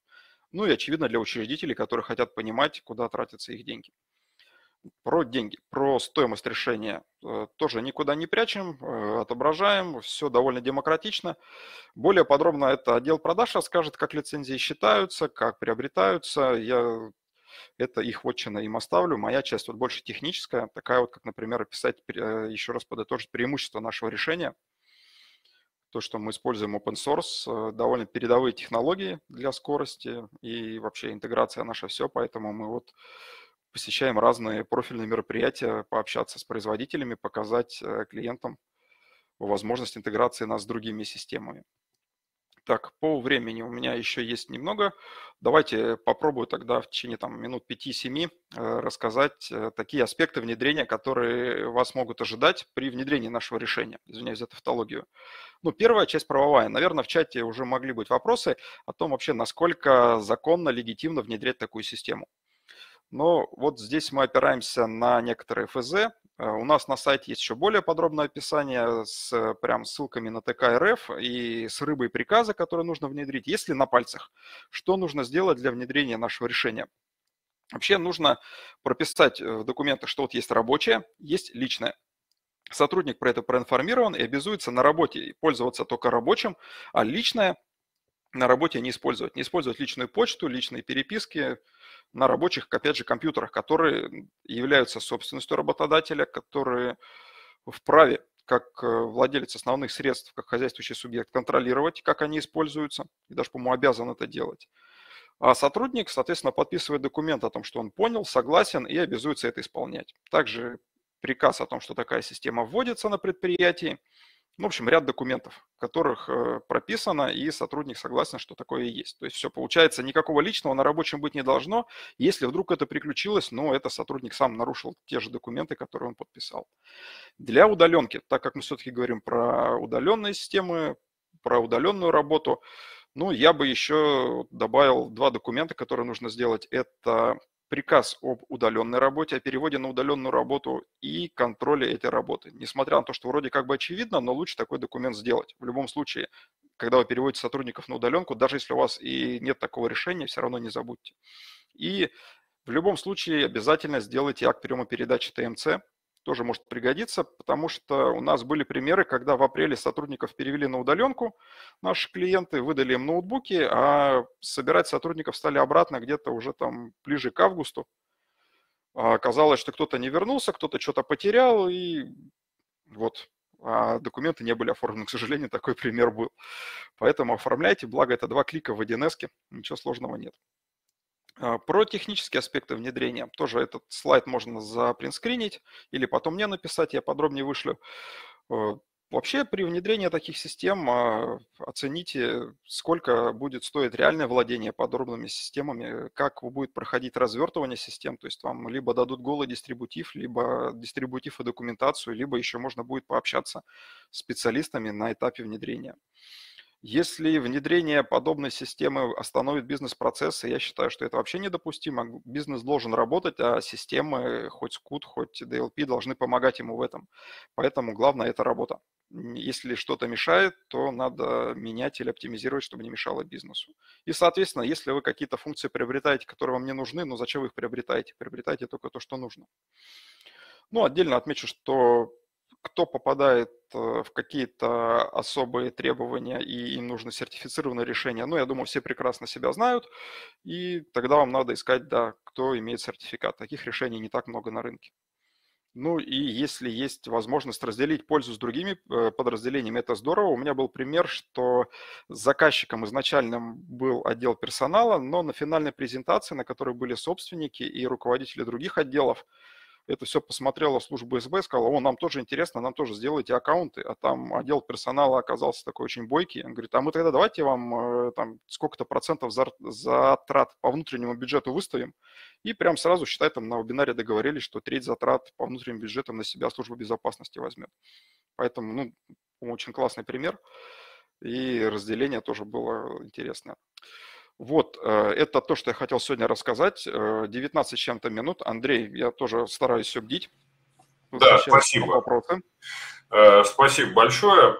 Прежде чем мы перейдем к вопросам, скажите, ну вот вы сейчас, ну, мы находимся, так сказать, мысленно в туннеле реальности скут, да? А, и что у вас здесь вот не знаю, интригует, впечатляет, какие хорошие вы видите эффекты за счет соединения со скут. Вот, э, может быть, вы хотели бы их проверить на самом деле, может быть, чего-то еще нет, да? Ну, я так понимаю, вы хотели бы двигаться в направлении большей интеграции с системами скут.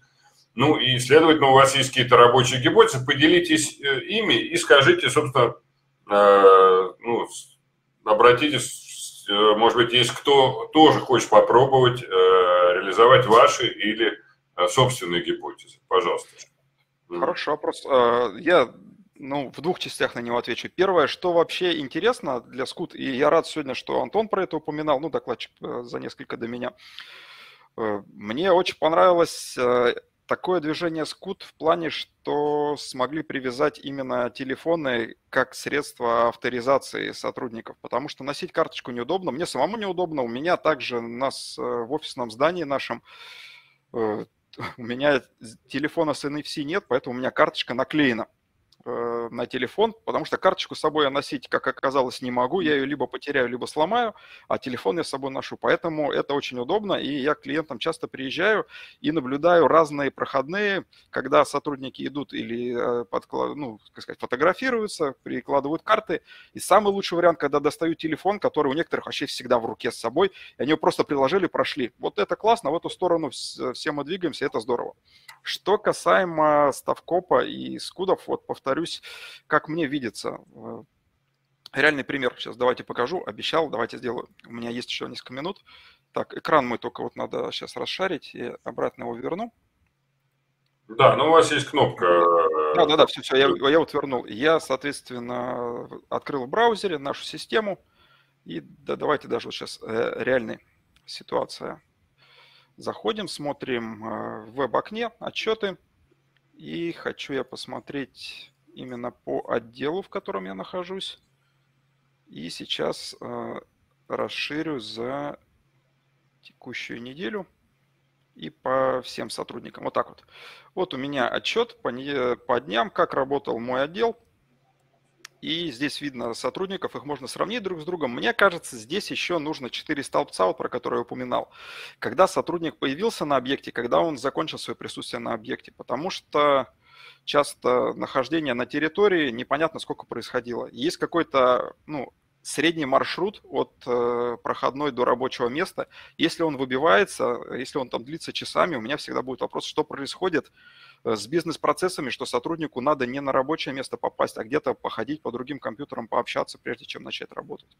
Вот мне видится, это было бы интересно со скудами интегрироваться. Возможно, ну, очень классная интегра... Второе, очень классная это интеграция всех систем со всеми. Есть Active Directory, из него забираются данные в Scoot, забираем мы данные. Есть CM-система или какая-нибудь ERP-система, которая подтягивает данные, наоборот, от Scoot, от нас и рисует полную картинку по заданным метрикам. Вот вот такое мое видение, и это я хочу и попробовать поделать. Хорошо. Ну, то есть, уважаемые участники конференции, если вам гипотеза нравится, да, то, пожалуйста, дайте об этом знать, да, дайте об этом знать Даниилу. Э, и команда хорошая, быстрая. Так, я думаю, что можно действительно достаточно быстро попробовать это сделать. Давайте к вопросам. Uh-huh. Значит, первый вот э, Дмитрий Дряных э, спрашивает, как у вас с нагрузкой? Три года назад ставил ваше решение на компьютер с Duo, вот, ну и сильно тормозил этот компьютер. Так, то есть действительно любые системы э, мониторинга действий сотрудников или системы DLP нагружают. Так, нам известно, вот с конференции DLP, процитирую, есть эти директора, которых уволили за внедрение DLP, потому что все стало тормозить. Есть такой, э, такая особенность, это действительно надо учитывать. Как с этим вы работаете? Какие-то есть ограничения снизу на железо, да, или как здесь? Ограничения снизу часто спрашивают, ну, я примерно так говорю, если 1С у вас на компьютере работает нормально, то и наш агент будет работать нормально. То есть можно так сравнить там по потреблению памяти, по ресурсам. А, про тормоза. Вообще тормоза от любой DLP-системы возникают, когда начинается на компьютере контентная и контекстная фильтрация того информации, которая уходит. Если хотят блокировку информации, это заметная нагрузка на рабочую станцию, и это прям будет, да, большая ситуация, большая большая нагрузка, может даже до, вплоть до замедления бизнес-процессов, то, что я указывал.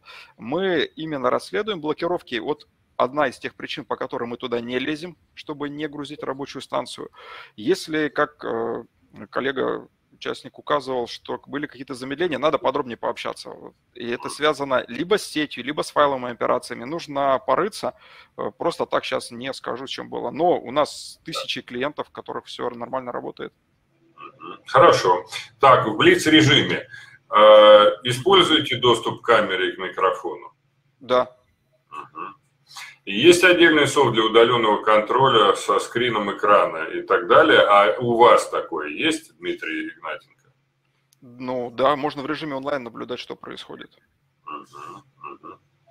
Так, хорошо. Каким образом э, учитывать время работы сотрудника на стенде, не подключенном э, к, к ставку? Ну, то есть пришел на рабочее место, почитал почту, куда-то пошел работать на стенд. Ну, стенд, я так понимаю, некоторые собирают на образ другое место. Ну, например, можете вы по одному сотруднику два места учитывать? Если он работает на каких-то армах, на которых есть операционная система Windows, Linux или MacOS, мы эти данные можем слепить вместе. Главное, что у него учетка была бы одна в Active Directory. И это очень популярная ситуация, когда работают на толстом клиенте, на сервере, а еще где-то на фрейме. Главное, что AD одно, тогда все слепляется нормально в одного сотрудника. Максим Гущин установил у себя режим инкогнито в браузере, да? Как будет работать? Или вообще режим инкогнито, не обязательно в браузере? Никак не поможет. Режим инкогнито – это что? Это куки не пишутся примерно так, ну вот на этом уровне на, на пальцах. А мы-то влазим в сетевой драйвер, поэтому мы именно смотрим сетевые запросы. Режим инкогнито не поможет. Понятно. Активность, э, например, вводим мышкой, учитывается? Ну, то есть сидит человек, вводит мышкой, читает книжку, не знаю, любимые стихи, и вводит мышкой. Учитывается, но также учитывается, что какое активное окно в это время. Э, это и плюс скриншоты. Если ему надо работать в Excel, а он читает в Word, или ему надо там в среде разработки Eclipse, а он сидит э, и на браузере, на сайтах, все разлепится. Александр Соловьев, вот личный рабочий, как поделить, например, сотрудник там полез в какой-то сайт госуслуг, да, это явно личная информация, вот, а, а там, вот как здесь отделить? И, так, и как не собрать, не влезть в личные данные, да, чтобы не собрать пароли еще за случайно. Возвращаемся в ту часть, которая была юридическая. У нас э, при легитимном внедрении разлеплено, разлеплены пельмени, как говорится, есть рабочая, есть личная. Посещение госуслуги по сети с телефона. Да со своего личного. Э, на работе это рабочий ARM, который куплен работодателем, который предназначен для решения рабочих задач. Если тебе, ну, прям так приспичило и очень надо что-то лично на нем поделать, ну, ты уже не вправе заявить. Ты знал об этом, ты подписал и был согласен, что не будешь использовать ничего личного. Понятно. Вот Олег уточнил вопрос. Видимо, смысл вопроса в том, что вот перешел человек к стенду, который полностью изолирован от э, сети, да? То есть не связан с сетью, ставкоп там нет. Потом, вот как учесть его рабочего времени? Дают возможность системы какой-то ручной ввод сделать. а, ну что он типа отсутствовал, да. но по уважительной причине. Ну, но да, работал, но на другом, не подключенном к сети рабочем месте. Ну, Ситуация, сами понимаете, специфическая. Э, вручную можно будет добить, что он где-то работал. Ну, у промышленных заказчиков часто специфические ситуации, да. Э, например. Так, хорошо. А требования к каналу связи рабочего места какие-то есть? Там не если меньше? если не, не записываете звук и видео, то там какие-то килобиты. Ну, не знаю, там 200 килобит трафика, наверное. Как-то вот так. Угу, угу. Да. Ясно. Хорошо, спасибо, благодарю. Посмотрите, может быть, еще в чате прокомментируйте. Да, да. Вопрос. Я всем, да, всем скажу, я посижу в чате, да, отвечу на... Да, контакты я вижу, вы дали, уважаемые участники, пожалуйста, давайте э, ваши... Да, если кому-то нравится идея попробовать вот дополнительные столбики ввести в таблице, попробовать объединить данные э, контроля за рабочим местом и, например, системы входного контроля, системы входа-выхода, ну, пожалуйста, вот Даниил и его команда готовы э, это делать. Спасибо большое, Даниил, благодарю вас. Спасибо. Пойдем дальше. А, Николай Редин, руководитель отдела продаж. Э, так, тема выступления «Экономичный подход к затратным проектам. Нестандартные решения на стандартной платформе». А, надо сказать, что меня такое название интригует, интригует, потому что, ну, это большая проблема. Так? И э, здесь или последовательность действий, или какие-то современные архитектуры, э, или что-то еще, или какая-то базовая, не знаю, базовая спасительная технология. Интересно, э, какая трактовка, какое видение этого будет дано, тем более, если мы говорим об использовании стандартной платформы. Ждем подключения Николая Редина, руководителя отдела а, продаж. Так, вижу, что появились вы у нас, Николай. Здравствуйте. Да, добрый день. А, я для начала хотел бы представиться. Меня зовут Николай. Я представляю компанию Octagram, и сегодня мы поговорим о модульной инженерной платформе.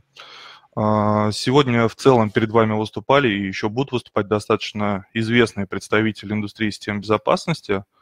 Мы с вами в достаточно хорошей компании, и я думаю, разговор у нас сложится в целом. Так вот, поговорим о важном для Скуда. Экономный подход к затратным проектам. Нестандартное решение на стандартной платформе.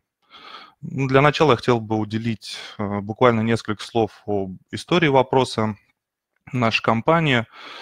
И э, почему так? Потому что последние 10 лет примерно работа с заказчиком у нас конкретно превратилась в достаточно стандартную, рутинную историю. То есть э, мы уже привыкли решать нестандартные задачи. А, однако совсем по-другому а, начиналась эта деятельность больше 30 лет назад. А, тогда каждое новое решение для систем безопасности являлось плодом долгой и кропотливой работы, было абсолютно новой разработкой – так было, например, с 89 по 91 год, э, когда разрабатывалась панель POST-50. Э, а в 94 году, когда был представлен автономный контроллер SCUD, э, который носил название Flex, ну, для слова аналоги появились там годами позже. А, например, в 1996 году э, был разработан прибор Test. Разработка заняла а, около 8 месяцев, а устройство до сих пор а, продается достаточно успешно по сей день. А, такое положение дел было до конца 2010 года, когда был разработан контроллер платформа А1. А, с того времени все разработки в области железа носили уже локальный характер, связанный а, с доводкой системы под э, нужды заказчика. А после 2010 года мы а, немножко уж ушли от а, разработки железа и переключились над, а, стали работать над а, доработкой ПО двух уровней. Это ПО для непосредственно самого контроллера и для сервера системы. Как вы видите, на основе э, контроллера 1 можно построить достаточно много разных систем. А, для A1 написано более 50 микропрограмм, каждая из которых отвечает за какой-то свой узкий функционал. И выбирая и комбинируя данный функционал, мы, по сути, готовим ТЗ. В некоторых случаях приходится менять основные принципы работы микропрограммы. А, но что остается неизменным в нашей работе с заказчиком, так это предложение оптимального решения на основе стандартной платформы А1. Возможно, поэтому без эм, какой-либо существенной рекламы и существенных маркетинговых вливаний а, продает все больше и больше контроллеров А1. И на текущий момент порядковые номера а, перевалили уже за 35-тысячный рубеж. А, во многих случаях клиенту кажется, что базовый набор функций и характеристик у большинства производителей скуд одинаков. Однако Octagram а, предлагает помимо самого скуда и охранную сигнализацию, пожарную сигнализацию, управление автоматикой, управление инженерным оборудованием и так далее, и так далее. И все это на базе а, одного контроллера. А, в любом случае успех а, проекта определяется качеством технического задания и скоростью решения задачи, поставленной клиентом мы оказываем в этом уникальную услугу для крупных клиентов. А, это абсолютно точно происходит на старте проекта при подготовке технического задания. Затем уже решение может тиражироваться. Ну, например, как это у нас происходит с сетью магазинов ЛДБТ. А при длительной работе с заказчиком, а, ну, например, с Ростелеком мы уже больше 15 лет работаем, изменения в принципе неизбежны, но при этом не влекут каких-то значительных э, финансовых затрат, потому что происходит уже доработка существующего решения, но не разработка с нуля. А, ну, давайте окунемся немного э, в один из наиболее интересных проектов в последнее время. Посмотрим, как ведется работа на примере инвестиционного проекта РЖД по оснащению поликлиник э, системой СКУД. Это профильные поликлиники РЖД. А, сегодня требования а, технического задания от РЖД, например, использование а, смартфона как ключа, мгновенная запись ключа, информационные таблички у двери в кабинет и так далее кажутся вполне естественными для скут. Но всего три года назад они вызывали достаточно много вопросов и споров. А, по условию заказчика пациент может получить а, сам пропуск разными способами. Через, например, терминал доступа, посредством веб-интерфейса, через личное обращение в регистратуру и так далее. А, среди идентификаторов, соответственно, служат proximity карты или брелки, там какие-то разовые штрих-коды, браслеты с QR-кодами, но и телефон. Итак, э, Заказчику нужно считать номер телефона, пока пациент идет э, к доктору, внести его в систему, отправить соответствующую точку доступа и так далее. А, таких точек может быть более 600 в одном корпусе, а корпусов в данной поликлинике может быть несколько. При этом пользователей системы может быть более 10 тысяч. Что-то у нас не получается сейчас работать. Вот. А, собственно, пока я вам это рассказывал, ключ уже в базе, и, собственно, мы получили право доступа через ну, некую импровизированную точку доступа. А, так вот, вернемся. А, как правило, ключи для разовых посетителей вносятся в базу заранее, и они не являются именными. Хотел бы особо это подчеркнуть. Чтобы пропуска стали именными, нужно менять алгоритм работы точки прохода. Э, в обычном алгоритме добавления и удаления единичных ключей происходит после перезаписи всей базы э, ключей, хранящихся в контроллере.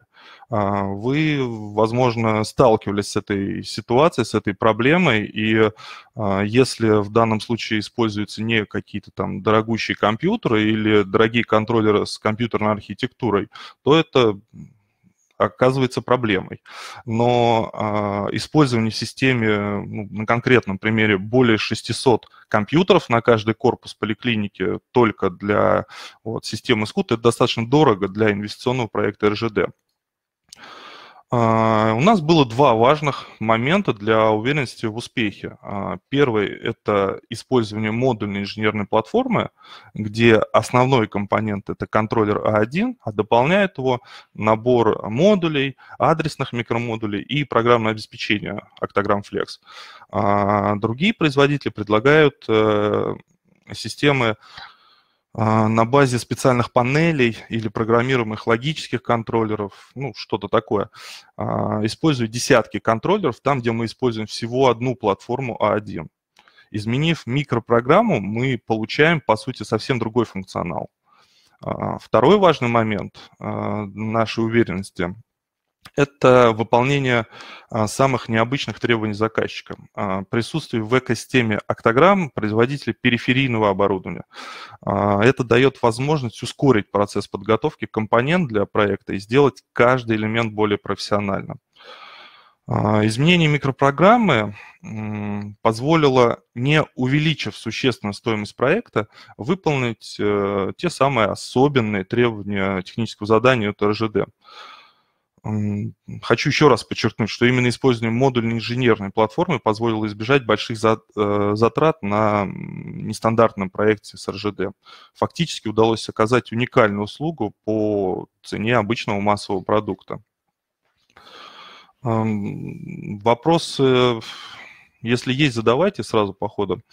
Но, как я еще, а, как я уже говорил раньше, Octagram ведет и небольшие доработки модульной инженерной платформы. Ну, собственно, что естественно для любого производителя. А, в основном это касается софта, и поэтому вы вот сейчас видите на слайде изменения программного обеспечения, которые будут буквально в ближайшем будущем. А, ну, например, подходит к завершению работы с веб-интерфейсом для работы с пропусками. А, для этого объектной модели, как э, средство интеграции, добавлены уже более удобные API или APA. А, в ближайшее время появятся новые интерфейсы A1 для обмена данными с оборудованием. И, собственно, это упростит работу не только участникам экосистемы Octagram, но и другим сторонним обору... Э, производителям, которые, соответственно, могут к ней подключиться. А, если есть какие-то вопросы, задавайте. Собственно, а так, рад за внимание.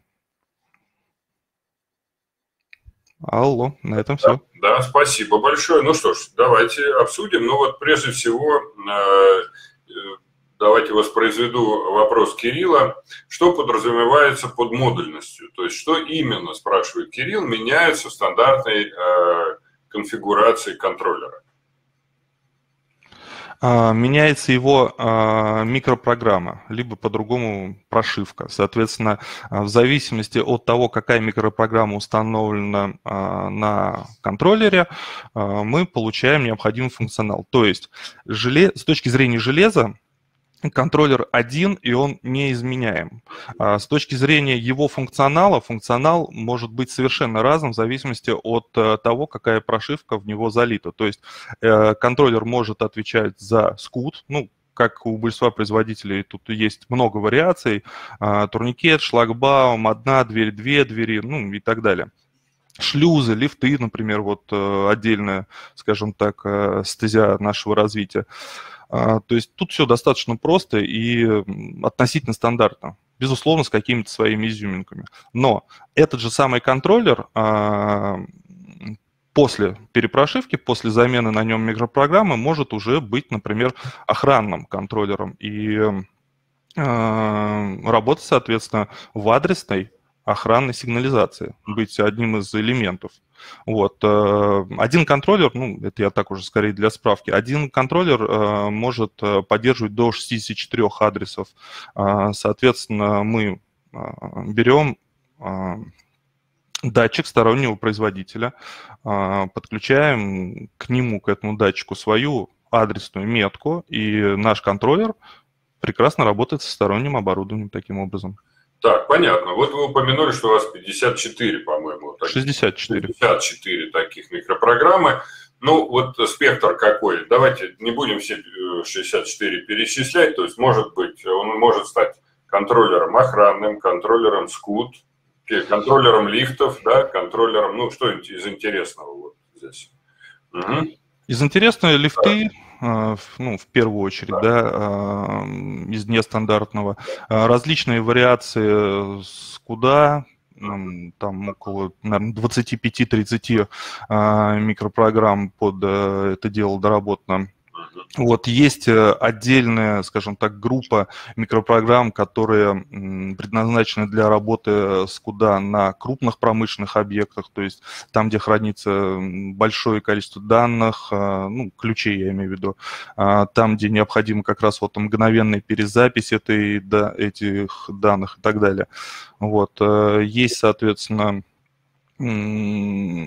программы для, например, предназначенные а, для отелей, там, где, соответственно, необходимо а, все уместить, ну, то есть весь необходимый а, функционал какой-то комнаты, номера необходимо уместить в одном контроллере. Есть, соответственно, управление пожаротушением, есть, соответственно, обычная пожарная сигнализация. Ну, то есть тут Понятно. достаточно широкий спектр. Отлично. Ну, хорошо, что вы это описали. То есть сейчас действительно понятно, что дает эта модульность. То есть вот вы подключили, проложили, и дальше вы можете, собственно, ну, то есть получается так, парк оборудования, он, в общем-то, стандартный, да, а функции мы меняем этими микропрошивками, и вот хороший спектр. Да, а, еще, да, еще да. одно из эм, преимуществ, которое дает это решение, это минимальный набор оборудования в ZIP. То есть мы вот на этом моменте э, существенно экономим, конечно. Понятно. То есть фактически в ZIP лежит универсальный э, такой модуль, да, и в зависимости от того, где вышел из строя, делается прямо на месте эта микропрошивка. Да, да, и так и происходит, совершенно верно. И запись, э, соответственно, обновление прошивки, либо запись новой прошивки занимает буквально ну, две минуты. Угу. Ну вот э, у нас Татьяна, участница, интересуется интеграцией как раз системы управления отелями, например, PMS Oracle Hospitality Fidelio Suite 8, ну, с этой конкретной, не знаю, насколько вы готовы сказать, есть ли, да, ваши коллеги пишут в чате, что нужно уточнить, так, но действительно, вот, когда мы говорим о микропрограмме, вот до такого уровня детализации, то есть э, можно проверить, что конкретно 40 Hospitality Fidelio, там, Suite 8, так? А, ну, смотрите, конкретно а, с данной системой я не готов сейчас ответить, да, мы уточняем сейчас этот момент. А, с точки зрения, я хочу немножко, скажем так, разделить понятие микропрограммы и интеграции с другим производителем. То есть интеграция происходит не на уровне микропрограмм. Микропрограммы – это уже софтина, которая зашивается в контроллер, и, соответственно, она отвечает за какой-то узкий функционал. Если э, требования заказчика какие-то там особенно уникальны, то, безусловно, эта микропрограмма меняется, дописывается, либо вообще создается с нуля. Это ну, какие-то разумные сроки занимает. Если, соответственно, мы говорим все-таки об интеграции, то интеграция происходит на уровне сервера. Тут э, ну, немножко другая уже история просто. Понятно. А с какими системами лифтов э, э, АСУД вот так. Такой вопрос от Татьяны. То есть с какими интегрируетесь? Может быть, есть какие-то, ну, более широко используемые, да, или просто есть какие-то интеграции с вашим системой. Именно, я уж не знаю, на ваше усмотрение, на уровне сервера или там на уровне микропрограмм, так, вот какими лифтами можно управлять? А, ну, смотрите, а, дело в том, что а, Э, система октограмм, она в принципе не влезает в систему управления лифтом. Мы ее ограничиваем, существующую систему. Это раз. А если мы говорим про, опять же, интеграции, то тут все зависит от э, задач. На текущий момент э, ну, я не готов так назвать, скажем так, конкретные там какие-то системы, с которыми уже там готова интеграция. Это нужно, скажем так, поднимать документацию, которая ну, которая где-то в архивах там хранится. То есть сейчас сходу у меня нет ответа на этот вопрос. Но Ага. Ну, мы, соответственно, можем как бы этим заняться и там, через какое-то время ответить. Ну, это правильный вопрос со стороны участников конференции. То есть они могут с ним обращаться к вам с таким вопросом в рабочем порядке? Да? Ну, конечно, это конечно. Естественный вопрос, правильный, в общем, вопрос. Или лучше его как по-другому задавать? Да нет, пишите, конечно, найдем ответ. Это ну, не проблема. Отлично, хорошо. То есть либо будет дан ответ, что уже есть такая интеграция, либо будет дан ответ, так сказать, за какое время можно такую интеграцию сделать. Да, все зависит от необходимости. Да. Хорошо, отлично. А, так, а какие используете открытые протоколы, спрашивает Дмитрий Дряных.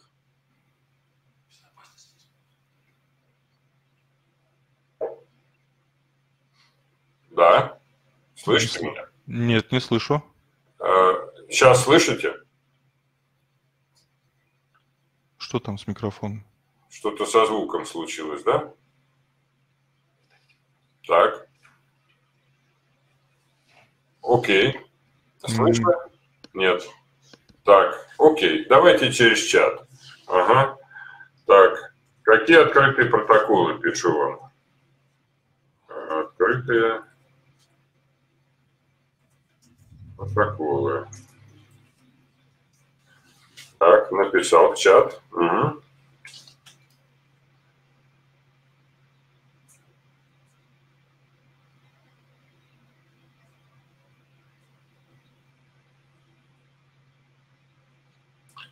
Так, посмотрите, пожалуйста, в чат. Я пишу вам в чат.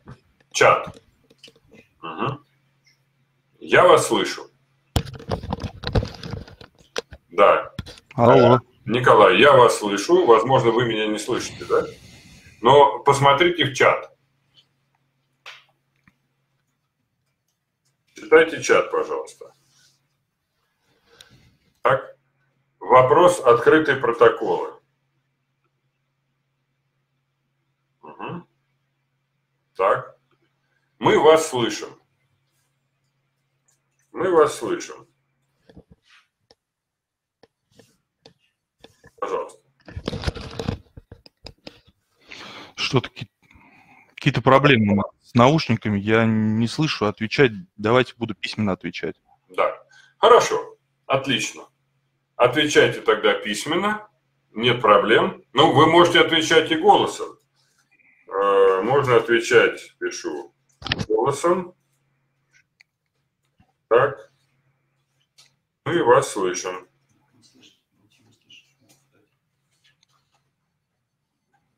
Угу.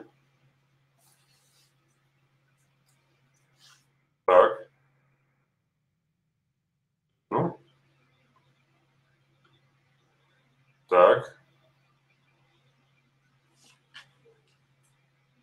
Ну, теперь э, выключил Николай свой микрофон. Так, поэтому временно мы не слышим Николая. Ну, ничего страшного. Пожалуйста, отвечайте в чате. А, вот, сейчас слышим. Сейчас слышим.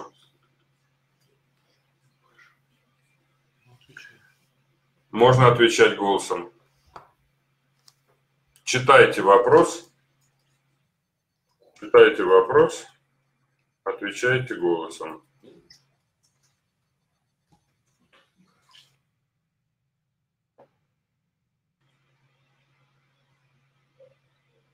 Угу.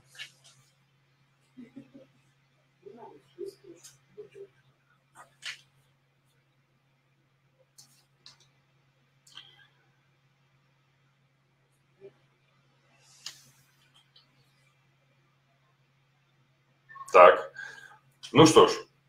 Так, так, вот то включается, то отключается микрофон у Николая. Николай, ну, собственно, время у вас еще есть. Если вы прочтете э, чат, да, то вы увидите, что можно отвечать на э, вопросы голосом.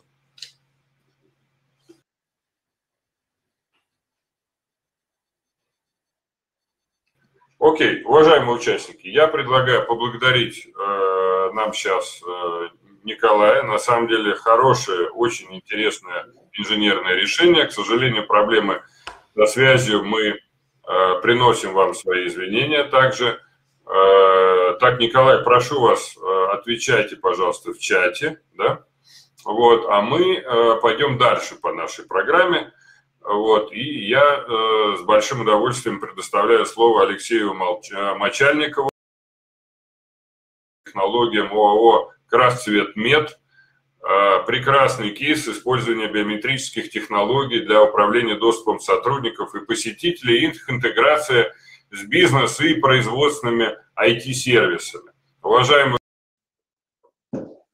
дня, вы понимаете, насколько важна и для экономического обоснования этих э, инвестиций, а, так ценность, создаваемая для других подразделений. Алексей, здравствуйте. С большим удовольствием предоставляю вам слово. Добрый день, Добрый. Андрей. Большое спасибо. Слышим и видим вас. А, слышно ли меня и видно? Все хорошо. Да? Да, да, начинаю. Кратко о чем хотелось бы рассказать, ну, наверное, пару слов скажу о компании, кто мы, откуда, чем занимаемся и почему э, серьезное внимание уделяем системам э, контроля и управления доступом.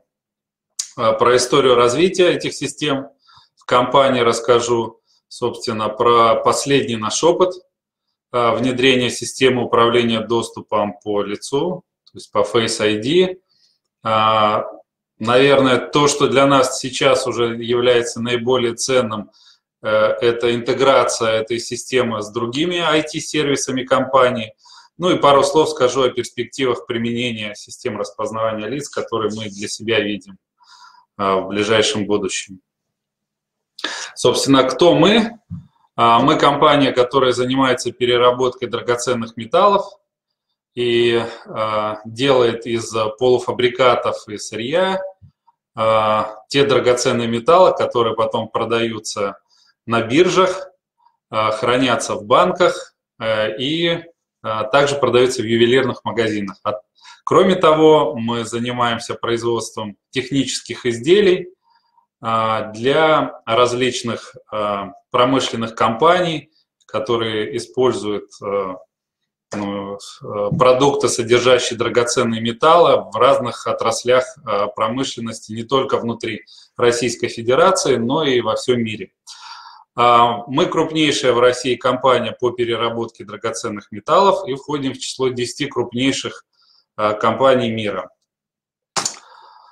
А, собственно, из вот примеров, да, самое распространенное это золото. Мы перерабатываем 74% добываемого в стране золота а, внутри компании. Значит, а, и как вы понимаете, специфика нашей компании, она заключается в том, что ну, мы работаем с сырьем, которое является очень ценным. поэтому обеспечению сохранности сырья и продуктов уделяем самое пристальное внимание. Исторически мы прошли большой путь, начиная с бумажных пропусков, и более полувека использовались именно бумажные пропуска, под затем пропуска тоже бумажные, но со штрих-кодом.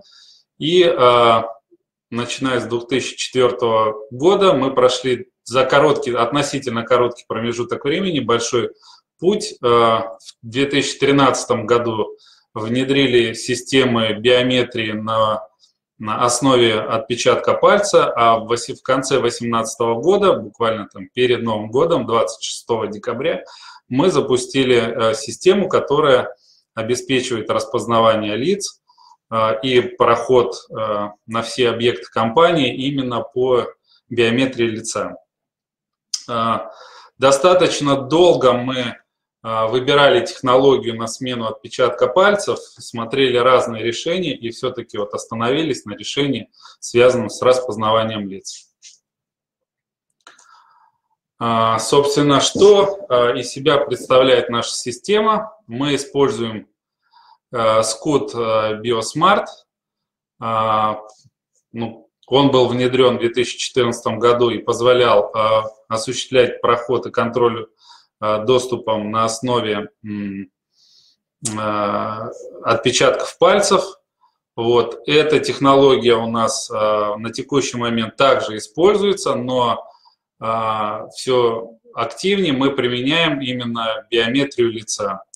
Долго тестировали различные варианты, остановились на решении красноярской компании технозрения. Система называется FA-System, вот, а, которая в основе своей использует алгоритмы российской компании Vision Labs. Vision Labs – это платформа, да, а прикладное решение – это FA-System. А, собственно, как мы а, запускали систему? Как я уже сказал, в конце 2018 года мы запустили в первую очередь системы, которая включила в себя 15 точек контроля доступа. Это внешний периметр. Вот на фотографии как раз представлен а, пример а, прохода через а, наши турникеты, особенность там, нашей системы управления доступом и защиты доступа на территорию компании заключается в том, что у нас безлюдные э, проходные, то есть револьверные турникеты, которые позволяют в дистанционном режиме службе э, безопасности контролировать проход и выход сотрудников с, э, с территории и компании. Э, и на восьми проходных мы в конце 2018 года запустили эту систему. В течение приблизительно 6-7 месяцев мы тестировали это решение. И э, во второй половине 2019 года запустили второй этап внедрения, который охватил и все внутренние объекты компании. Это более 130 точек доступа, э, которые также были подключены к этой системе.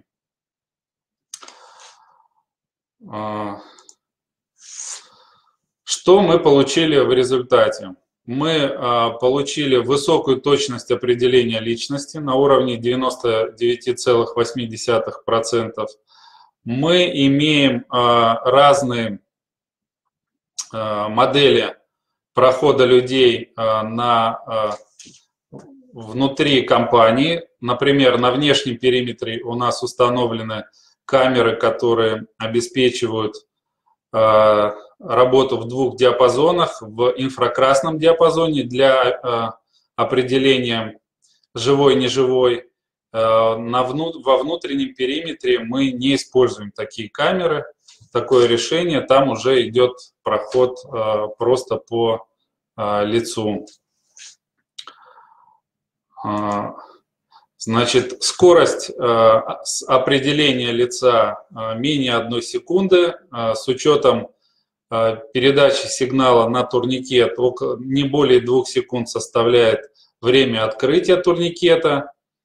На внешних, во внешнем периметре около там, 2,5-3 секунды. Связано это с тем, что идет дополнительная проверка лица на там, живой-неживой.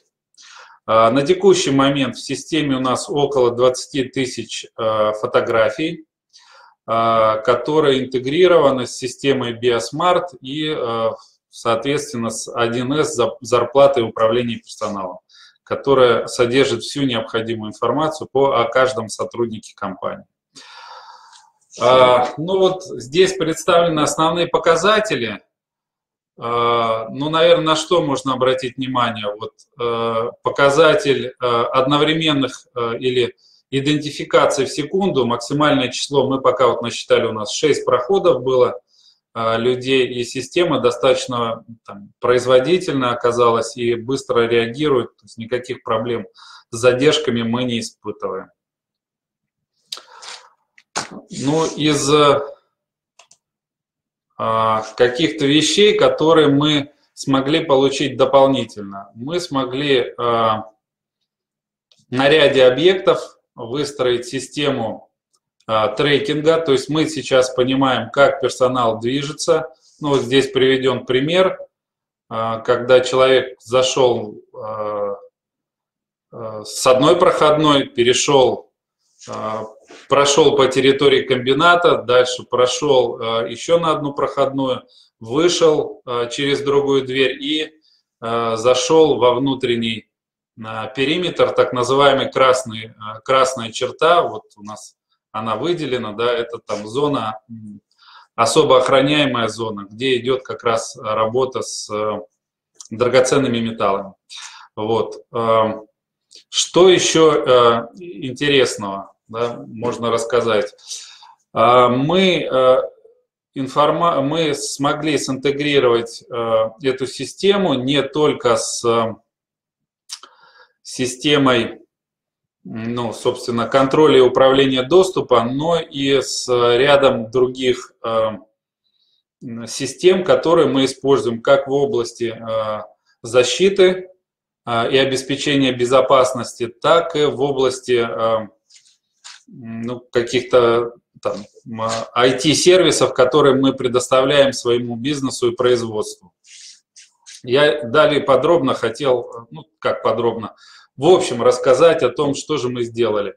Ну, в частности, у нас э, с системой SCUT интегрированы металлодетекторы. То есть, если человек проходит через металлодетектор, э, перед тем, как пройти, он себя идентифицирует, и мы четко понимаем, в какое время он проходил через металлодетектор, э, и, в общем, какой результат этого прохода был.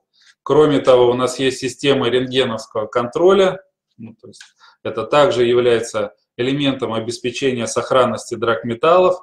А, система интегрирована с этими системами рентгеновского а, контроля.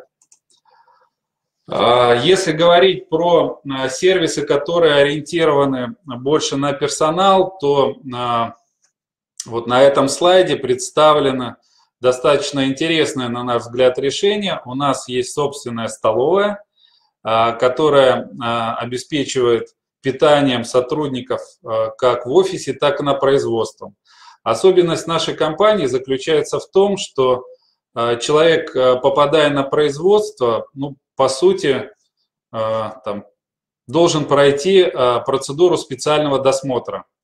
И на выходе с производства также он подвергается там, особому досмотру, поэтому люди, как правило, выходя на смену, они э, заходят в производственное подразделение и не выходят оттуда до окончания смены.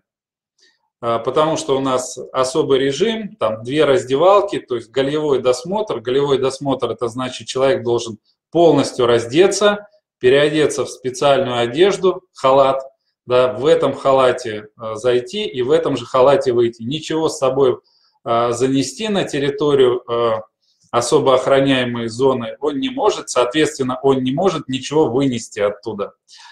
А, поэтому люди, а, выходя на смену, они стараются заказать себе обед уже с доставкой на производственный объект. Вот. Соответственно, идентификация человека в, в терминале самообслуживания для заказа еды производится с использованием биометрической системы. В свою очередь, система заказа еды синтегрирована с нашей там, системой зарплаты Э, зарплаты управления персоналом, с человека ну, там, списываются определенные деньги в конце месяца там, при расчете заработной платы. То есть это все происходит э, прозрачно, и э, этот сервис пользуется, ну, наверное, особой любовью многих сотрудников компании. Из того, что мы сделали вот за последние, наверное, уже там, пару месяцев, мы в начале, уже в январе 2021 года запустили э, терминалы самообслуживания в столовой. То есть у нас была там небольшая проблема с кассирами, вот, и решили совсем э, уйти от человеческого фактора, поставили терминалы самообслуживания. Сейчас э, у нас есть возможность у сотрудников взять еду, идентифицироваться через систему Face ID и, в общем-то, отметить, что они заказали, и, ну и точно так же там в конце месяца с них э, будет удержана из заработной платы деньги за э, питание. Вот. Э, дальше еще пример того, как мы используем систему Face ID в бизнес-задачах. На территории компании стоят вот такие вендинговые аппараты, и если сотруднику нужно перчатки, респиратор, э, беруши. Э, человек просто подходит, э, и происходит аутентификация, соответственно, он заказ, берет, что ему нужно, да, и автоматически это все в систему охраны труда и промышленной безопасности информация вся это передается. Кроме это, этого, эта информация потом передается и нашему подрядчику, который обеспечивает нас э, всеми необходимыми СИЗами. Э, тоже в конце 2020 э, года, в декабре месяце, мы запустили систему алкотестирования, то есть на входе в, в производстве, на производственные объекты сейчас стоят алкотестеры, а, здесь вот показан а, на снимке два варианта его размещения. Это лазерные алкотестеры, которые также интегрированы с системой контроля и управления доступом. И информация выводится тут же на охрану, и при необходимости, в общем-то, охрана имеет а, инструкции о том, как э, дальше там, действовать в такой ситуации. Вот. Ну, наверное, последнее, о чем хотел бы рассказать, то то есть проект, который мне больше всего нравится по, а, по сложности, по элегантности, наверное, решения. А, очень много говорят о цифровизации процессов а, производственных, о цифровизации бизнес-процессов. Вот я считаю, что вот пример, который, ну вот решение, которое мы сделали с системы хранения ключей, это как раз вот пример а, использования а, системы SCU для трансформации а, процессов и перевода их в цифровой вид. Я знаю, что на многих производственных площадках используется система ключ-бирки. Это система, которая позволяет получить ключи для доступа на особо опасные объекты, ну, например, кран-балки, да, либо а, электропогрузчики какие-то. А, и стандартная система предусматривает введение бумажных журналов. На этих, в этих журналах мастер должен расписаться, что он выдал. Да, при этом он должен проверить, что по медицинским показаниям тот сотрудник, который получает ключи, может их получить, он должен проверить наличие всех э, инструктажей и обучения пройденного для работы на этих опасных объектах. Э, необходимо также убедиться, что в данный момент эти э, системы или там объекты доступны и на них можно, с ними можно проводить какие-то операции, но в частности там не ведутся какие-то ремонтные работы, там ремонтников нет на этом объекте. Вот. И это все э, требует личного участия мастера. А в рамках э, пересмотра наших внутренних бизнес-процессов мы э, приняли решение о том, что мастера у нас будут работать удаленно, особенно в ночное, в ночное время, в ночную смену. И нужно было обеспечить выдачу этих ключей в дистанционном режиме. Рассматривали разные варианты. А, и а, в результате реализовали систему, достаточно такую сложную технически, но предлагающую элегантное решение. То есть мастер, находясь в центре операционного управления, при поступлении запроса со стороны а, какого-либо сотрудника рабочего на производственном участке, должен выдать ему ключ. Значит, при этом а, рабочий идентифицирует себя через систему Face ID, через терминал. Да, дальше а, а, при этом происходит и запрашивает ключ, то есть к конкретному объекту, например, к кран-балке. При этом система проверяет, что в это время он действительно должен, и это его смена. Дальше проверяются все его допуски и инструктажи. Проверяется в случае необходимости прохождения медосмотра. Проверяется, что в это время не раб... в системе САПТОРа проверяется, что э, никаких ремонтных работ в это время не происходит. Делается электронная запись в журнале с э, квалифицированной электронной подписью э, сотрудникам. Мастер расписывается удаленно, он видит, что происходит запрос этого ключа. Удаленно также в электронном журнале ставит свою подпись своей электронно-цифровой подписью. А, после этого открывается ключница и выдается ключ. А, точно так же а, происходит и сдача ключа. То есть происходит отметка и с записью в электронном журнале. При этом идентификация человека происходит через систему Face ID. Ну вот, наверное, это то, что мы сейчас последнее внедрили. Да, о чем мы думаем? А, мы, мы понимаем, что у нас сейчас копится огромный массив а, данных по а, прохождению людей. И в ближайших планах у нас как раз построение тепловых карт по перемещению персонала, поиск аномалий. Дальше ну, думаем, как нам диаграмму спагетти возможно построить для того, чтобы оптимизировать перемещение персонала. Э, в настоящее время идет реализация проекта по контролю и использованию средств индивидуальной защиты. Ну и ряд других инициатив, которые мы сейчас рассматриваем э, в области именно охраны периметра, ну, там, в частности, поиск людей по атипичному поведению э, и сигнализация об этом службе охраны. У меня все. Спасибо за внимание. Спасибо. Алексей, прекрасный, на мой взгляд, очень красивый, красивый кейс. Э, позвольте начать с моих вопросов. Хотя нет, вот есть уместный вопрос Германа Бабушкина у нас в чате. И, уважаемые участники, мы ждем ваших вопросов в чате. Сейчас э, скажите, пожалуйста, Алексей, вот здесь проход осуществляется... А, нет, это Александр Рыжов. Проход осуществляется только по лицу или лицо это как дополнительный фактор? А лицо это как основной фактор. Прекрасно.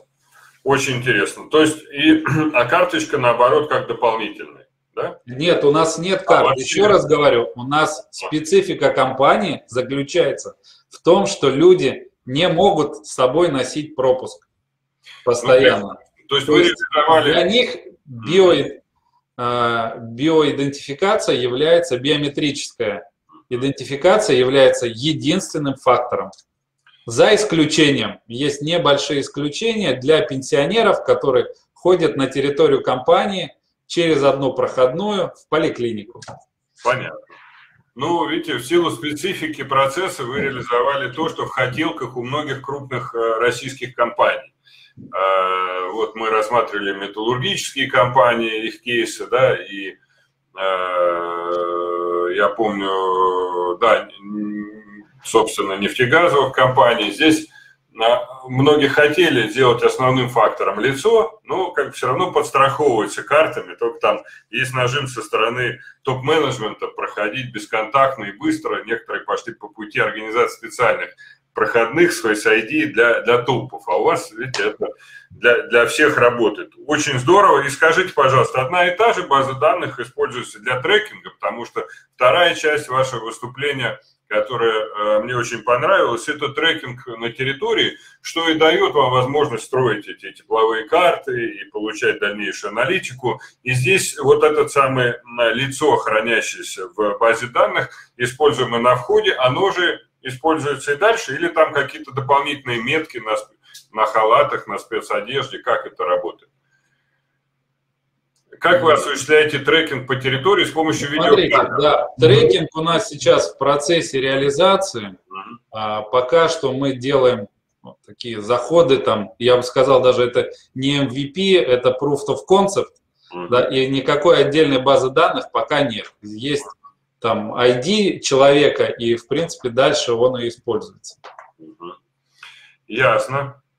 А, так, э так, вот, э, ну давайте несколько вопросов. Герман Бабушкин. Время входа и выхода с рабочего места учитывается как рабочее время. Э, ну, видимо, имеется в виду, что территория большая, и вот э, рабочее время вот покинул человек зону, в которой он работает, какое-то помещение, да? Так, он продолжает находиться на работе, или считается, что он покинул свое рабочее место, и мы у него минусуем какие-то там минуты?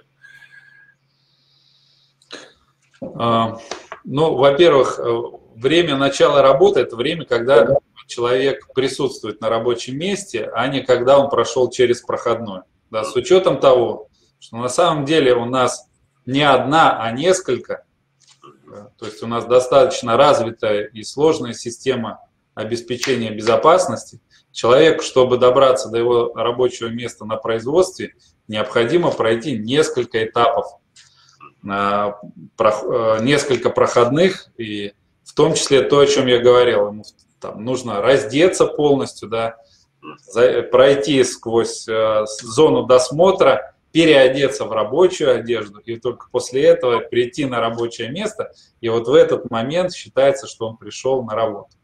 Так что не э, считается, что если человек пришел, прошел через проходную, то это он уже присутствует на работе. Но есть один существенный нюанс.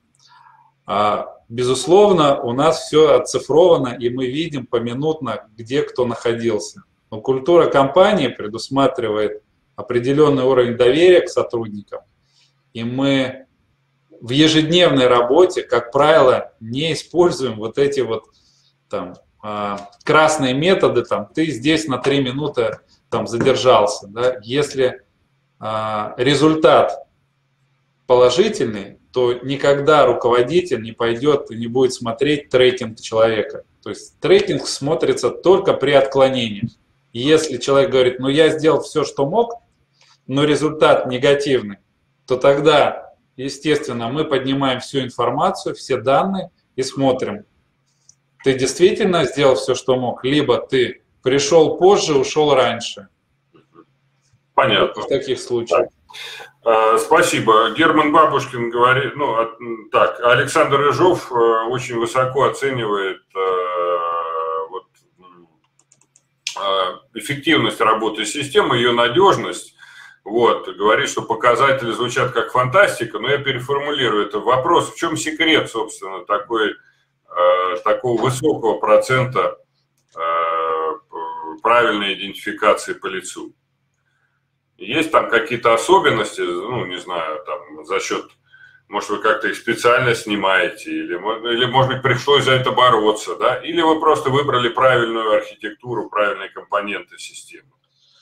Ну, смотрите, я бы здесь выделил несколько факторов.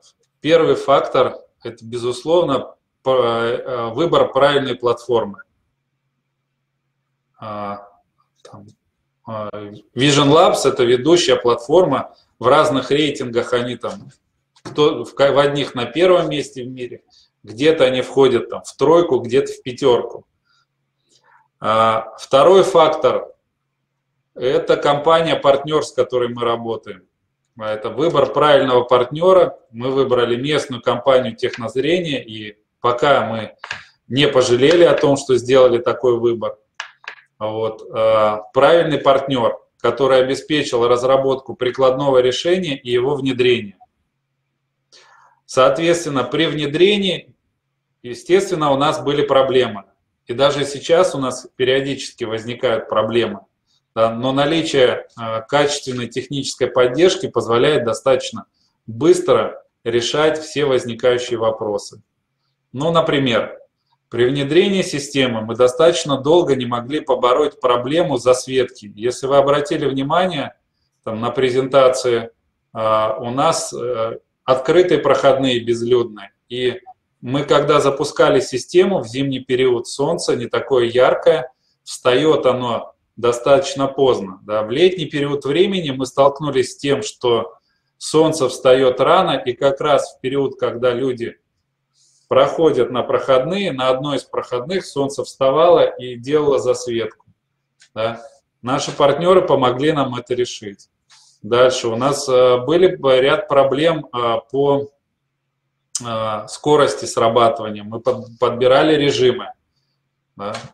А, на разных проходных у нас выставлены там разные камеры, поэтому нам пришлось поработать с камерами, посмотреть, какие из них больше подходят. Ну и, в общем, вот такая работа, она позволила добиться отличных результатов на текущий момент. Да, что там особо радует, что у нас нет э, проблем а, с а, не первого, а, там, ошибок первого рода, не ошибок второго рода. Алексей, я хотел бы, вот видя вопрос Алексея Андрея Орехова, да, нет ли у вас опасений, что система пропустит близнеца или похожего человека на ответственное производство, немножко переформулировать его вопрос – а многие вот опасаются оставлять лицо единственным фактором, ну, потому что хотят подстраховаться, да, и подстраховываются, э, допустим, карточкой, подстраховываются, там, еще чем-то. Чем вы подстраховываетесь вот на случай, э, не знаю, там, близнец, ну, или все-таки низковероятная, но все-таки ошибка э, системы? Ну, проблема близнецов, да, нам известна, и эта проблема на текущий момент у нас не решена. У нас работали близнецы, и э, им пришлось э, проходить э, аутентификацию именно по э, пальцу. Да, то есть у нас стоят контроллеры BioSmart, которые э, ну, обеспечивают работу и системы по Face ID, и, собственно, они же обеспечивают нам возможность при необходимости использования и идентификации по пальцам, по отпечаткам пальцев. Вот. А, так что вот страховка у нас есть, это использование а, пальцев. Но по той статистике, которая у нас сейчас есть, а, все-таки Face ID является более надежным методом а, аутентификация людей. Прекрасно. Приятно это слышать, потому что споры об этом до сих пор продолжаются. А, я хотел бы э, обратиться к, на мой взгляд, действительно самой яркой части вашей презентации. Это вот э, кейс э, с дистанционной выдачей ключей, так, потому что там обеспечена столь хорошая интеграция в части данных, проверка да, состояний, э, взаимодействие с э, другими какими-то подсистемами, службами.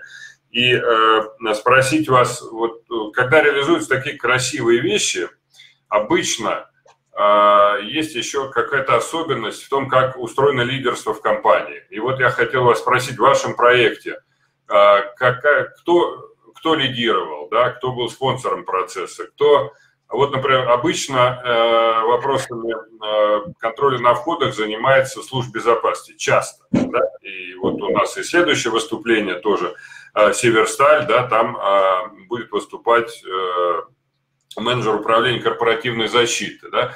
Вот как у вас, может быть, в чем-то здесь именно какое-то управленческое ДНК есть правильное, да? Вот. Как было построено лидерство, кого какие были роли в том, чтобы это гладко и красиво, вот так, как вы рассказывали, реализовывалось? Подачи службы безопасности или все-таки это дирижерами выступали и основными спонсорами вы а, и ваше э, подразделение? Ну, давайте я тогда издалека начну. Да? Вот, а, ну, наверное, лидерство в целом по использованию там IT-технологий, цифровых технологий у нас, там, не побоюсь этого там, термина, за генеральным директором. Да, и в этом смысле нам очень повезло. Вот. Э, это в целом, в том числе и он инициировал э, проект по... Одним был из инициаторов проекта внедрения технологии Face ID. Если говорить про э, вот последний проект, о котором я сказал, это ключ Бирка, который уже использует информацию из CUDA для того, чтобы обеспечить работу прикладных сервисов, то здесь лидерство скорее за производством. То есть у нас производство тоже достаточно активно внедряет изменения, трансформируется, занимается оптимизацией своих процессов. И, собственно, с их стороны был запрос, и они а, постоянно поддавливали как главный заказчик. Да, если говорить о ну, внутренней какой-то IT-кухне, то, а, конечно, у нас а, были вопросы, кто должен а, взять на себя внутри ИТ-лидерство. Да, и в конечном итоге мы договорились о том, что лидерство на себя берет практика, которая отвечает за управление производством. Потому что но для, для кого это делается? Это делается для производства, для повышения его эффективности.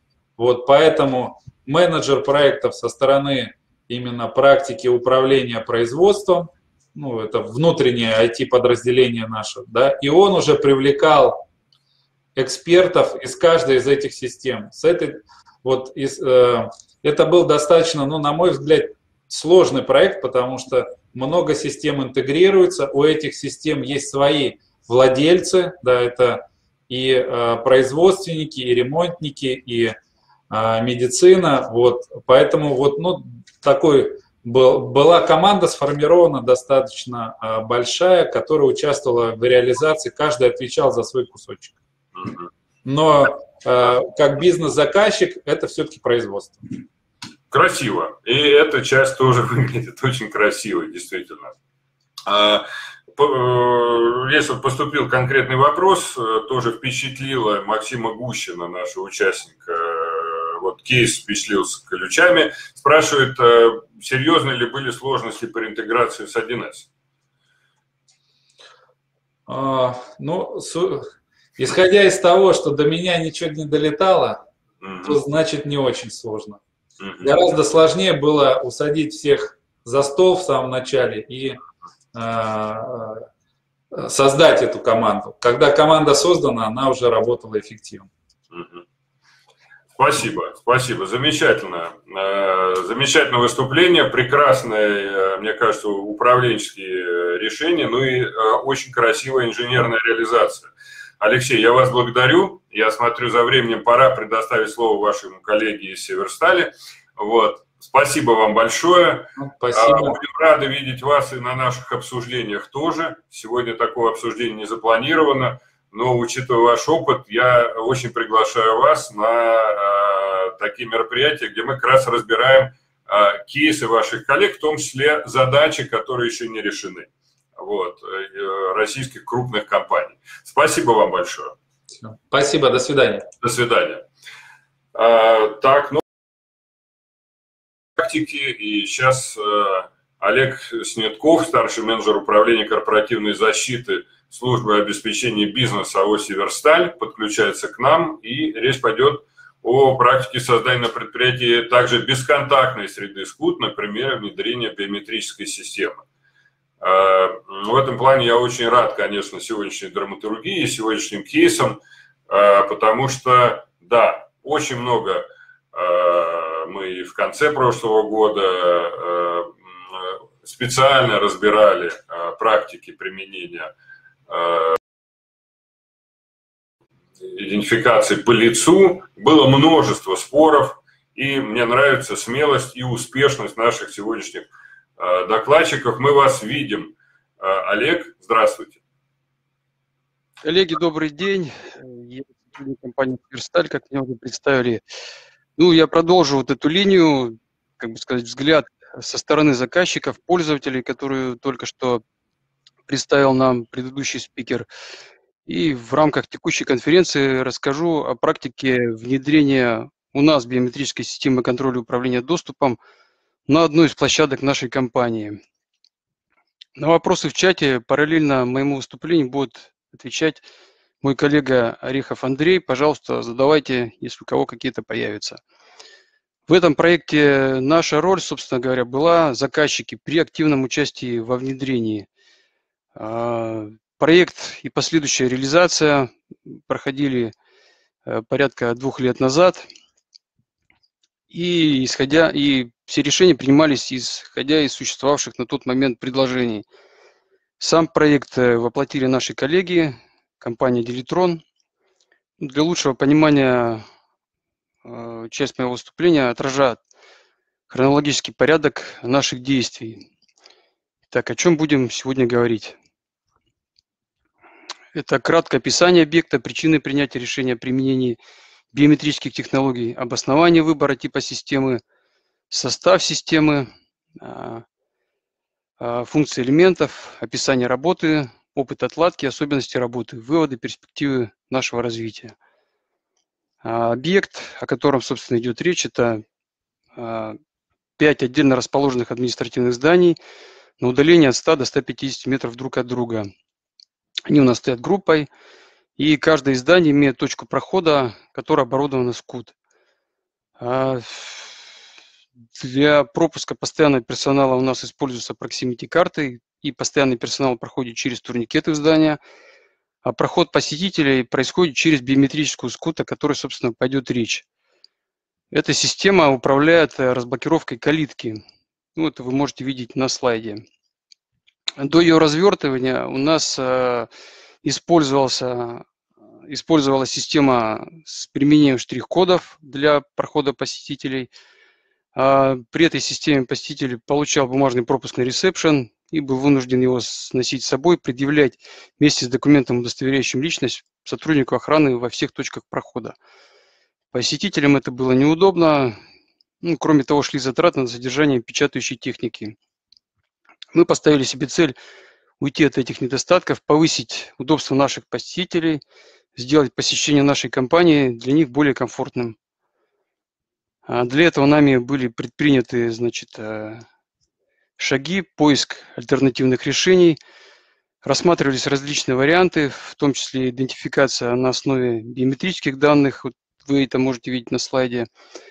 Мы проанализировали представленные на рынке предложения, провели несколько таких плотных пилотных проектов, сделали выбор в пользу распознавания по лицу. Основным доводом, в принципе, послужила бесконтактность идентификации, в отличие, например, от э, идентификации по э, отпечатку пальцев, либо же, значит, по рисунку вен ладоней. При этих решениях э, требуется на контакт, скажем, с, ну, с поверхностью какой-то не только при снятии биометрического эталона, но и при использовании системы. Э, на этапе принятия решения, это еще происходило до эпидемии, мы посчитали, что это будет не совсем комфортно нашим посетителям, ну, куда-то, скажем так, прислонять Э, ладонь либо палец из-за, знаете, из-за какого-то наличия таких предубеждений ну, достаточно у многого количества людей. Технологию на основании распознавания радужной оболочки глаз мы не стали рассматривать а, также из-за предупреждения людей о ее опасности для зрения. А преимуществами нашего выбранного решения является то, что посетитель будет предъявлять документ Э, свой документ на ресепшене только один раз. Продление действия пропуска, его допуска виртуального, скажем, тоже возможно без посещения ресепшн. Исключаются факты утраты или повреждения пропуска. Допуск осуществляется комфортным, бесконтактным способом. А, при выборе типа системы Э, распознавания по лицу, мы остановились на той, при которой э, камера распознавания находится внутри терминала, встроена в терминал. Исходили из расположения наших точек прохода, э, возможности прокладки коммуникации, расположения оборудования.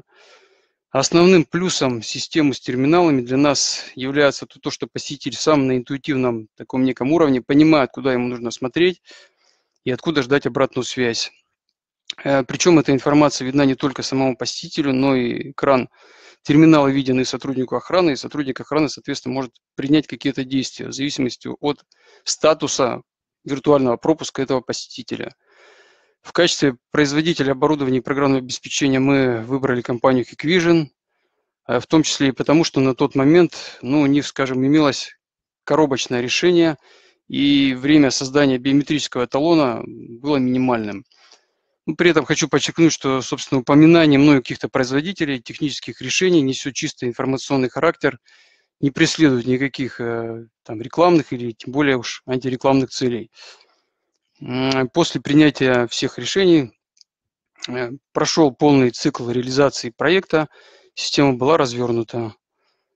Э, далее мы перейдем э, к слайду по структуре системы. Вы его можете видеть на экранах. На слайде представлена типовая точка прохода здания. Всего таких точек у нас 5 по количеству зданий – Основные элементы – это центральный сервер, ну, его назначение классическое, конфигурация, управление работой системы, хранение базы данных. Терминалы, естественно, распознавания, их у нас 10 штук, установлены по 2 на каждой точке прохода. Соответственно, вход и выход. RAM Reception – это регистрация новых посетителей, продление доступа по ранее внесенным, RAM постов охраны, отображение информации о проходах посетителей, администратор – RAM-администратора, конфигурирование системы. Тепловизор и калибратор установлены при э, значит, начале пандемии, работают в паре, определяют температуру тела человека.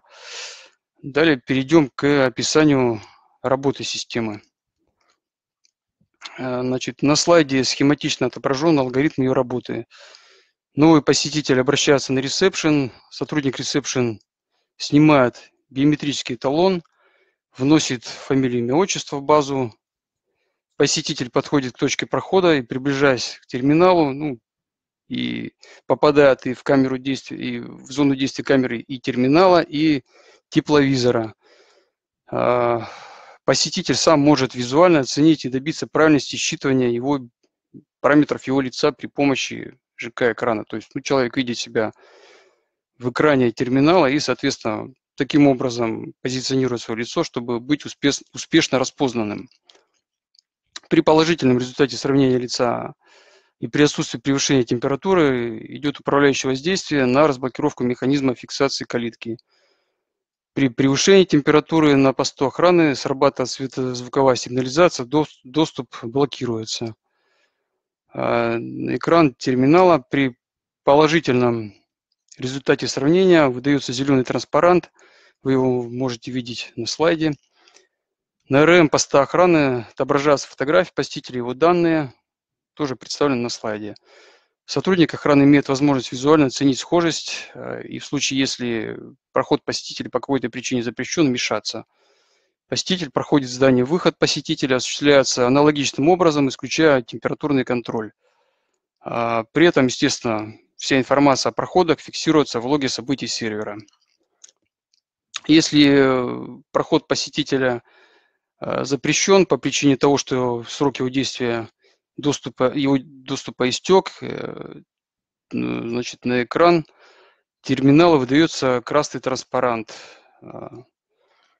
При этом стоит отметить, что на одной из точек прохода, тут учитывая нашу специфику, а, биометрическая система интегрированная с системой алкотестирования. И проход возможен при соблюдении трех условий – нет паров алкоголя, не превышена температура тела человека и посетителю, собственно, разрешен проход.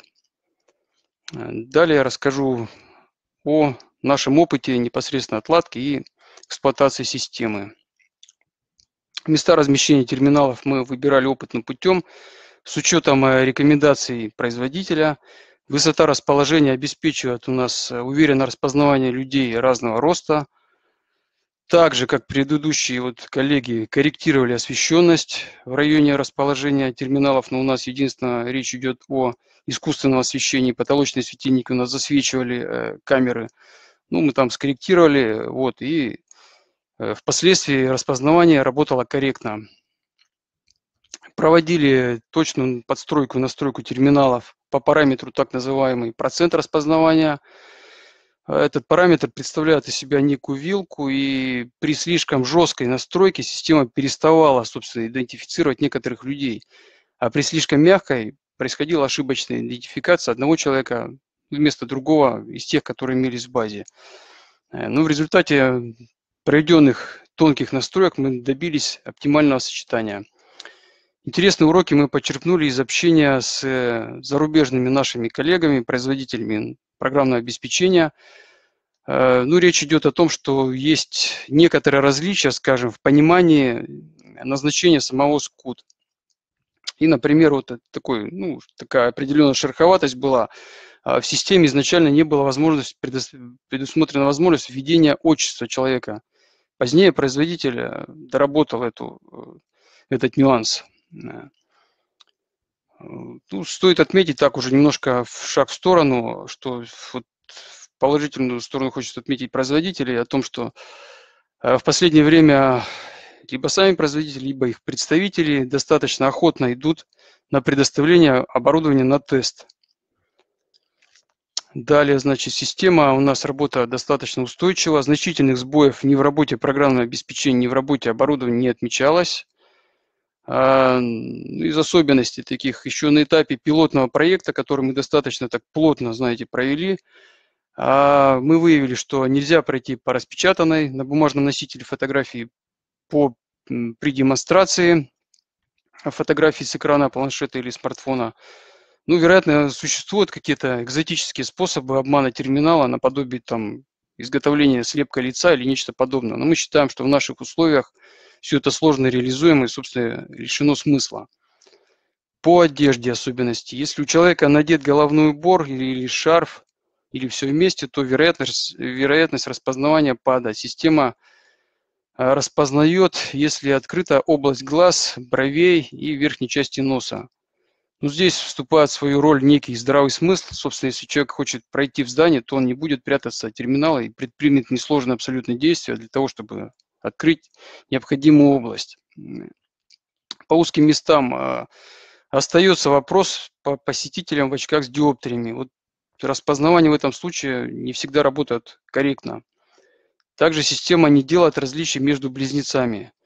Ну, возможно, в более поздних версиях программного обеспечения этот э, вопрос уже снят. Эти вопросы уже сняты, собственно говоря. По организационным моментам некоторые посетители неосознанно из вежливости ну, могут пропустить другого, идущего следом за ними. При этом необходим контроль.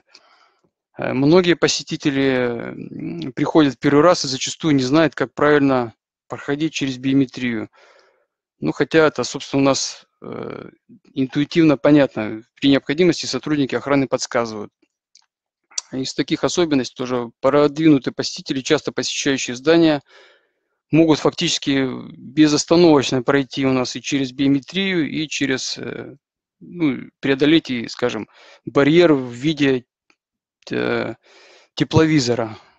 То есть человек заходит и прямо ходом идет, и превышения, если нет, то просто калитка открывается, он спокойно проходит. А, также те люди, которые занимаются снятием эталонов, сотрудники ресепшн, например, тоже должны обладать определенным опытом, чтобы снимать качественный эталон. И впоследствии, чтобы система э, уверенно распознавала этого посетителя. Просто если сделать некачественный снимок, а потом еще с учетом особенностей этой системы он сжимается до размера порядка 250 килобайт, то могут возникнуть определенные проблемы в распознавании. Хотя, собственно, требование несложное, необходимо, чтобы в э, снимок помещалось лицо человека, а взгляд был устремлен в камеру. А, также у нас еще имеется один объект, на котором терминал расположен на улице. Работает более года, значит, достаточно успешно, хотя у нас были определенные опасения, что будет происходить засветка солнцем. Но, тем не менее, как бы с такими фактами мы не сталкивались.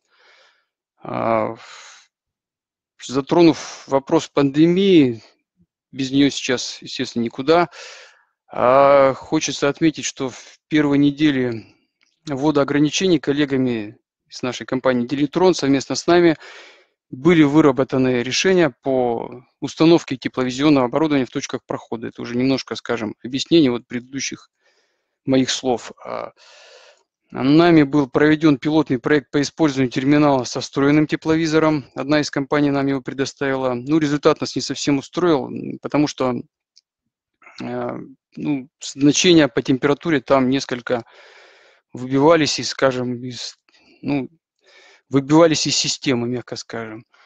И впоследствии мы приняли решение использовать все-таки тепловизор э, в отдельном корпусе.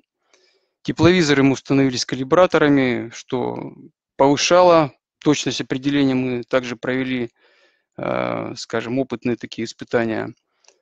Э, тепловизионная система интегрирована в том числе у нас и с биометрической, как я уже говорил выше. Из особенностей работы биометрической системы, значит, при надетой маске или респираторе вероятность распознавания также падает. Ну, мы плавно, собственно, подходим к выводам. В целом мы считаем, что развернутая у нас система удовлетворяет нашим требованиям. Посетители в положительную сторону отмечают возросшее удобство. И вообще при выборе биометрических систем нужно оценивать уровень защищаемого объекта и, наверное, понимать, что все-таки теоретически возможны некие сбои в работе системы и то, что система может э, ошибочно распознать одного человека вместо другого из базы.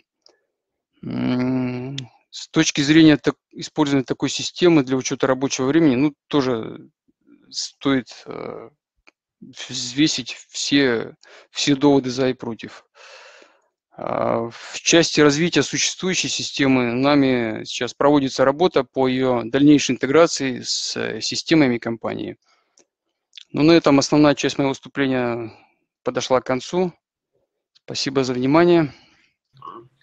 Спасибо, спасибо вам большое. А, Олег, я э, прежде чем мы обратимся к вопросам наших участников, хотел вас спросить, ну, вот то, что вы рассказывали сегодня, очевидно, что это этап э, какого-то пути, да? А, то есть, наверное, предстоят и следующие этапы, так и каковы они, то есть частью какого пути, частью какого реализация какого видения является вот этот э, проект, о котором вы э, говорили? Да, этот э, проект э, в определенной мере он э, носит роль такого пилотного проекта, но в то же время работает, как, как я уже говорил, исправно. Э, в принципе, мы сейчас планируем э, интеграцию, с, вот, как я уже сказал, с системами компании, и дальнейшее масштабирование этого, э, этих решений будет зависеть от скажем, успешности интеграции. Угу, угу. Да, хорошо, понятно. Давайте э, обратимся к, э, к вопросам э, участников. Ну, они здесь э, есть технические, в основном, э, да, но они зависят, конечно, вот от того, что вы показывали. А, в частности, Татьяна спрашивает, как часто приходится калибровать тепловизоры черные, с черным телом, например, потому что это, так сказать, такой тоже спорный момент, использовать, не использовать, особенно на входе. Ну, мы провели, провели э, вот эти, скажем так, такие испытания с черным телом, без черного тела. Все-таки черное тело, добавляя точности в измерениях, там использовали при, скажем, вот этих тестах и ртутные термометры, чтобы понять все-таки, найти истину. Пришли к выводу такому, что калибратор – Калибратор черное тело нужен.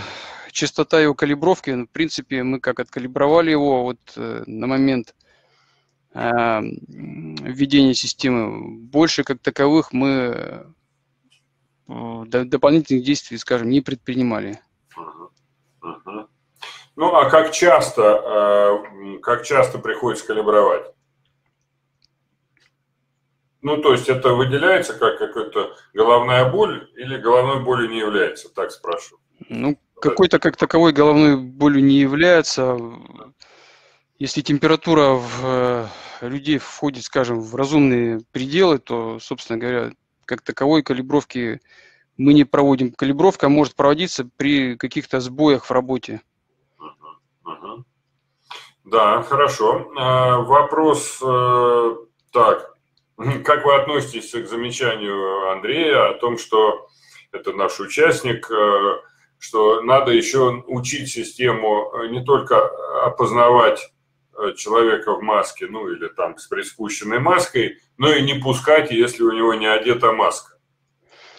А, значит, ну я скажу так, что, как я уже говорил, эти решения были реализованы, и то оборудование, которое мы используем, а, это по состоянию на порядка двух лет назад. А терминалы новые с э, контролем наличия маски выпускаются производителем достаточно интенсивно с учетом пандемии. Вот, поэтому насчет организационных решений, если э, насчет принятия организационных решений, если в вопросе имеется в виду, то тут, наверное, человека без маски, наверное, не пускать или как минимум сигнализировать э, сотруднику охраны о том, что человек пытается пройти без маски на данный момент, хотя я надеюсь, что все-таки эти ограничения, дай бог, скоро все отменят. Вот, по-моему, все к этому идем. Наверное, вот так. У нас, да, спасибо, есть очень внимательный слушатель Дмитрий Дряных, который даже подлавливает меня, если я задаю не очень точные вопросы. Он тут разродился целый, целым списком вопросов. А у вас собственная ну, база данных персон? Ну, как я понимаю, да. Так, да? Персон а, имеется в виду? Ну, видимо, база данных лиц. Э, а. Ну, наверное, речь идет о том, что с постоянным персоналом на данный момент сейчас базы, значит, отдельные, потому что это посетители. И вот как раз э, вопрос интеграции затрагивает э, один из таких моментов, возможно, некого слияния этих баз. Но это уже дальнейший наш шаг. А вот размерность этой базы, просто с точки зрения да, построения, производительности, всегда вопрос, сколько там, 20 тысяч? 50? Размерность базы не менее 50 тысяч. Угу, понятно. Так, а кто решил вопрос синхронизации персон во всех точках доступа? Это, так сказать, был на вашей стороне или это Hikvision э, обеспечил? Синхронизация, это если, если речь идет о техническом, то это было заложено в, решении, в техническом решении Hikvision. Угу, угу. А доступна ли вам информация по, по всем событиям э, в системе? Да, конечно. А анализируете ли вы ее и можете ли сами выявлять ошибки э, фары и ФРР, ну то есть ошибки первого, второго рода? Да, да на этапе наладки у нас э, Э, мы более плотно, скажем, этим занимались, и действительно эти ошибки отображались у нас, когда происходило там неуверенное распознавание. Ну, еще вопрос вмешивался, опять-таки, пресловутый человеческий фактор. Вот такие, да, такая возможность есть, и такие ошибки мы выявляли. А что это за такие тонкие настройки, спрашивает Дмитрий. Не значит ли это, что вам пришлось пойти на какие-то компромиссы в безопасности? Да нет, я так не считаю, потому что э, проведенные, скажем, тесты, да и период использования системы показал на то, что настройки указал на то, что настройки мы сделали достаточно верно. Тонкие настройки имеется в виду вот, вероятность распознавания. Ну, как я уже говорил в, самом, в своем выступлении, там, если сильно, грубо говоря, закрутить, жестко настроить, то она, система, э, скажем, со сбоями распознает тех, кто собственно говоря, имеют право проходить. А если ослабить, ослабить эти гайки, то тогда получается, что наоборот она начинает одного человека за другого принимать. Вот мы путем таких, скажем, опытных действий мы пришли к тому, что ну, к такому оптимальному сочетанию. И сейчас вот э, каких-то проблем таких ну, у нас как бы нет. Ясно. А вот еще вопрос из той же серии. У Hikvision нет, не было уличных терминалов или нет уличных терминалов, утверждает Дмитрий. А какие тогда вы использовали более года назад? Используем 607 терминал. Работает вот в течение года уже, в принципе, достаточно успешно. Ну, консультировались с производителем, в принципе, рекомендовали. Uh-huh, uh-huh. Так, понятно. А, так, спрашивает еще у нас один из участников, а, думали ли вы, а, разрабат, прорабатывали вопрос автоматического оформления посетителя с помощью терминала без участия человека? Да, такой вопрос мы также прорабатывали и даже там брали на тест один из терминалов. Ну, там несколько забуксовали на том, что, значит, были особенности в программном обеспечении, и, проще говоря, еще необходима доработка этого программного обеспечения. Угу, угу. А, вопрос в контексте, вот в том числе вашего и предыдущего выступления, а что вы используете для подстраховки, да, ну, если би, э, биометрия лица это основное, да, то э, что, чем подстраховываетесь? Ну, мы по данный момент, в принципе, не выключали нашу систему штрих-кодирования. Uh-huh. И при необходимости, хотя таких вот случаев просто не было, можно использовать по-прежнему штрих-коды. Она у нас находится, скажем, в горячем резерве. Uh-huh. Понятно. Если говорить о каких-то логистических и управленческих э, э, результатах, да, выгодах, полученных, ну, наблюдаемых в настоящее время – что вы отметили? Ну, где-то, может быть, сокращение времени, да, где-то, ну и так далее. Угу. А, посетитель, ну, во-первых, посетителям стало удобнее проходить, и мне нужно каждый раз доставать документы, носить с собой пропуск, потому что если посетителя разрешен доступ, например, на несколько дней, там, на неделю или больше, то ему приходится не забывать с собой пропуск, документ – сейчас ему нет необходимости это все носить. Кроме того, если он уже есть в базе, посетитель, то он может просто обратиться к принимающей стороне, принимающая сторона а, делает заявку на ресепшн и посетителю продляют пропуск. А, вот, ну это серьезно, да, получается, что а, только однократно возникает необходимость регистрации в системе. Да. Ясно, ясно. А количество задействованных людей, может быть, уменьшается, да? Как тут есть какое-то влияние на численность персонала, а, который за, ну, обеспечивает вот этот проход? Появляется возможность, э, э, наверное, использования вот этой системы. Она дает возможность использования в том числе и другими сотрудниками, не только значит, на ресепшене, но и какими-то представителями подразделений. Это в части, скажем, разгрузки сотрудников ресепшн. Понятно. А предполагаете ли вы, а, как в примере э, Алексея Мочальникова, двигать эту систему дальше внутрь? Так? Ну и э, использовать биометрию внутри для контроля, не знаю, там, на этаже и в кабинеты, как вот было в офисе Газпромбанка, например, сделано. Такая. Mm-hmm. Ну, да, у нас есть определенные мысли по этому поводу. Значит, ну вот, как я уже говорил, что сейчас идет этап интеграции, поэтому мы смотрим, как у нас будет это получаться, и в дальнейшем будем, собственно говоря, угу. в этом направлении, думаю, что двигаться. А, ну, интересно управленческая, конечно, конфигурация. Удалось ли вам, э, делая проект, уже активизировать внутренних заказчиков?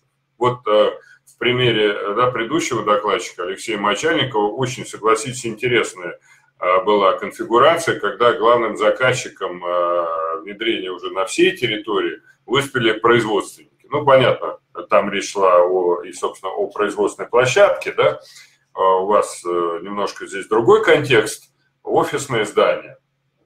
Так, ну, все-таки интересно, как а кто наиболее активен, кто э, выглядит таким заинтересованным внутренним э, заказчиком для дальнейшего развития? Ну, у нас вообще политика компании заключается в том числе в том, чтобы э, нашим клиентам, нашим партнерам было удобно. Поэтому, наверное, это такое в некотором роде коллегиальное решение или коллегиальная такая инициатива сделать удобство посещения, повысить удобство посещения наших зданий для наших партнеров, коллег. Ясно. А, ну и а, тот же вопрос, что я задавал Алексею, задам и вам. А, лидерство в этом процессе кому принадлежит? Управлению корпоративной защиты, может быть, э, не знаю, кто-то из э, там, совет директоров, э, так, то есть кто, так сказать, спонсор, кто лидер вот этих изменений. Ну, проект ре- реализовывали, скажем, вот мы, но в части лидерства, ну, наверное, это мы, в том числе и, и сам бизнес тоже достаточно активно принимал участие. Спасибо, да, это очень интересно, а, потому что в разных крупных компаниях по-разному идет этот процесс. Иногда и в ряде компаний именно управление корпоративной защиты а, набирает хороший темп, так и действительно, естественно, лидирует, в том числе уже расширяя сотрудничество с другими внутренними службами, так зачастую предоставляем и данные, и инфраструктуру, так, э, ну и так далее. Так что интересно. А, и хорошо, спасибо вам. Так, а, скажите, пожалуйста, э, вот когда делается такой проект с таким вниманием к деталям, а, конечно, всегда мне хочется спросить тех, кто его делал, а чего вам все-таки не хватает от наших поставщиков и интеграторов? Да, ну вот это же понятно, это была большая, огромная работа, и я думаю, в некоторые моменты вам казалось, что э, выглядит так, как будто вам важнее это купить, чем им это продать, да? Вот. Э, есть какие-то пожелания, да, чего, э, ну, основано на том, вот, чтобы им стоило бы делать больше, да? Абсолютно вот mm точные такие замечания. Э, ну, хотелось бы, наверное, пожелать, чтобы реакция на какие-то вот наши пожелания в части изменения программного обеспечения там, или там, внесения каких-то там изменений в прошивки оборудования все-таки была пооперативней. Все-таки немножечко пооперативней. Да, спасибо, спасибо. Э, так, хорошо, хорошо. Э, ну что ж, мне кажется, очень хороший пример, прекрасная э, прекрасное выступление. У вас явно очень компетентная инженерная команда. А, я хотел вас поблагодарить, пригласить вас а, к участию в наших разговорах о извлечении дополнительной ценности из уже сделанных инвестиций. Мы периодически а, собираемся вот с вашими коллегами из других компаний, где как раз вот, э, разбираем задачи, кто как подходит э, к ну, к созданию внутренних сервисов, к реализации, э, так сказать, к взаимодействию с внутренними заказчиками и так далее. Потому что ясно, что здесь э, все-таки присутствуют данные, присутствуют данные весьма ценные, которые могут быть весьма ценными для бизнеса, для HR и для многих э, ваших коллег. И сейчас такое время активных поисков как раз, как вместе можно эти данные, э, это оборудование, эти процессы э, использовать. Так что благодарю вас, э, Олег. Спасибо вам большое. Спасибо за предоставленную возможность выступить. Спасибо. Спасибо. Э, так, ну что ж, уважаемые участники, мы рассмотрели и хорошую практику. День по драматургии, по э, качеству, уровню наших выступающих, за что я от всей души благодарю наших, э, прежде всего, докладчиков и, конечно, вас, уважаемые участники. Программа сегодня получилась длинная, э, вот, а удержание у нас э, аудитории очень хорошее. Спасибо вам. Конечно, я анонсирую наши следующие мероприятия. 2 февраля, вторник, это комплексная система безопасности.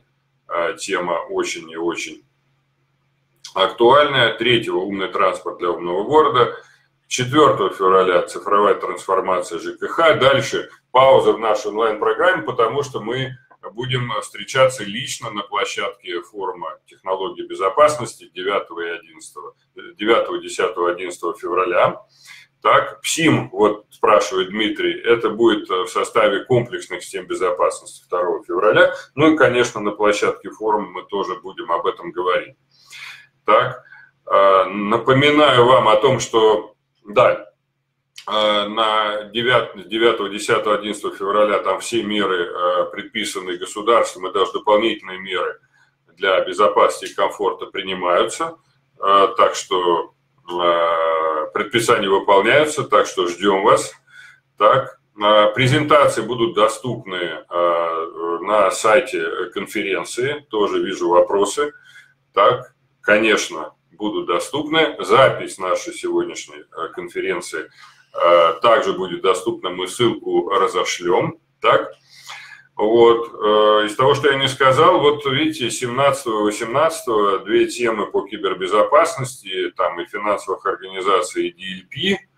Так, DLP вообще очень интересная штука, ее каждый определяет по-своему, да, это борьба с утечками данных, там появляется множество функций контроля, и вот сегодня было выступление э, компании э, да, Ставкоп, э, которая, кстати, участник, безусловно, рынка DLP, да, э, предлагая свою интерпретацию этих вещей. Так что у нас с вами крайне-крайне интересная, насыщенная программа. Э, хочу сразу вас предупредить э, об особенностях э, доступа на мероприятие форума 9, 10, 11 февраля. Значит, мы, конечно, не сможем именно в таком интерактивном режиме работать э, с теми, кто будет подключаться удаленно. Наше основное внимание а, будет уделяться тем, кто собрался там лично. Вот, хотя будет онлайн-трансляция. Онлайн-трансляция будет, но в менее диалоговом режиме, чем сегодня. А, так, э, объявляю такой призыв э, и готов. Нам нужны, а мне нужны такие соведущие, со-модераторы, кто будет именно смотреть э, в, в онлайн, да, к тем, кто будет подключаться удаленно во время э, к трансляциям форума. Да. Вот, я готов э, доверить здесь э, роль таких адвокатов, представителей нашей онлайн-аудитории. Э, дайте знать, кого это интересует. Вот, это хорошая практика такой совместной работы. Ну что ж, я думаю, что на сегодня, уважаемые участники, нас все.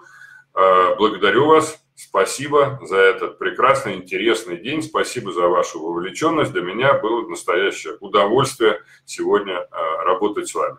До свидания. А, всего доброго и до следующей встречи 2 февраля. Благодарю.